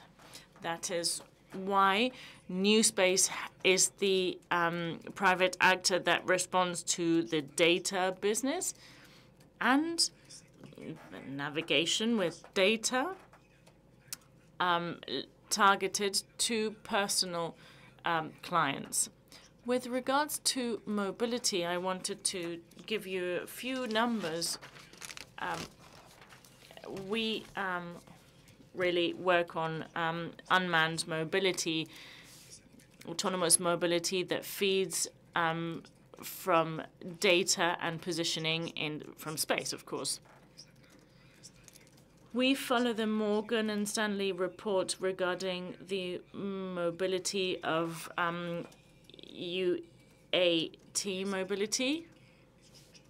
And I think those 8 billion people, when we demand mobility, we're going to create spectacular business.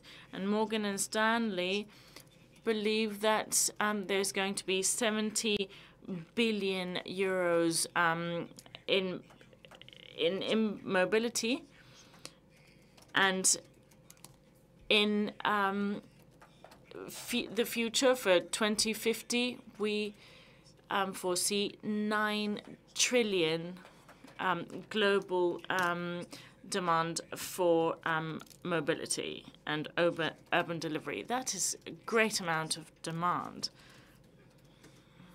So really, people are the ones that are driving innovation, and that innovation is what generates technology.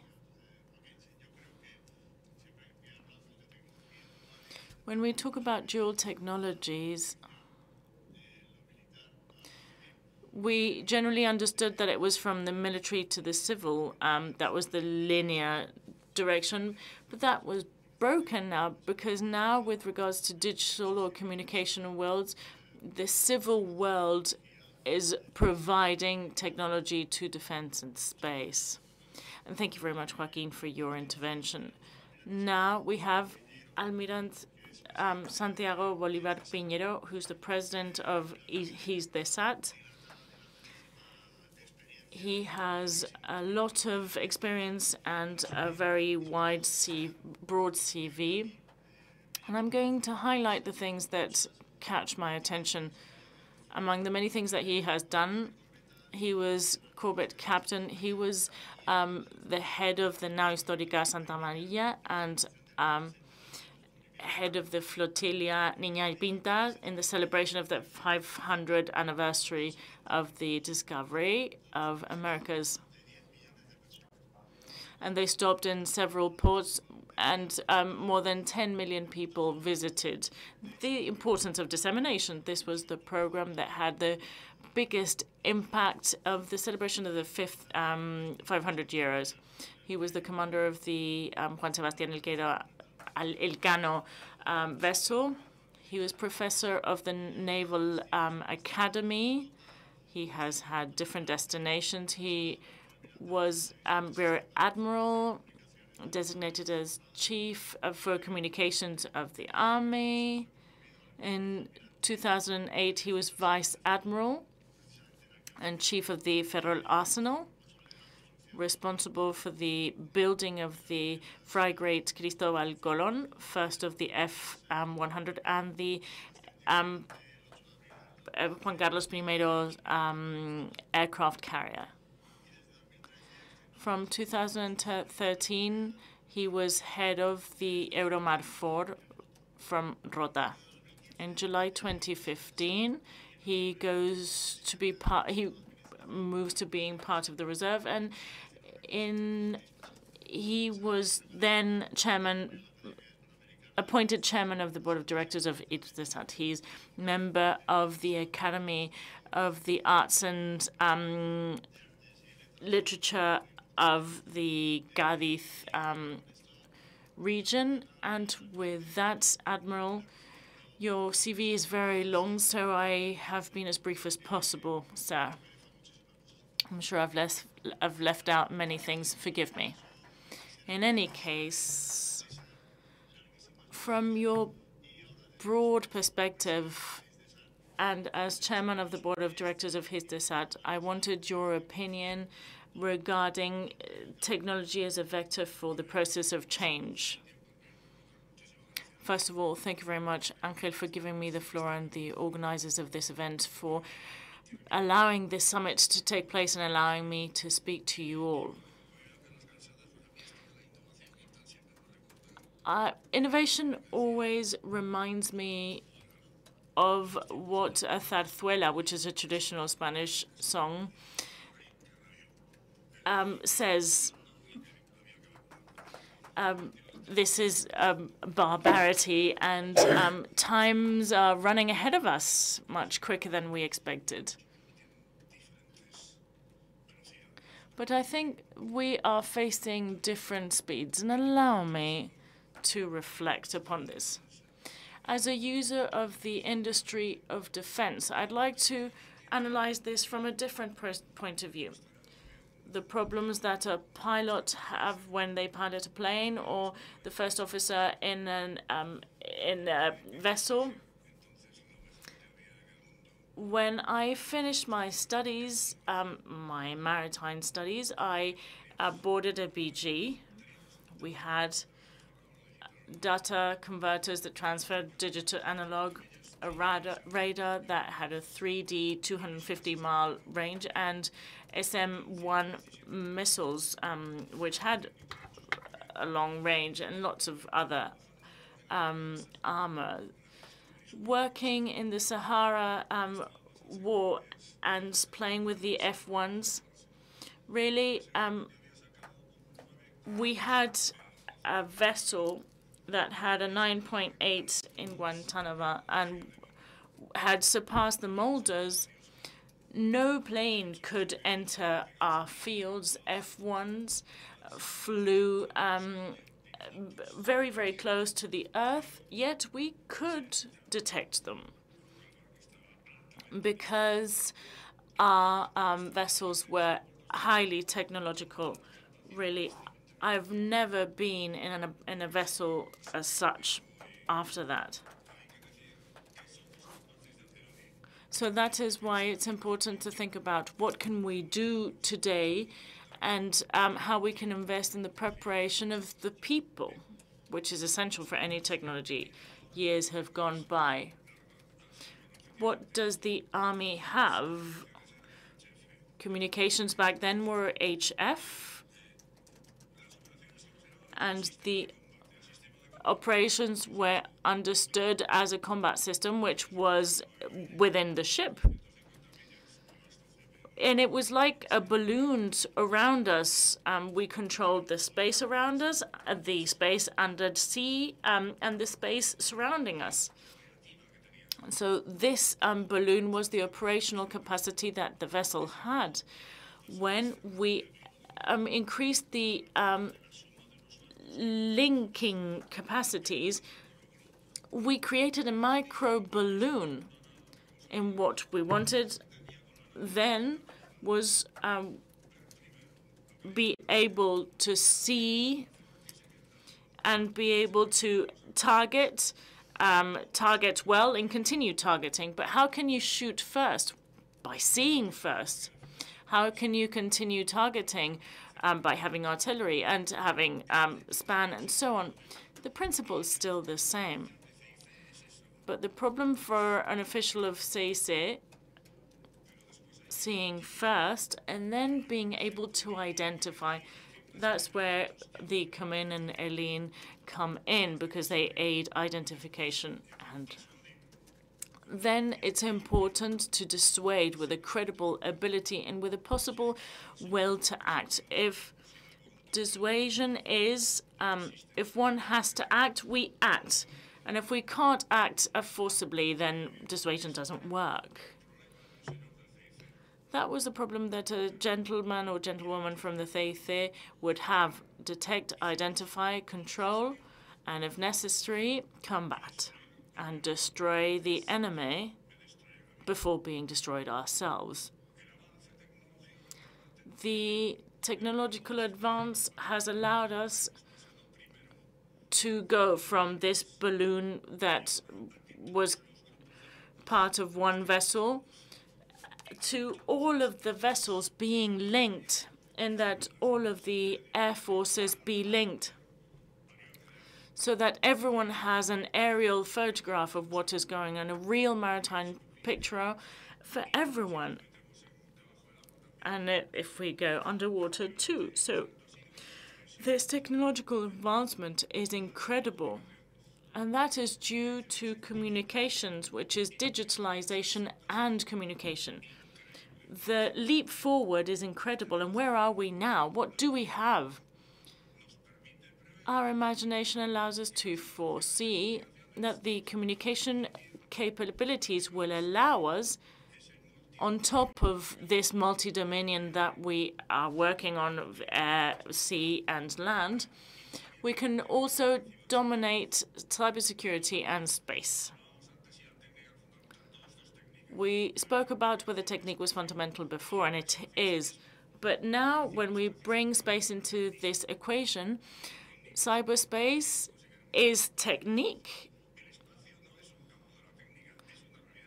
Space is a reality, but technique here is absolutely necessary. So technique is absolutely essential for any change. But let's focus on what the SACEUR said this morning. Um, Mr. Breedlove, now the best vessels that we have in Europe are the F-100. Last year we had an exercise regarding a Mach um, 2.9 missile. There were many European um, vessels, the Cristobal Colón. And United States was not part of this exercise. Who got rid of the missile, the Cristobal Colón vessel? The sensors and weapons um, um, from in this vessel are from the 90s, yet its communications are not. Technology, therefore, has different speeds.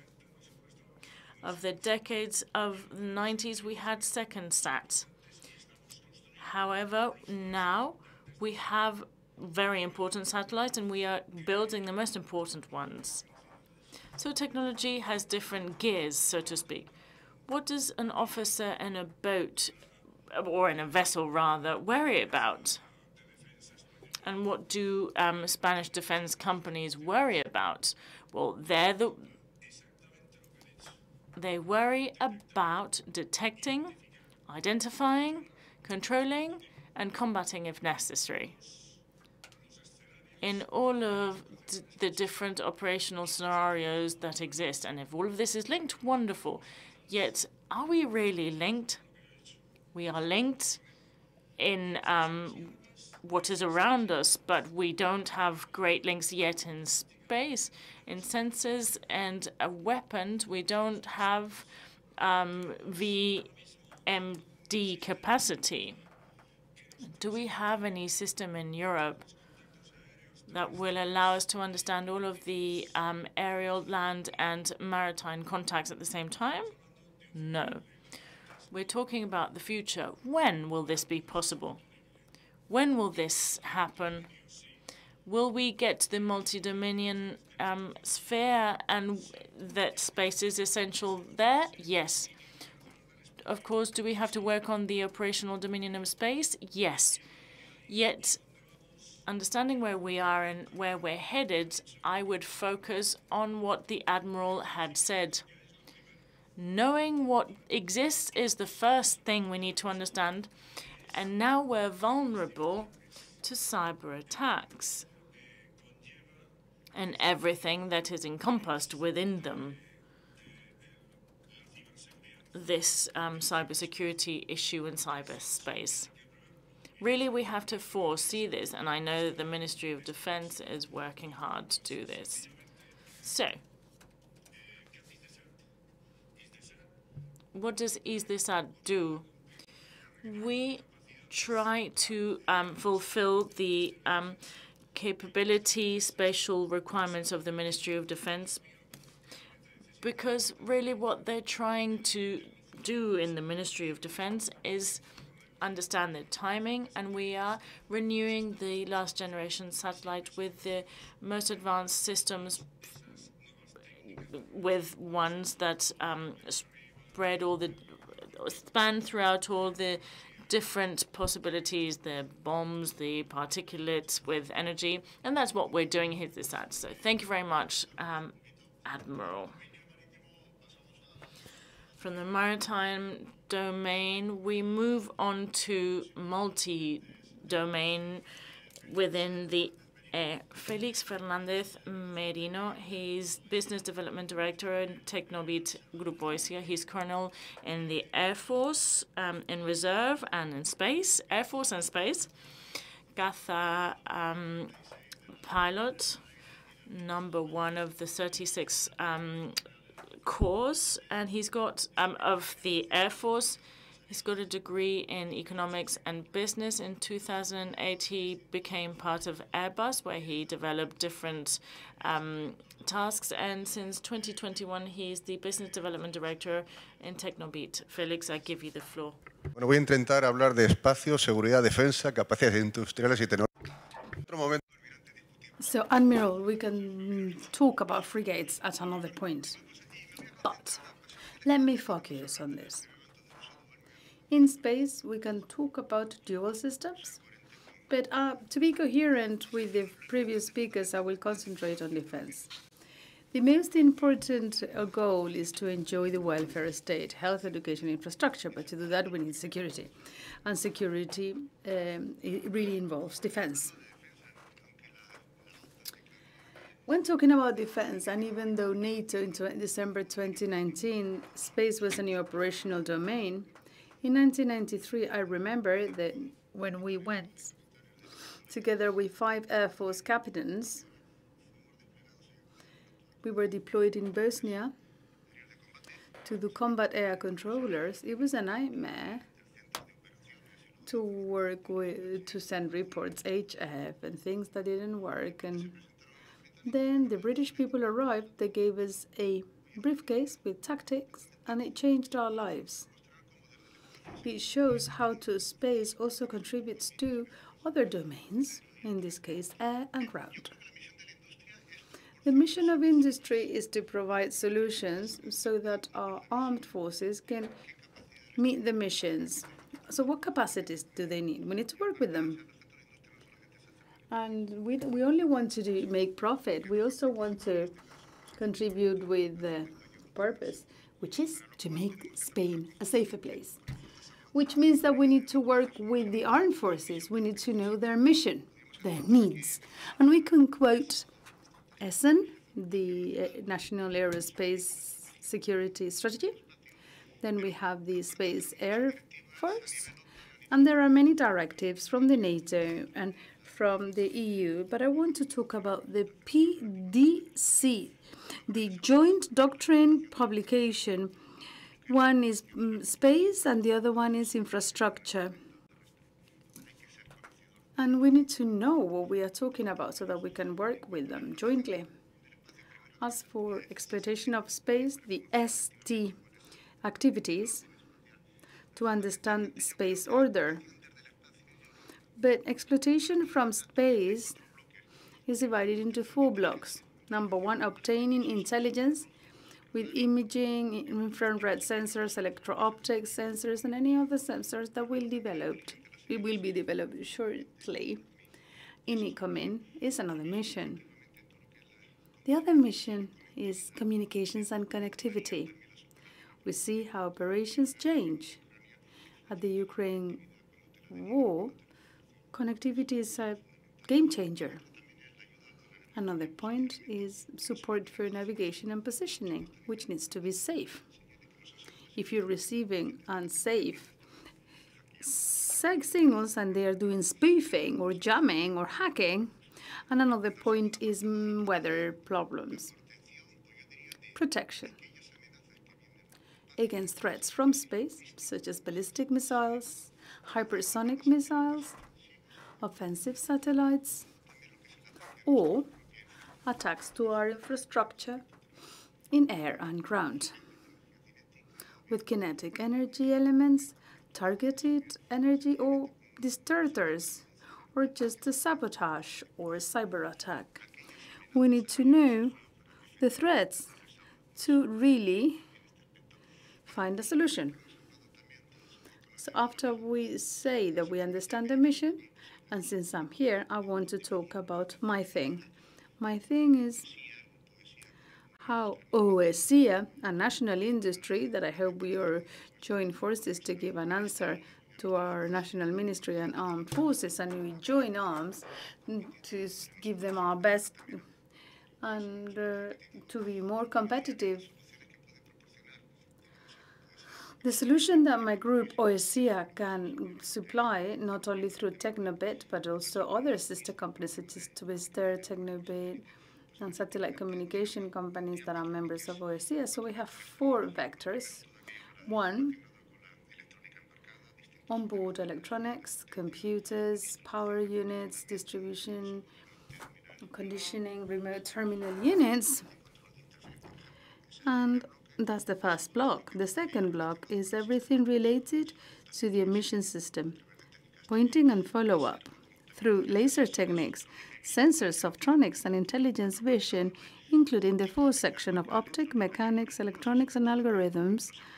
And through algorithms, we can be more aware of the situation in Spain.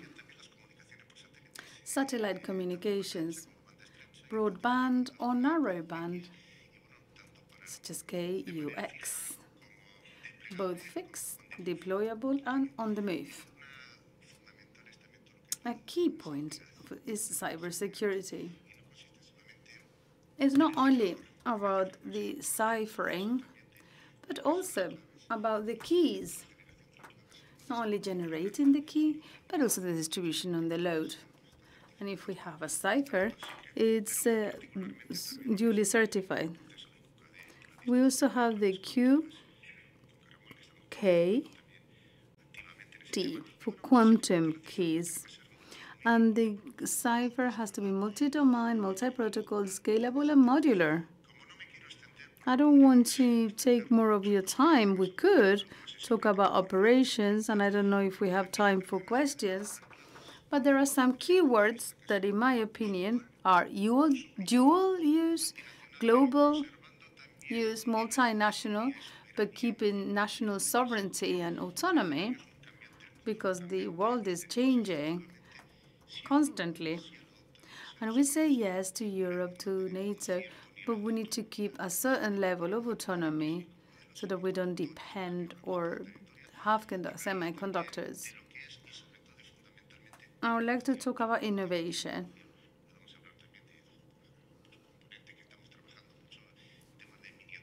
We are talking about miniaturization for integrated circuits in specific applications, access, the quantum keys I mentioned, these fraction satellite networks.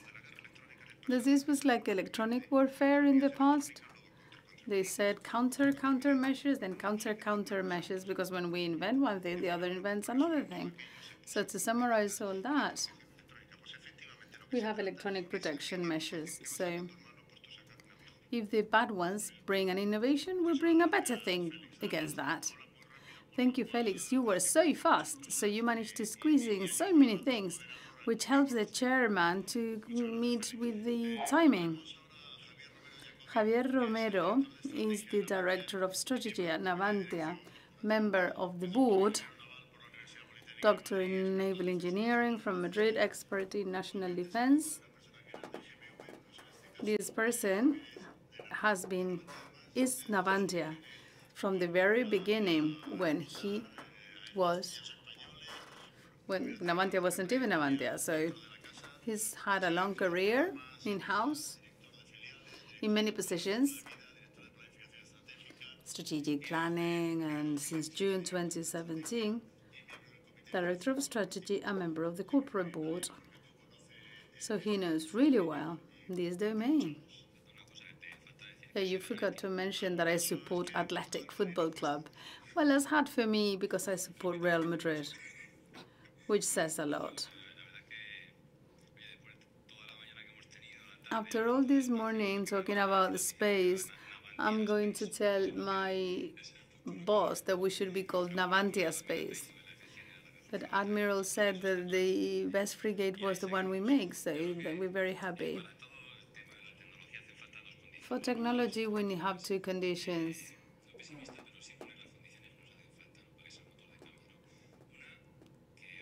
One, the long-term vision that the Army had, the Navy had, sorry, with the industry. So Navantia was created many years ago when we bought design from the English and Americans. We developed them. We've just signed a contract of 1,600,000 pounds. That's 1,800 million euros to do logistics vessels for the British Navy. So that's our job. So the long-term vision that uh, was implemented then, it's a virtuous circle with innovation, engineering, construction, support to life cycle, We talked about the life cycle of 30 years. It's a minor space. Um, the army vessels, the ACV office was created. And we're going to do a technological update on a yearly basis.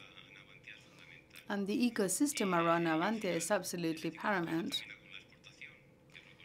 This ends up with exporting. Investment of the F-100 frigates meant employment in Spain, but we've also exported them to Australia and Norway with a 2,000 million euro return for Spain. So that's a full cycle which we need to plan in advance. It doesn't happen overnight. Another key issue is knowledge. And it was mentioned this morning. Talent and the difficulty in recruiting and maintaining talent. Apart from working in cool projects, because a submarine is a spaceship ship at minus 300 bars the and FCAS or any other project are really interesting for young people. But we need to find them so along that lines, I'm talking to talk about Navantia with the Excellence Center, with an investment of between 35 and 40 million euros, which we need to promote and we need to recruit young people. Thank you very much, Javier. Admiral, we have five minutes, and I'm going to ask a question that we haven't agreed on beforehand. It's very brief and it has a quick answer. If we think about Spain and we think about technology as a game changer, where are we? Are we okay? Gradually improving? Not so well. We need to improve. So very quickly, what's the diagnostic of Spain nowadays in technology? Space technology. I'm a newcomer, so I've arrived, I've visited, I've been visited. I've been explained what companies do. I've seen the results in the working groups and our level in those working groups. I must say that I give a very high mark to Spain. Thank you. Admiral, he needs to go and he has a train to catch. So what's the mark that you give to Spain? Performance. As the Admiral said, I'll talk about what I know. CATEC is a private technology center specifically focusing in unmanned vehicles and systems. We are European leaders in intelligence for unmanned vehicles. What you said earlier, we will give you our CVs, our long CVs, but you've said only a few things. And uh, you said that we are the most innovative innovation in Europe, and we normally And talking about the technology, we in Spain we are very well positioned, and all the organizations that participated this morning, including two of the organizations here participating in FCAS, I think it's easy to see that in technological domains, which is an indicator of where technology is in unmanned teamings, in man-unmanned teamings, swarming, distributed intelligence, situational awareness, sensorial awareness. In Spain, we have we are a benchmark. In swarming, we are leaders. What mark do you give us? Spanish defense industry has considerably the high level. I'm not going to go to talk about vessels because Navantia's director is here naval radar system for long overhaul? Not. We need to improve a lot. Long-haul missiles and weapons. We make components, but we don't have an industry on that. I'm not going to say anything else about vessels because it's uh, level is really good. They are the best defense company competing in the world, and their foreign sales say so. In the space world, we are 45% capacity of doing advanced satellites. 42, 45%. So with the new generation of satellites, we could reach 47, but we are leaders in certain fields. We, need, we don't need to aspire to do everything because we can't. It's not profitable. So we need to go for things where we are leaders. We are leaders in radar antennas. The radar of PAZ 1 was manufactured in Spain. PAZ 2, we might. And the antennas for 1 and 2 are the most advanced ones in Europe, and they are made in Spain. So we can make 47% of a satellite, and we are leaders in uh, antennas. Great news. We are getting great news.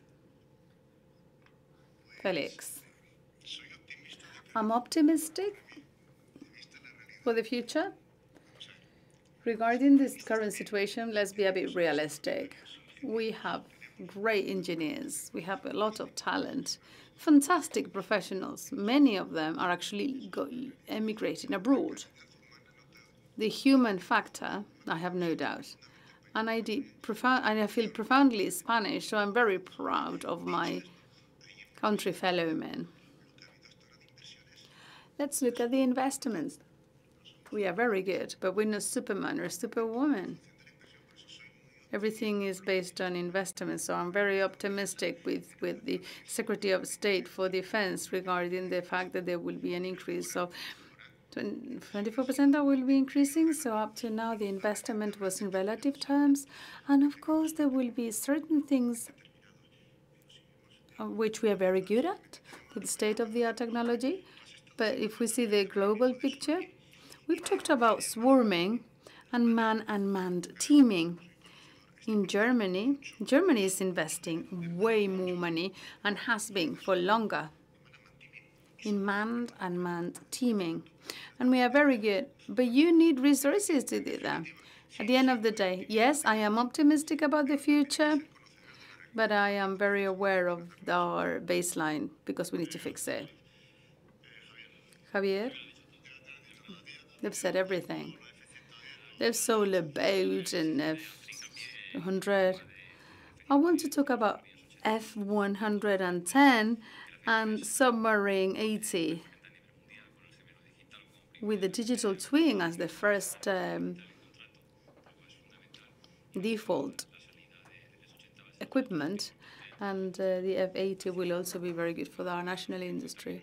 I would also like to say that if I see the glass half empty, the top 100 of world levels eh, only have two Spanish ones, in Indranas, in the top 100 regarding turnover. So we need to improve and keep on working to improve our defense industry. I want to thank you all. We finished on time. We were given until 6.20. It's 6, uh, it's 18 minutes past 6. Thank you very much for being part of this roundtable.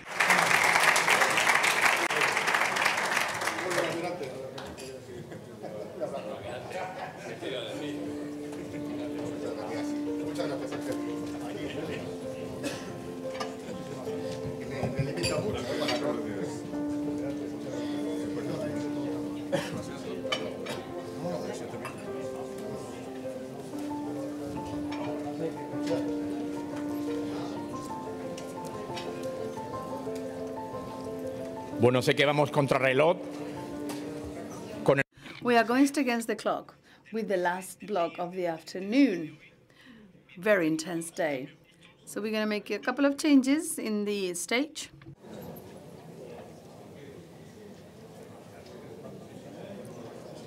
estamos, pues les pedimos un poco de silencio para este último bloque que en el que So we're going to talk about innovation, research, and technological investment, something that have been present in our discussions today.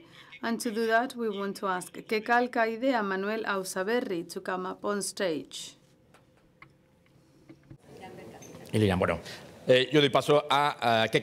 So I give the floor to Keke Alcaide, Director of Marketing, Communication, and Institutional Relations, and she will be chairing this session.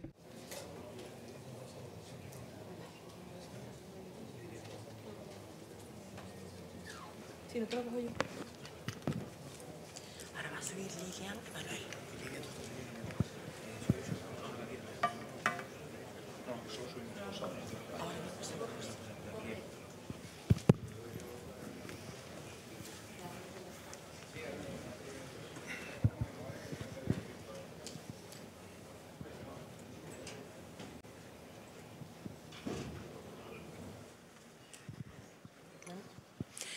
Hola, muy buenas tardes a todos.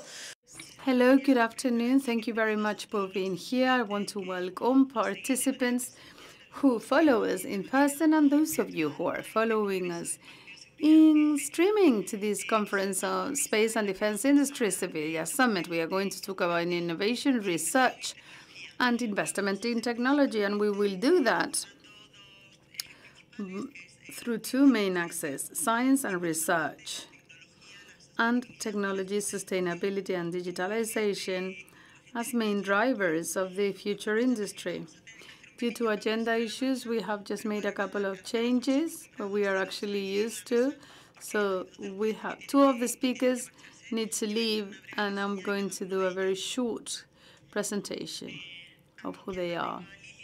To my left, Lilian. She started her professional career at Morgan Stanley in Mexico with industrial companies in Latin America. Then she moved to London, where she joins the European team covering companies in the electricity and energy. Then she joined Amber Capital, where she is an investment analyst in public European values. She has a degree in finance from the Mexican American University and Master in Finances from the London Business School. Then we have Manuel Osaberri. Good afternoon. Manuel is a civil engineer, Director of Strategy Innovation and President's Office in Indra, in charge of strengthening technology leadership in those fields. He's in charge of designing and implementing the new model of open innovation and head of mm, President's Office. Since January 2020, he is also in charge of sustainability in Indra and drafted the master plan in June 2020. I'm going very fast, but it's just we don't have much time. So I'm going to ask them both a couple of questions so that they can shed some light. Manuel, regarding new technologies, Maybe this is a bit out of context because we have split the table, but my question is, to the current increasing lack of security in the geostrategic arena, do you think that we need to be more positioned at the European level? Por invitarnos. Eh, bueno, como... Thank you very much for having invited us. Indra is a great Spanish technological company present in many countries. Technology is part of our DNA. So the answer is that yes, of course it is. Very important. But we are actually deeply convinced. We are at a decisive and strategic crossroad. There are certain strategic geodynamics that, from the past, inferred our decisions to take our geostrategic position more seriously and to take on more responsibilities in our own internal defense and external defense, actually. We have also been great steps being taken in Europe and along that line. One is the European collaborative programs that we have discussed today, such as FCAS. But due to the Ukrainian events, I think we have all realized that defense and security are a prerequisite for everything else. Behind that investment,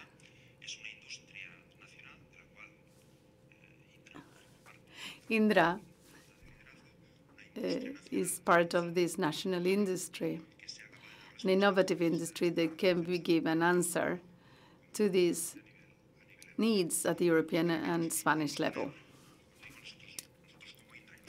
For Indra and for Spain to play a protagonist role, that needs to be done through innovation, technology, and high added value.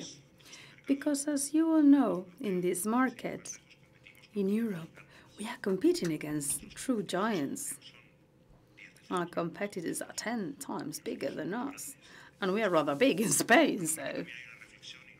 And there is a thought here on how we need to evolve as an industry to be able to invest in R&D, to compete and be sitting at the table of the big European giants, and to defend our industry, our jobs, and the workload with high added value, which will mean that in the long and medium term, we will continue keeping an industry which is an exporting successful industry with high added value, such as defense industry.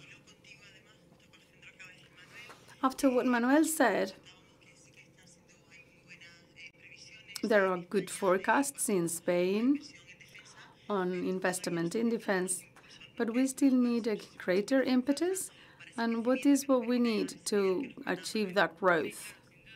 Yes, no doubt. There are significant opportunities for the European defense industry. We see that in Spain with this commitment of reaching uh, the 2019. So this is opening a pathway to promote the industry. But we need a national leader that will channel these efforts. And we've seen clear examples of Dassault in Spain or Leonardo in Italy, BAE Systems in the UK, which have given impetus to the industry and open pathway for the other players. So we need a national champion. In our opinion, Indra can play a good role in that effort so that it um, opens up a pathway for the rest of the industry. So we don't want to divide forces. And we want Spain to have a pool that pulls in the same direction as it has happened in other countries in our industry. Manuel, what are the strengths we have to take that leap? As I said earlier, eh, there are some basic foundations that help us identify the opportunity. So the Spanish defense industry is at a good situation to find the opportunities, but as Lydia said, we have some weaknesses. What are the strengths? In certain niches, we are state of the art. And um, we have technologies that are super specific. And uh, we are really the best ones, but we also have some gaps. And one, another one is the scale of our companies. Our national industry certainly is more fragmented than it should be to face up these future challenges because a big programs such as FCAS can only be managed by big conglomerates, big giants. They can then agglutinate other companies and another more comprehensive and uh, fabric, business fabric. Let's not fool ourselves. Spain is an average capacity country. We listened to the Secretary of State and this morning, and we are feeling rather optimistic, and we are, should have a very positive attitude because all the signs point at the fact that we are taking up momentum, gaining momentum and other European countries are spending way more in defense. Our competitors have national markets that are their clients that are investing more, such as France, Germany, and the UK. So, pending subjects, many. A certain shy evolution with some sort of arrangement to acquire better R&D investment capacity, scale, um, and power to be better um, partners and with better technical capabilities in our portfolio. That's the logical sense that our industry should move into. And there begins to be a certain degree of consensus and majority uh, agreement on that being the pathway to go. So within that niche that we are at, uh, sort of like average size company in Spain, talk to me about strengths and uh, weaknesses that hinder our quantitative lead. In defense, right, because in other industries we are leaders, yeah. The industry is heavily fragmented. Capacities exist in Spain to have this fabric that can have a stronger industry. The effort is fragmented, and a company needs to compile this capacity and support the industry so that Spain sits at the debate table with someone that can absorb this load. That is not only the national demand, but also international demand. As I said, Indra is at a very good position to play that profile based on the experience that we have both nationally and internationally.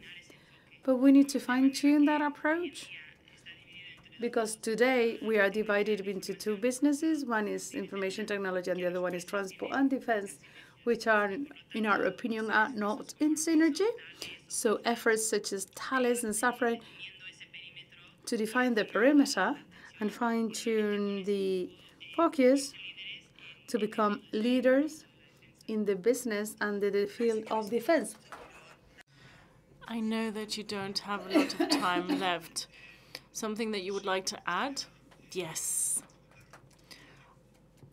I think it's important to um, understand the defense industry, and we see the wonderful companies that make it up. Hispasat, Navantia.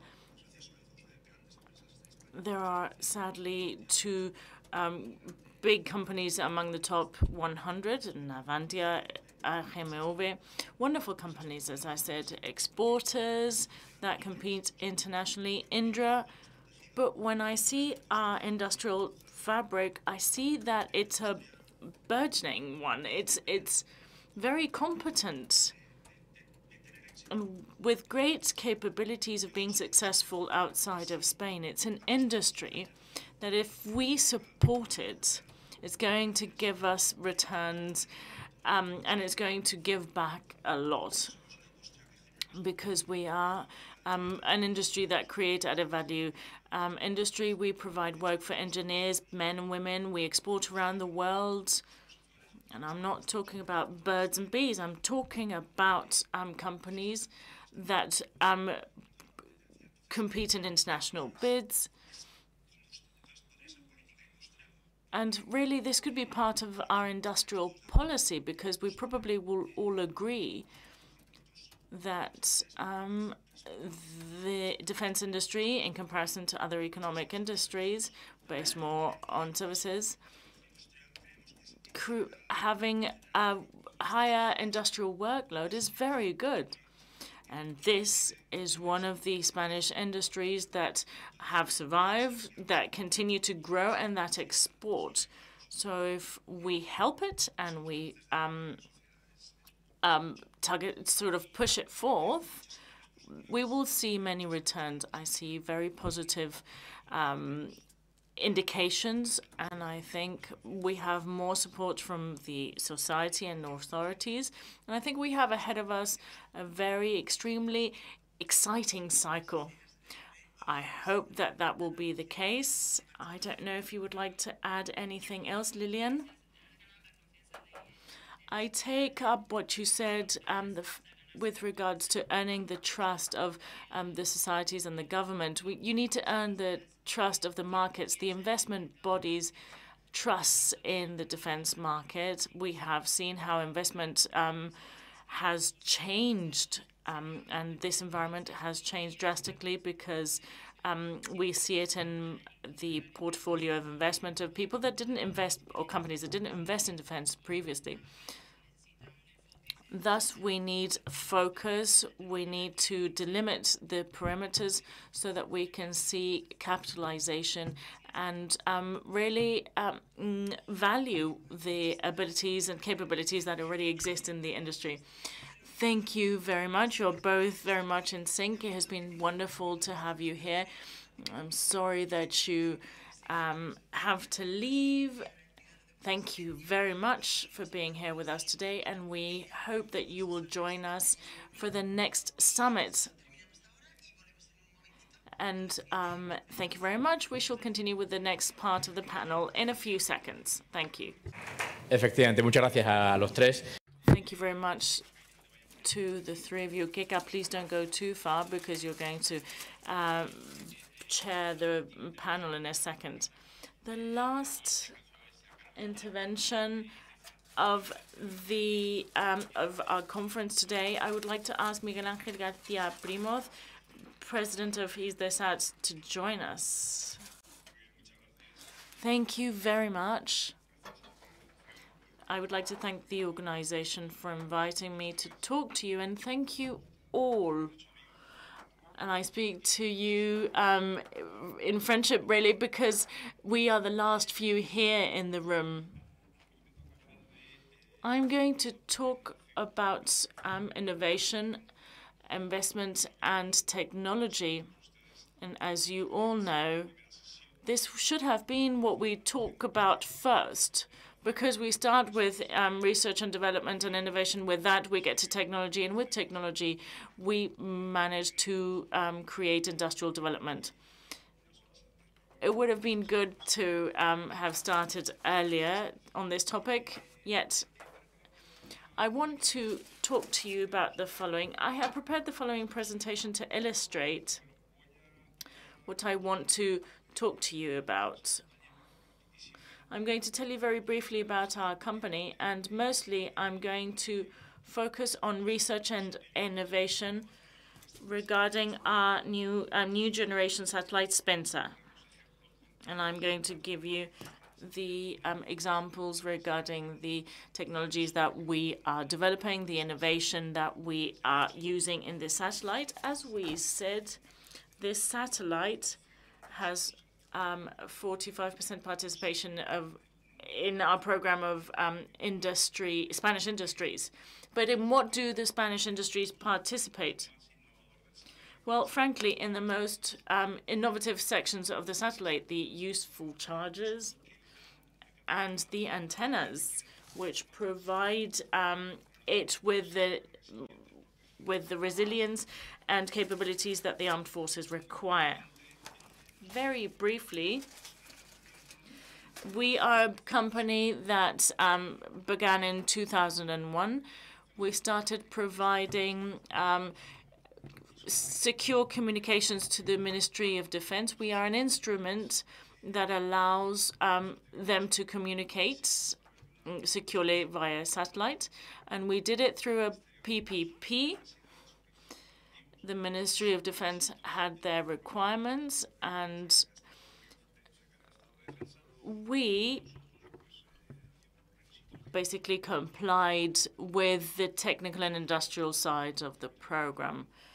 We finished the products and we launched it in order to be able to um, give these capabilities to the Defense Department. We also agreed to commercialize part of them um, abroad so that we um, could make use of the investments that the government was going to make. In 2000, 2006, we launched the two satellites, XTAR-EUR and SpainSat.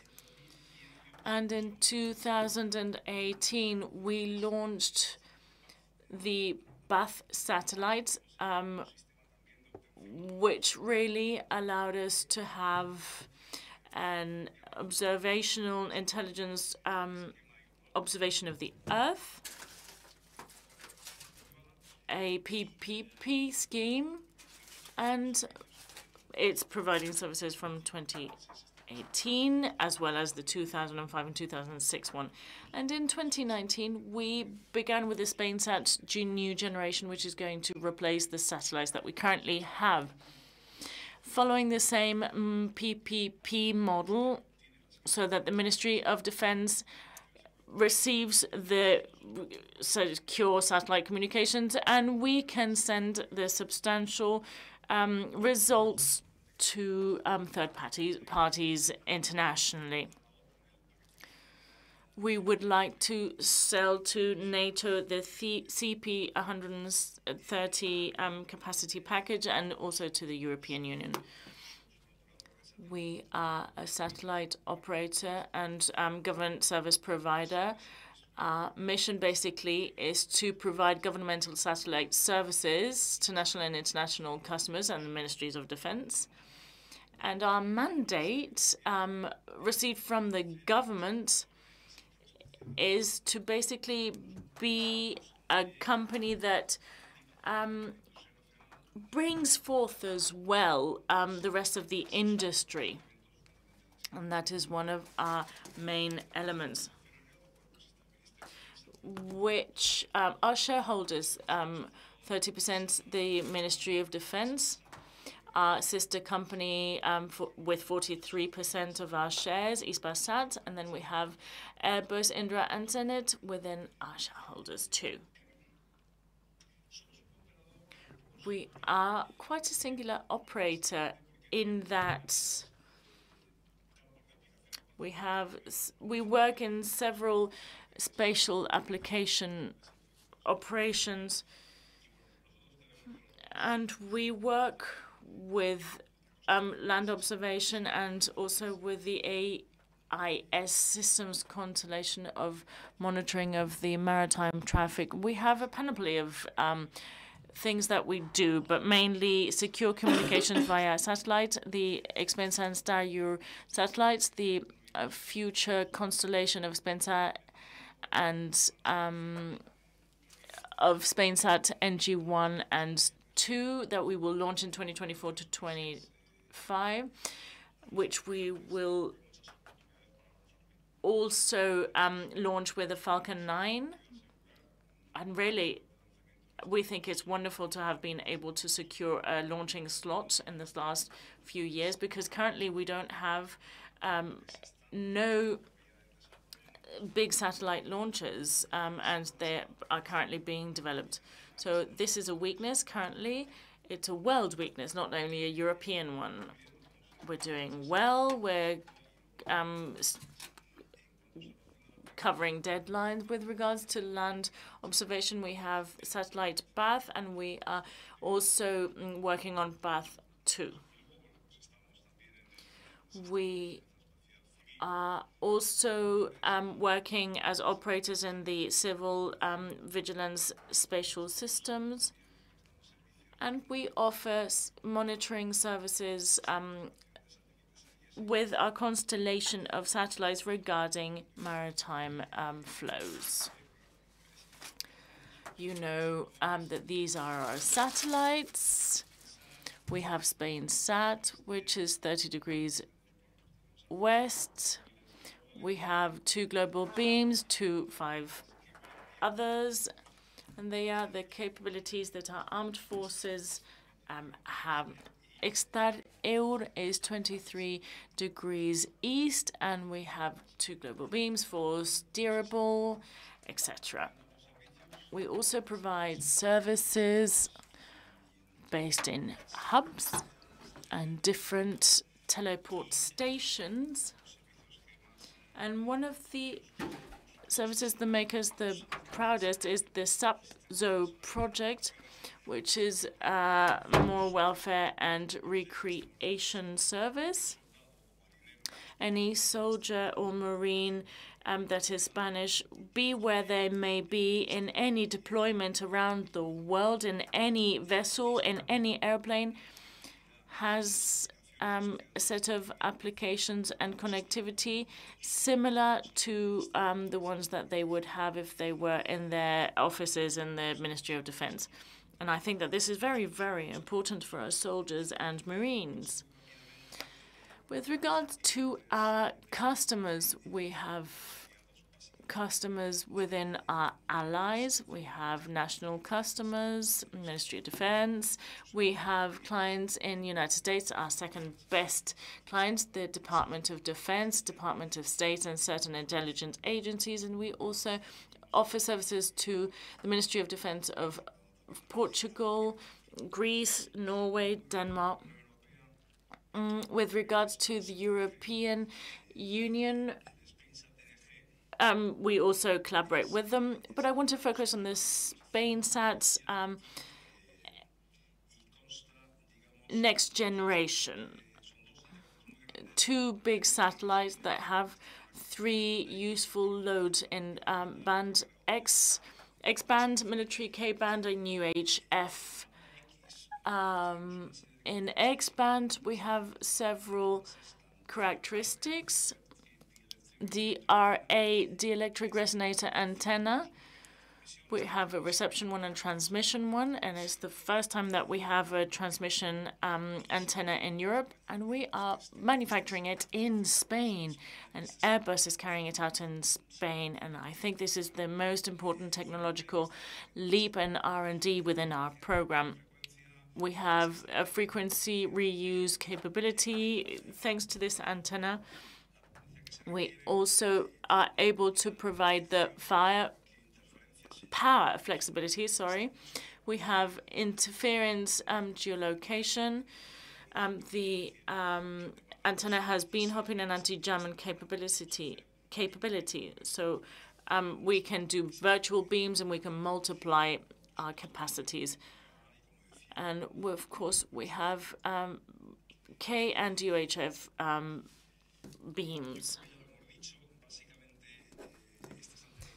These um, RA antenna are the most innovative and most advanced um, technology in Europe. The transmission antenna is is the only one in Europe and is also very important to highlight the collaboration that we have carried out from the Ministry of Defense being the anchor client and describer of the necessities, the Ministry of Industry with financing, the Ministry of Science that allows with certain funds for the most innovative, um, innovational um, elements, and Hisdesat, which is pulling the whole industry along with it as the um, tractor company. This is the satellite, um, 43 meters long the farthest antenna at the UHF um, more than 10 meters long. So really, um, it's 6.1 ton satellites. And very briefly, I want to show you the different elements and where they have been manufactured so that you can see how broadly we have spanned territory-wise. The panels of K-band have been manufactured in Madrid, the antennas in Bilbao, in Sener. The RA antennas are being manufactured in Airbus Madrid. The technical control of um, these antennas in Torrejón, the radiant chains in Sener, in Arganda, the amplification modules SSPI and DLA are being manufactured in um, Barcelona through SONED, and this is based on new technology, Nitro and which has allowed us to carry out this um, industrial development. Indra does the MCCM microchip modules, and in Valde Peñas Tecnobit um, creates the RCCB and um, RCCB and Esben. Um, electronics is carried out by Crisa Madrid. Antena Navarra is carrying on the test caps. GMV creates the software. And HV Sistema creates the exit. TTI North in Cantabria does the SS SFPA for UHF. Senate for the makes the OMUX ITAS manufactures the UHF eMMUX, the processor, and the transponder, and Altair here in Seville uh, deals with the um, component technology. This is what I wanted to say to you. As a conclusion, I wanted to add that the PPP between the Spanish MOD and Hisdesat is working very well since we started collaborating 21 years ago. This allows us to have strategic sovereignty, which at the same time allows us to have technological sovereignty through our technologies. And this, in the end, really makes us more competitive, the whole of the Spanish industry. It also allows for international cooperation and collaboration. Our systems are all dual programs, and uh, from 2020 to 2040, we are going to invest, hopefully, um, 4 billion euros in communications and in land investments. We started with our participation in 2001. We only had 15% of participation in XTAR 21, in PAZ 40, in Spain had 45. And we hope that with PAZ 2, we will be able to um, obtain Spanish collaboration in 60%. And with that, thank you very much. Thank you for your attention.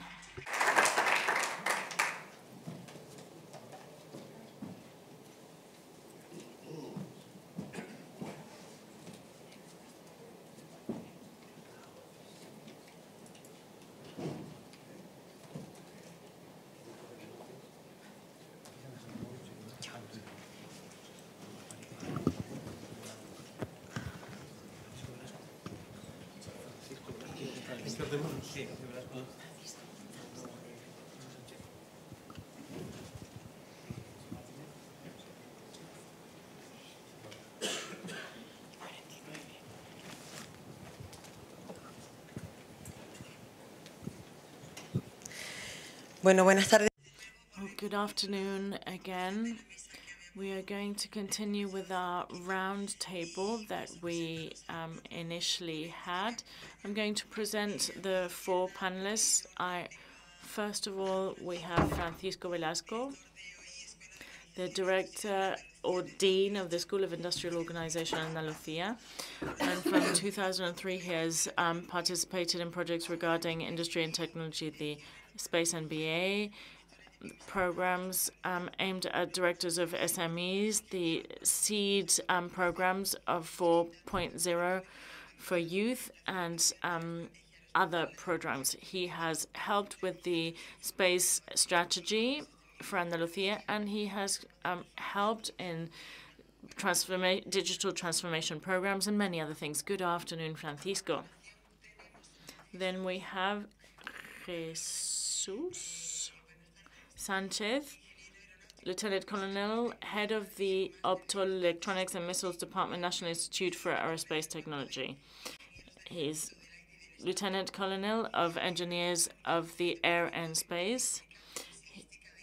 And as I said, he leads the Optoelectronics and Missiles Department, and he is author of several patents and responsible for um, defense projects and development projects. Then we have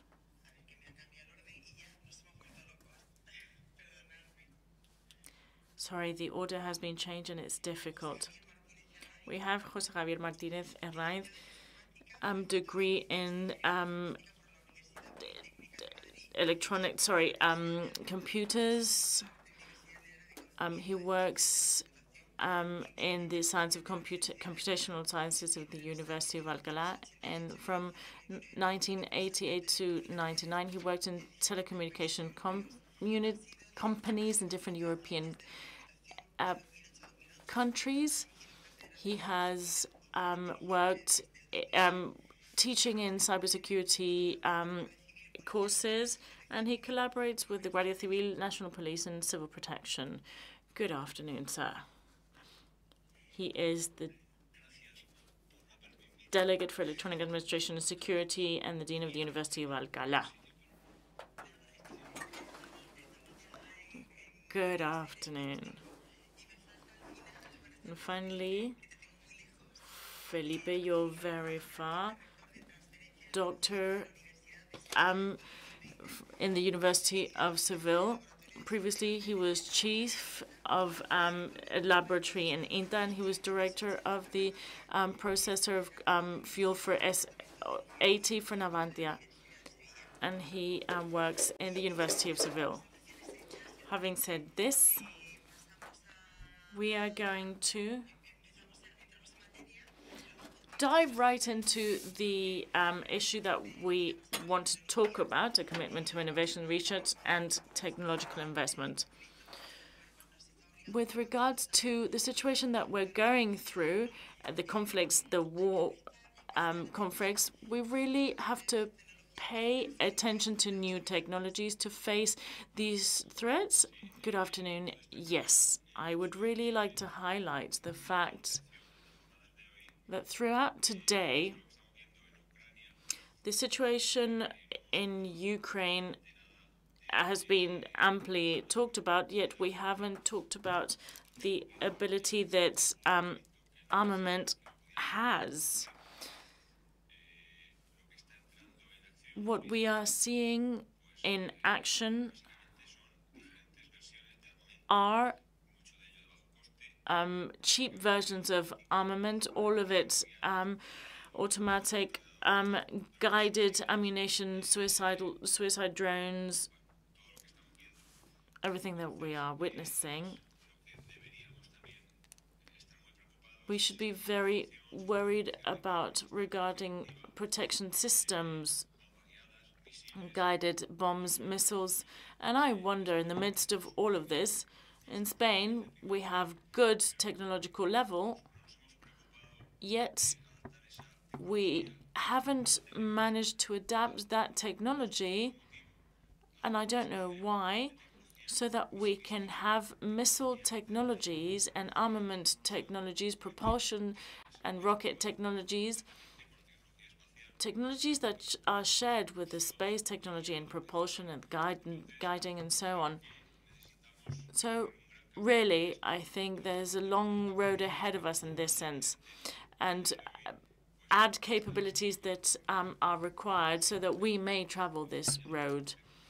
In Spain, we don't have hyperspeed technology, neither in navigation nor in aerodynamics nor in materials, and all of those um, capabilities are absolutely indispensable. So I understand as well, Jesus, that in order to adapt to all of this, we need to transfer this to people. What are businesses, Francisco, going to expect from the talent and from the labor force in order to reply to that uh, question? I'm going to um, refer to two um, studies and also to EOI, our industrial school an alliance for the strategic competencies directed to emerging technologies and defense. It's a project launched by the European Commission that is trying to create an ecosystem for the defense um, industry and other stakeholders that it focuses in cybersecurity, robotics, and AI and um, CFRI. Within this um, alliance, we have Andalusia Aerospace, the Andalusian cluster, the University of Seville, the University of Cadiz, other universities within Spain and Europe, and as well big companies like uh, Safran, Rolls-Royce, and Airbus. Within this study, they identify four competencies or professional um, uh, spheres, um, aerospace, drones, um, another focusing on cybersecurity and everything related to firewalls and encryption, cyber physical systems. Another um, study area regarding data scientists, voice recognition, natural language, artificial vision, machine learning, and one final um, one linked to database designer, quantum computation, neural networks, etc. The other study that I would like to mention, one that was targeting the Spanish industry in general, not focusing on defense, and it stated the 12 professional profiles that would be more demanded, and nine of them included data in its name, vis data visualization, data engineer, etc. Internet of Things, of course, um, 4.0 industry, and they also included that in the next um, four years we're going to need more than 90,000 professionals in this realm. Finally, based on our experience, we mustn't forget that we're talking about people, we're talking about research and development, and the investment in the human capital is essential. People that develop their working life in companies. So um, it's also important to foster soft skills, leadership, teamwork, communication, um, conflict management, and management. They work within businesses that have their own strategy, that have their balance sheets, they have, you know, their financial issues. So all of this is very important. also, it's very important to highlight the relationship between um, the company and university. And I want to talk to you, Jose Javier, because I'd like to understand the weight that the relationship between a company and a university can have in this um, university relationship. Yeah. Yeah, but since I have to my left a university professor and I'm only a lecturer, I want to explain to you the difference. What a chair is, a chair of research, because you don't understand that I am the director of a chair, but I am not a professor myself. Sometimes I'm introduced as a professor, but I am not. Currently, the university is organized around faculties, schools, departments with their areas of knowledge, and then there are research groups which can have teachers from different departments. So those are the chairs. It's a chair of research. And they are especially important because a company finds an agreement with a research group to research on the same lines and something that is important for the company. So they sign agreement uh, for three years for an amount of money which would depend on the university, but they can sign Article 83, they can go together to public tenders uh, jointly between the university and the companies. But the case of research groups, they allow you to have a time horizon of three or four years. They can be renewed and research on something which is interesting for both. I am the director of a chair of cybersecurity with DEF. But in the University of uh, de Alcalá, we have Indra chairs, Escribano chairs.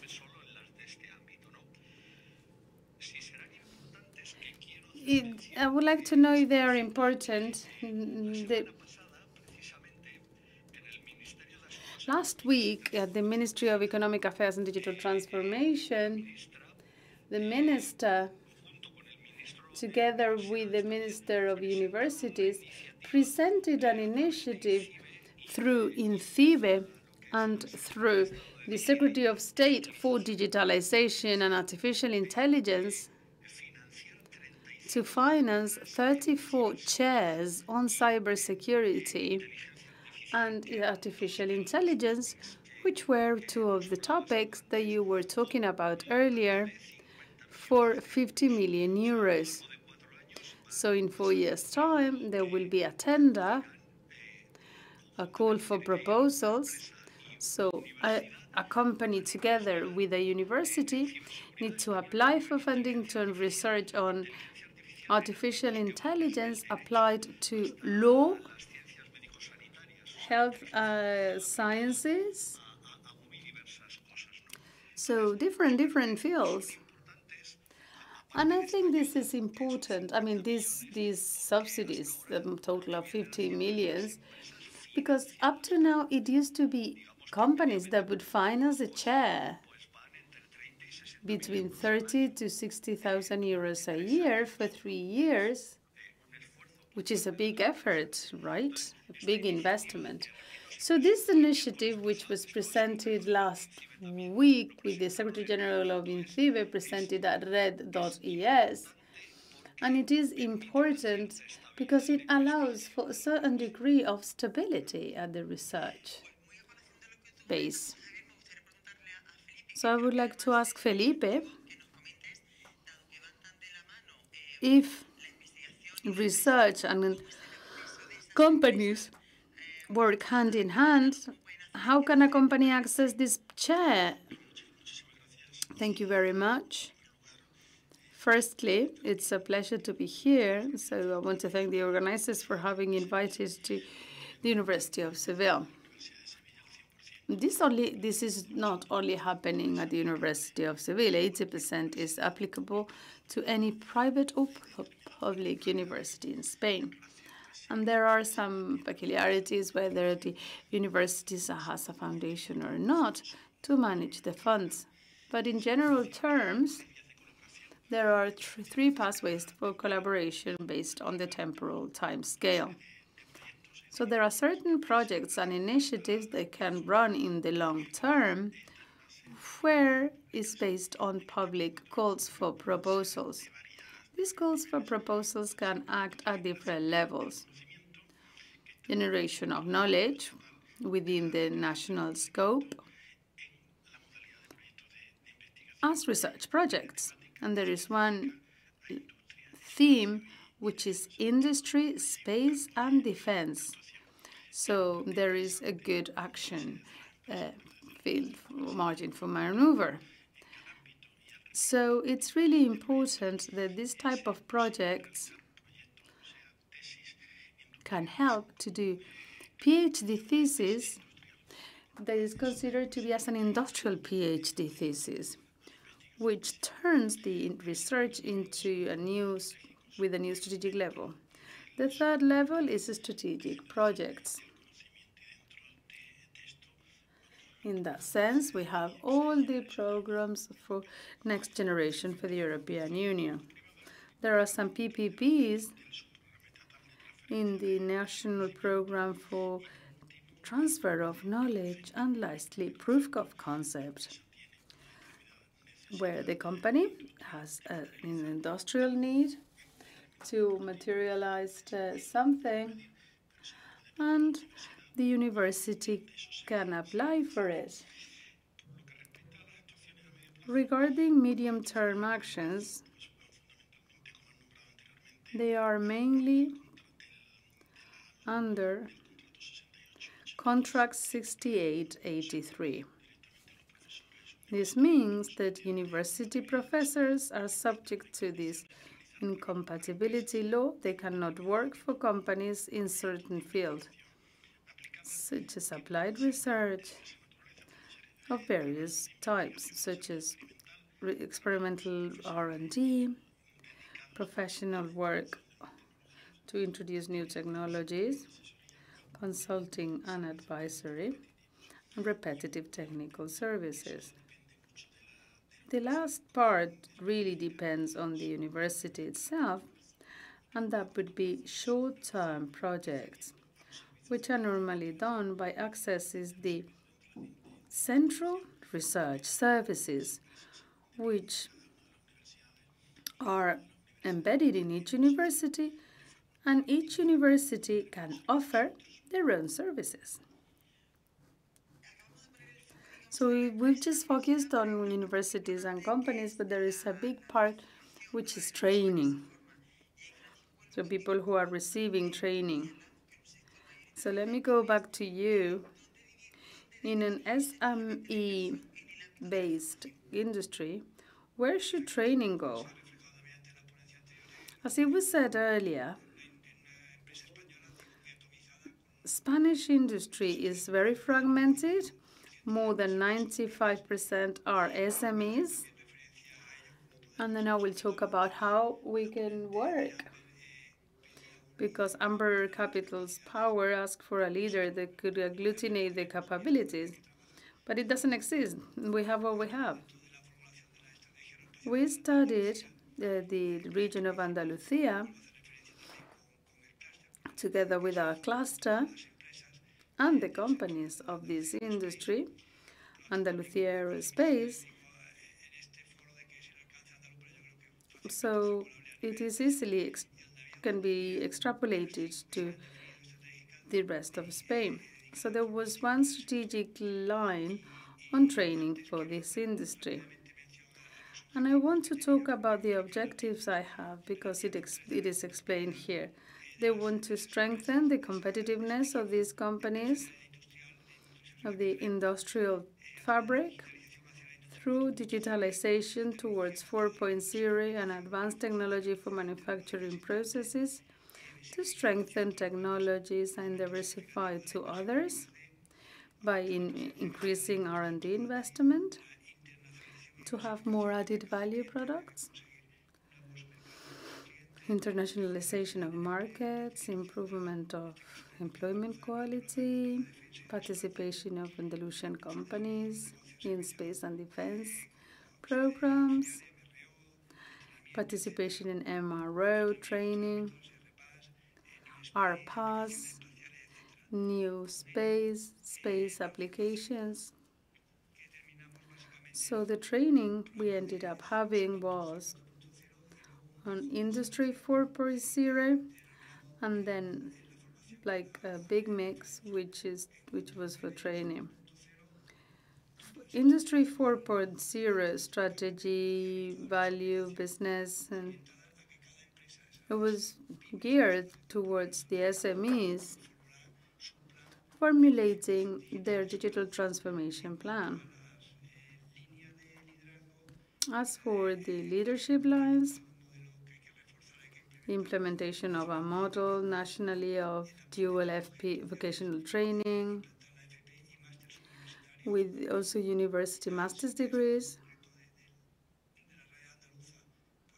And in Andalusia, only we're only 5% of the space business in Spain.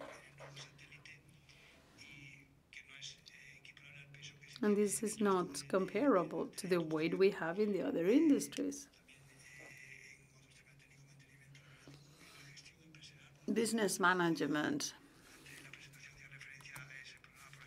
There was a program that we developed on at AOI, Aerospace MBA, that brings together a specialization in the space industry and business management. English language training, if we need to go for the internationalization. SME international management. That's a challenge. We need to find new clients and we need to do it internationally. Business and university interconnection, and I will not talk about that because other speakers have mentioned it. I talked about the size, and in that sense, the role of clusters is very important to amalgamate technology centers. We had Alcatec, the Advanced Technology Center, as an agglutinating force of all companies so that they can act together and have greater capacities, which is a lot, actually. But there is something which is rather important, uh, which I, we mentioned at the backstage, and which I would like to mention to Jose Javier, and that is we need to invest in the empowerment of talent and retention of talent. Absolutely, because this is something that is paramount And precisely, we've been talking about it all morning with the companies. Everybody talks about how difficult it is to find qualified people. And we are talking about it not only quantitatively, but also qualitatively. And I want to give you an example from my field of expertise. In cybersecurity, there are universities that cannot implement a degree on cybersecurity or postgraduate degree on cybersecurity because they don't have teachers. In 2022, November, there is a report from INCIBE on the analysis and diagnosis of the cybersecurity talent in Spain, saying that in 2021 the labor force had 151,000 people. There was a gap of, gap of 25 people, so we need 25 people, 25,000 people working in cybersecurity. This morning, General Ballesteros was here, and he reminded us in 2016 he was the leader of the Spanish Institute for Strategic Studies, and we did a report on PPP, and there was a specific section on this, which I wrote. In 2017, it was published, so we analyzed five, the five-year data, and we were doing rather badly. But we did a global analysis because it was not only a Spanish problem. Five years later, we're even worse because the needs are higher. Um, especially certain degrees, and we have fewer students, and there will be less because we look at the figures in of high school of people who are studying who will reach university. This morning, somebody talked about STEM studies, how there is a clear lack of students doing this, especially women. There are fewer and fewer, and it is very important. And as we were saying earlier in the backstage, in my chair I had a researcher, and this guy has been hired by a Finnish company, and he hasn't gone to Finland. He's working in Alcalá five days a week with a Finnish salary. So we are now competing in a global world. So it is very important that at the National Cybersecurity Forum, there is a specific group on training, empowerment, and talent. And it's not finding talent, it's actually being able to retain it in the organization, which is really difficult. Companies see that the way new generations work, even after COVID-19, I mean, they have different reasoning. And the first question a potential employee asks you is how many remote work days they will get. And if it's less than three, they would actually consider it. But in any case, I'm influenced by my specific expertise, which is cybersecurity. But I think it happens as it happens in other fields such as artificial intelligence and machine learning, everything that has to do with data science and data engineering. There is a clear need of people. And the solution is difficult because Spanish companies pay the salaries they pay. In Madrid, we see people who move out to a village to remote work to Madrid companies with Madrid salaries, but I don't see a solution in the medium term. In general, there are companies such as Escribano, they, they, they said to us, send us people, where do I get them from? The same thing with Indra or Abengoa, I talked to them. They all need new people and they need to retain them. And that's, I think, the main problem because I've even heard in other fora, and I mean, money is important and um, companies are now complaining more that the worst thing for them is human resources, it's just finding people. Okay, well, this is a great conclusion. It's very important to make progress in, in parallel so that we can meet all needs. So stepping out of university and training and going more into artificial intelligence, which has already been mentioned by Jose Javier, I would like to ask Jesus for process optimization. Do you consider that artificial intelligence is being applied properly?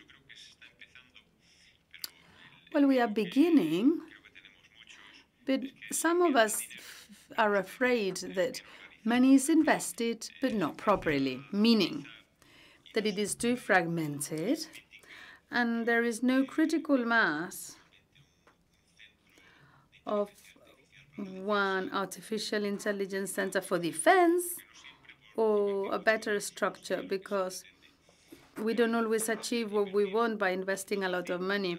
Sometimes investing is easy and the figures, you put them in a presentation and it may look like it's working, but sometimes it doesn't work as it should.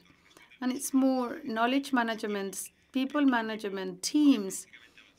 A technologically advanced team is, is not trained in one year, in, in, in many years.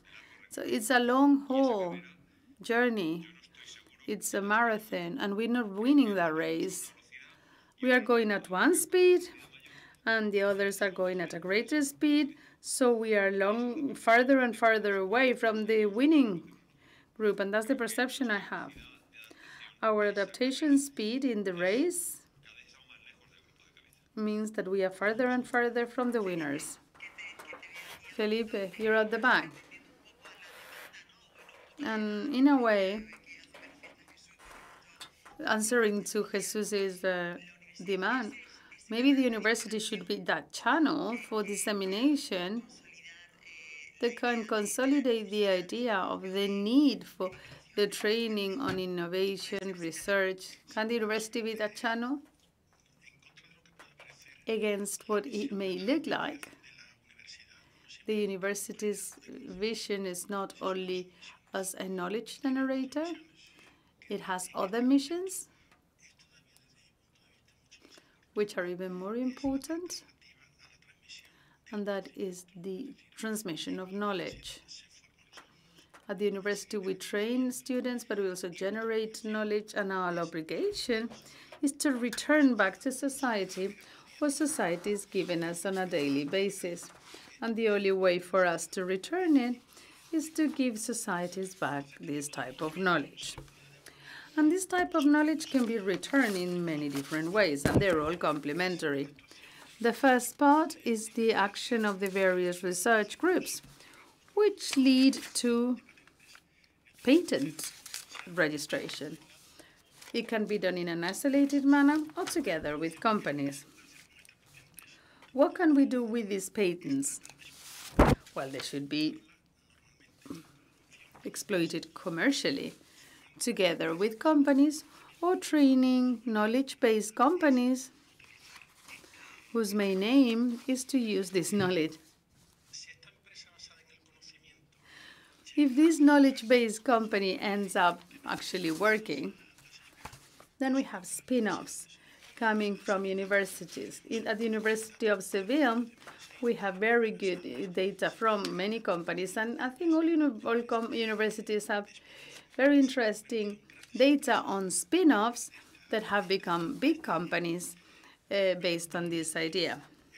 As it was mentioned earlier, the creation of business chair or chairs of businesses is a method of um, conveying knowledge that is not regulated in, the in all universities. Some universities have it, have it, others don't. In Seville, we have 50 chairs of this kind, of these five areas of knowledge, with very different companies, such as a chair for Telefonica, a telco, specialized in artificial intelligence, Airbus chair, so I could list you up to 50 chairs on this. Then there is a last area, which is specific entrepreneurship spaces, including co-working spaces. These spaces are an area where certain synergies uh, between EBCs and companies can be created to achieve eloquent results. Please allow me to add a final piece of information regarding the University of Seville. It's the second most important university in Spain, with 70,000 students, with more than 500 research groups. We are the first national university regarding international patent registration and the second internationally.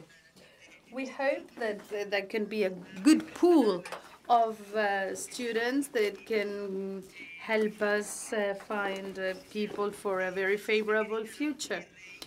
Do you have any information for the closing? Final conclusion. Is there anything else you want to say? Expandido un poquito más de la hora, pero si queréis comentar. Any final words? I want to say one word, which is sustainability. I could not attend the previous sessions, but I guess they talked about it. So I wanted to talk about sustainability as a focus of interest for the future.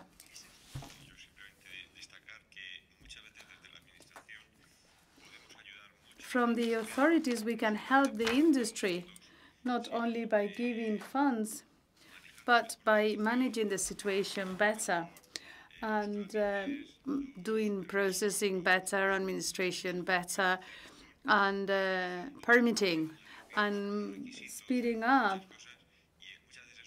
And that can be even more useful sometimes than the actual funds.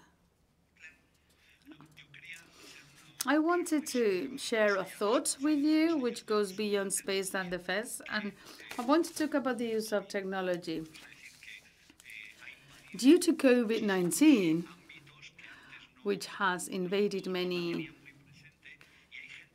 fields of knowledge, people talked about the future, but it's not the future, it's the present, and in many cases, the past. So this is a clear imperative And we will need to learn how to live with it and to make it work in all fields, defense, space, mm, and always guarantee the security of our interactions with technology. My final thought might not be very welcome, but I want to put myself in the shoes of the graduates of the University of Seville who go to the labor market and they are offered salaries. I'm not going to say they're high or low, but um, I ask the executives of your companies to think about it. But many university graduates are forced to emigrate because of the salaries they are offered and for some reasons are that the salary and the labor conditions are not appropriate for what they deserve after doing master's degrees. They can take them up to seven or eight years. So after eight years doing a degree of this type, the receiving a job offer of 2,000, 1,200 up to 1,500. I leave it up to you to make that judgment. So we finish here this roundtable. It's been a pleasure to listen to you. And now, thank you very much for being here, and we'll give the floor to the next uh, session.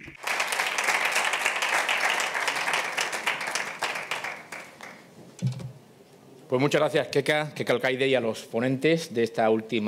I want to thank the speakers of this uh, roundtable. So having reached this point, it's 7.30, which is the time we were supposed to finish the program. So I'm going to ask all of you to give us 15 more minutes to two more speeches for two reasons. Number one, because we have learned that the resistance is winning. And secondly, is because these two speeches will be worth it, your attention.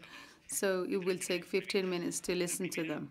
The first one is the Director General of TEDAE, Spanish Association of Technologies for Defense, Security, Aeronautics and Space, Cesar Ramos, and he has the floor.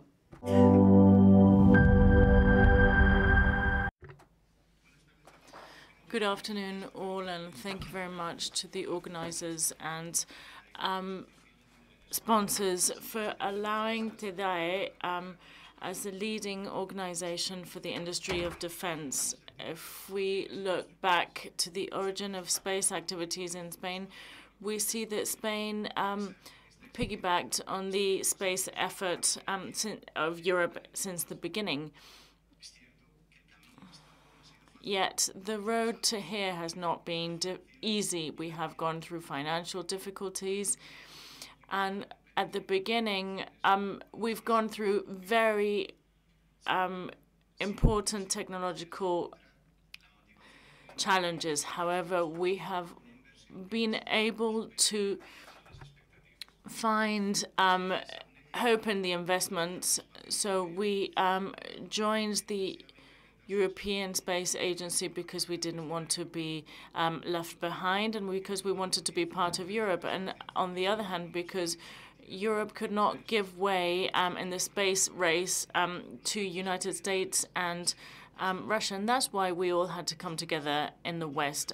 And for these reasons, the um, profitability of space cannot be measured regarding financial indicators um, because they allow us to understand the success factors within our state. Having space capability means for a country having a key tool for their future because not only is it a great economic growth vector, but also a very important political tool that allows them to um, achieve a significant um, strategic advantage in the case of conflict, something that Europeans saw after the first Gulf War in 1991 when we saw a very clear independence um, um after we um, saw this situation. The um, situation of defense in Spain explores the universe and also dynamizes telecommunications, health, um, environment, and security, generating value for the whole economy while improving our daily life and our ability to relate to each other securely through communications, internet banking, GPS, or the meteorological predictions. In the last few years, the um, financial crisis, the conflict in Ukraine, and um, natural catastrophes have brought um, to the international agendas um, health, um, security, climate change, or um, sustainable. So for many of these departments, spatial technology contributes to these um, elements of society.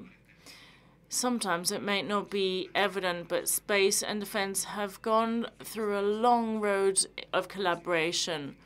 Since um, Alfonso X Sabio compiled um, a catalogue of more than 1,000 stars, Spain developed a relevant role in astronomical um, research.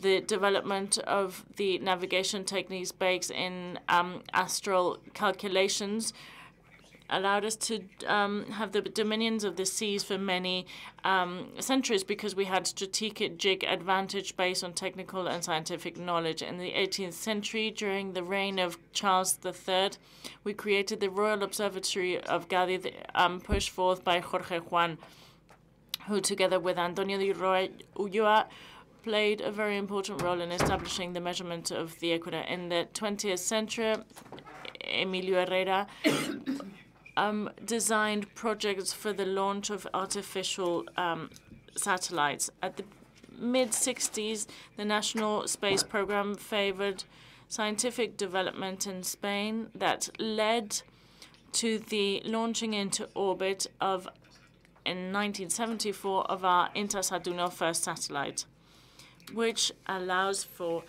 Spain occupying the fourth um, place in the um, space race in um, Europe. Space in the 21st century is now a, a new or a different sphere and market where the Spanish space industry has a presence in all of the activity sectors, and it is well positioned within the value chain.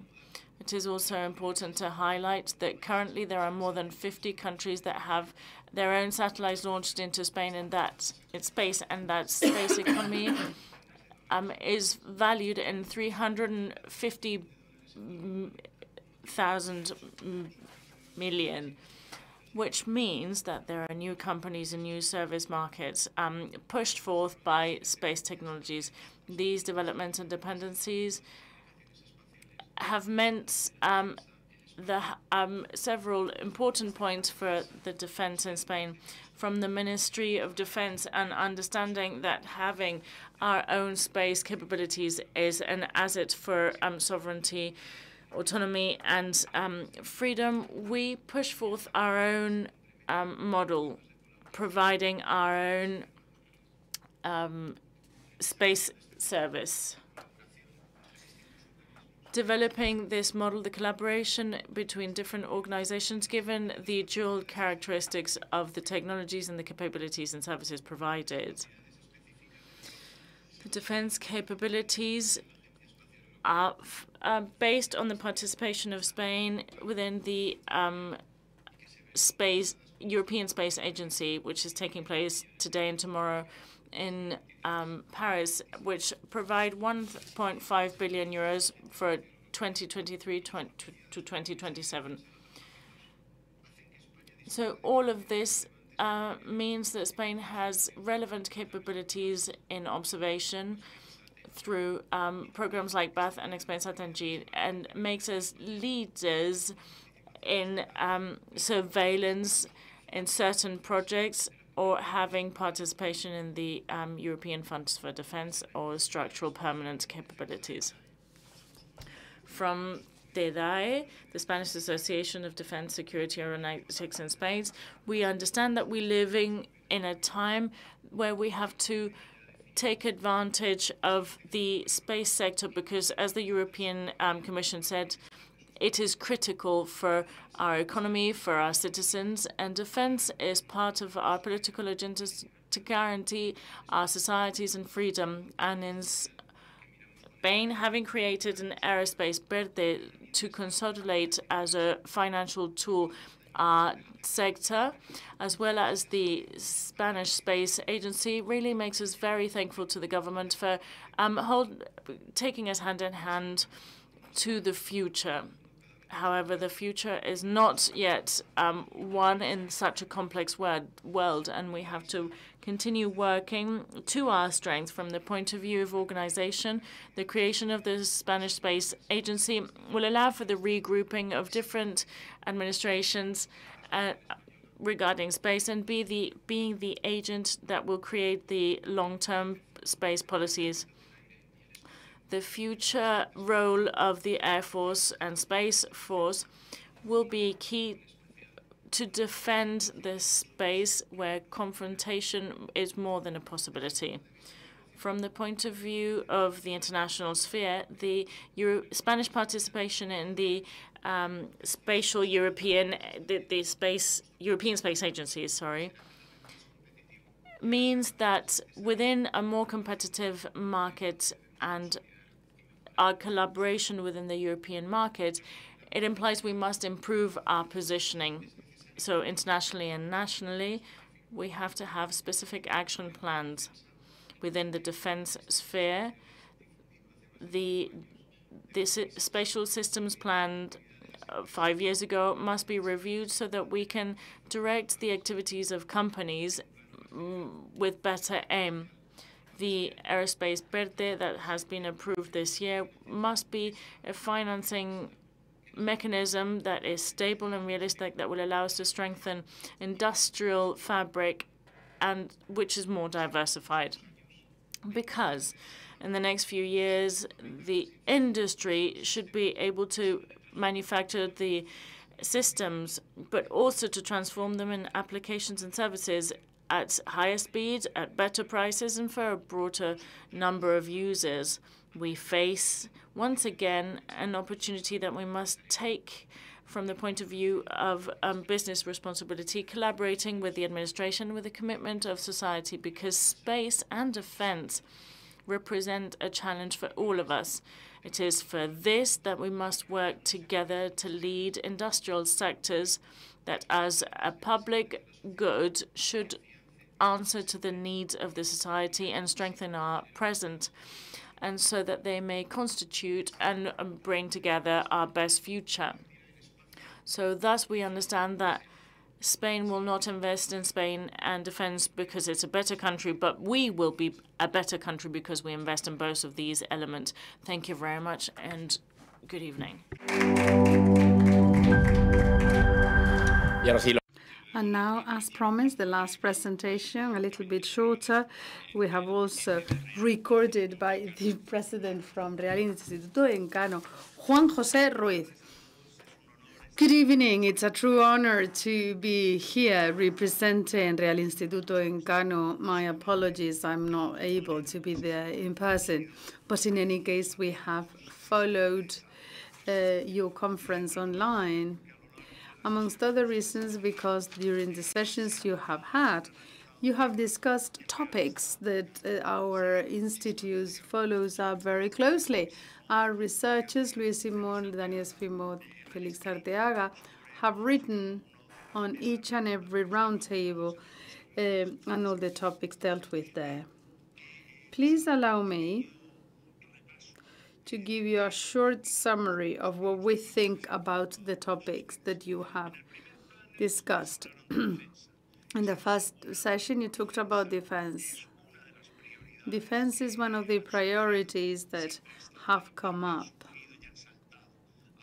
jumped out to the public opinion in the last few months due to the cruel, illegitimate, and terrible invasion of Ukraine by Russia.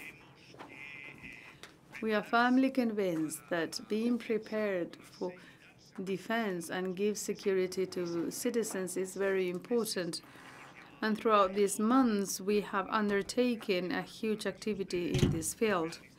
I would like to remind you that our institute was chosen together with the Atlantic Foundation and the German Marshall Fund as the think tanks that organized the mm, conceptual meetings during the recent NATO summit in Madrid.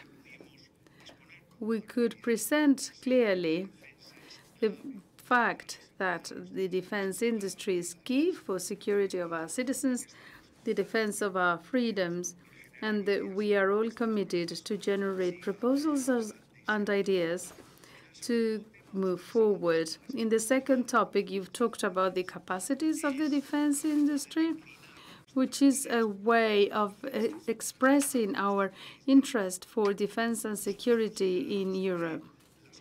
We believe that the defense capacities must be seen jointly. So defense is a public good that cannot be segmented. And we are committed to push for the European defense, the public good of European defense, and above all, to integrate it in industry. We think that this is a central topic of our research agenda, and we have placed it there amongst the priorities for 2023. With an approach that I would like to underline. It's not a matter of spending more, which is important, but spending better and jointly. As you very well know, Europe spends little in defense and in a not coordinated manner. Only 11% of the $60 million that were invested last year were invested jointly, and I will talk about this later. In the third and the fourth, you've talked about space. And we think that this is another topic that we need to bring to the public opinion. At Real Instituto Elcano, for a long time, we've been very concerned with the need to invest in space and to generate a governance of our investments and the development of our aerospace capacities that allow us to be more efficient in our expenditure and that will allow us to return more value to the investment we make.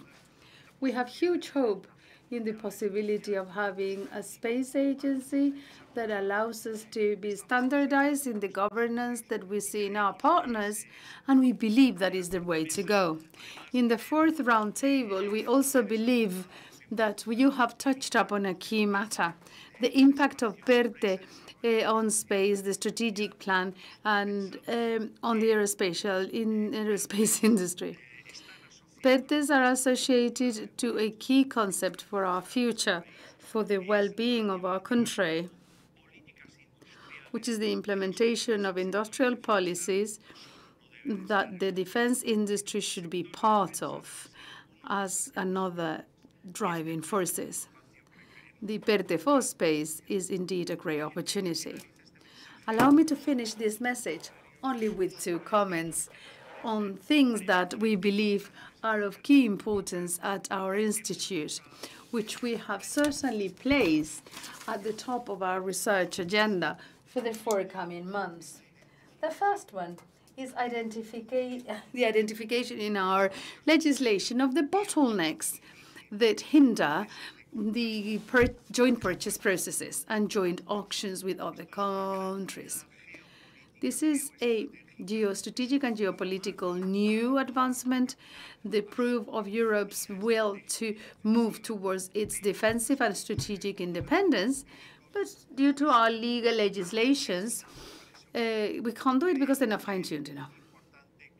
So we think it's very important to move from the objective we have of promoting those joint investments, those joint purchases, to do it according to a legal regulation, a legal uh, framework that make us responsible uh, in the eyes of society. And we will devote resources to the identification of where the obstacles are, and we will share them with all of you in our publications, our events.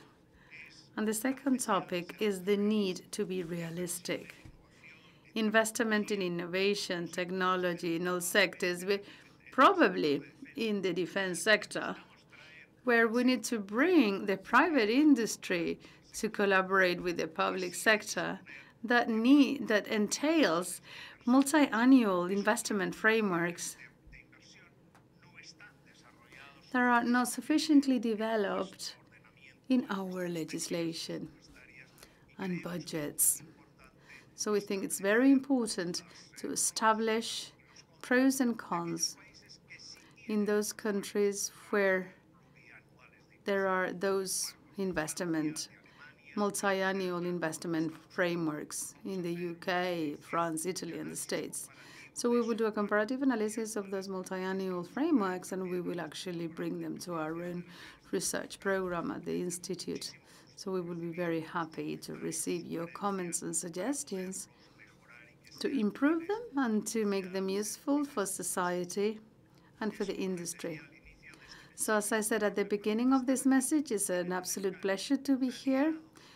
Please count on us as an ally to, because we are only fulfilling our mandate, which is to generate ideas that are useful for society. There is no doubt that we believe that reinforcing security, defense of our country, certainly is a contribution to freedoms, prosperity, and the creation of high-quality jobs through the insertion of our industry, our companies in the global value chains. Elcano will continue pushing these goals, and we will be very happy to share them with you as we find new progress in the forthcoming months. Thank you very much for the invitation, for allowing us to give us our view on this sector, and please count on us for any activities. Thank you, President of the Institute Elcano. And now we are finished, ladies and gentlemen. I want to thank you for staying all the way to the bitter end. I would give you an award for those of you who managed to make it to the bitter end. It's been a long day. It started at 10, with the top speakers. And tomorrow we continue. Thank you, those of you following us online. At 9.30 tomorrow, we will be back here to continue talking about space and defense. Have a good rest. Thank you.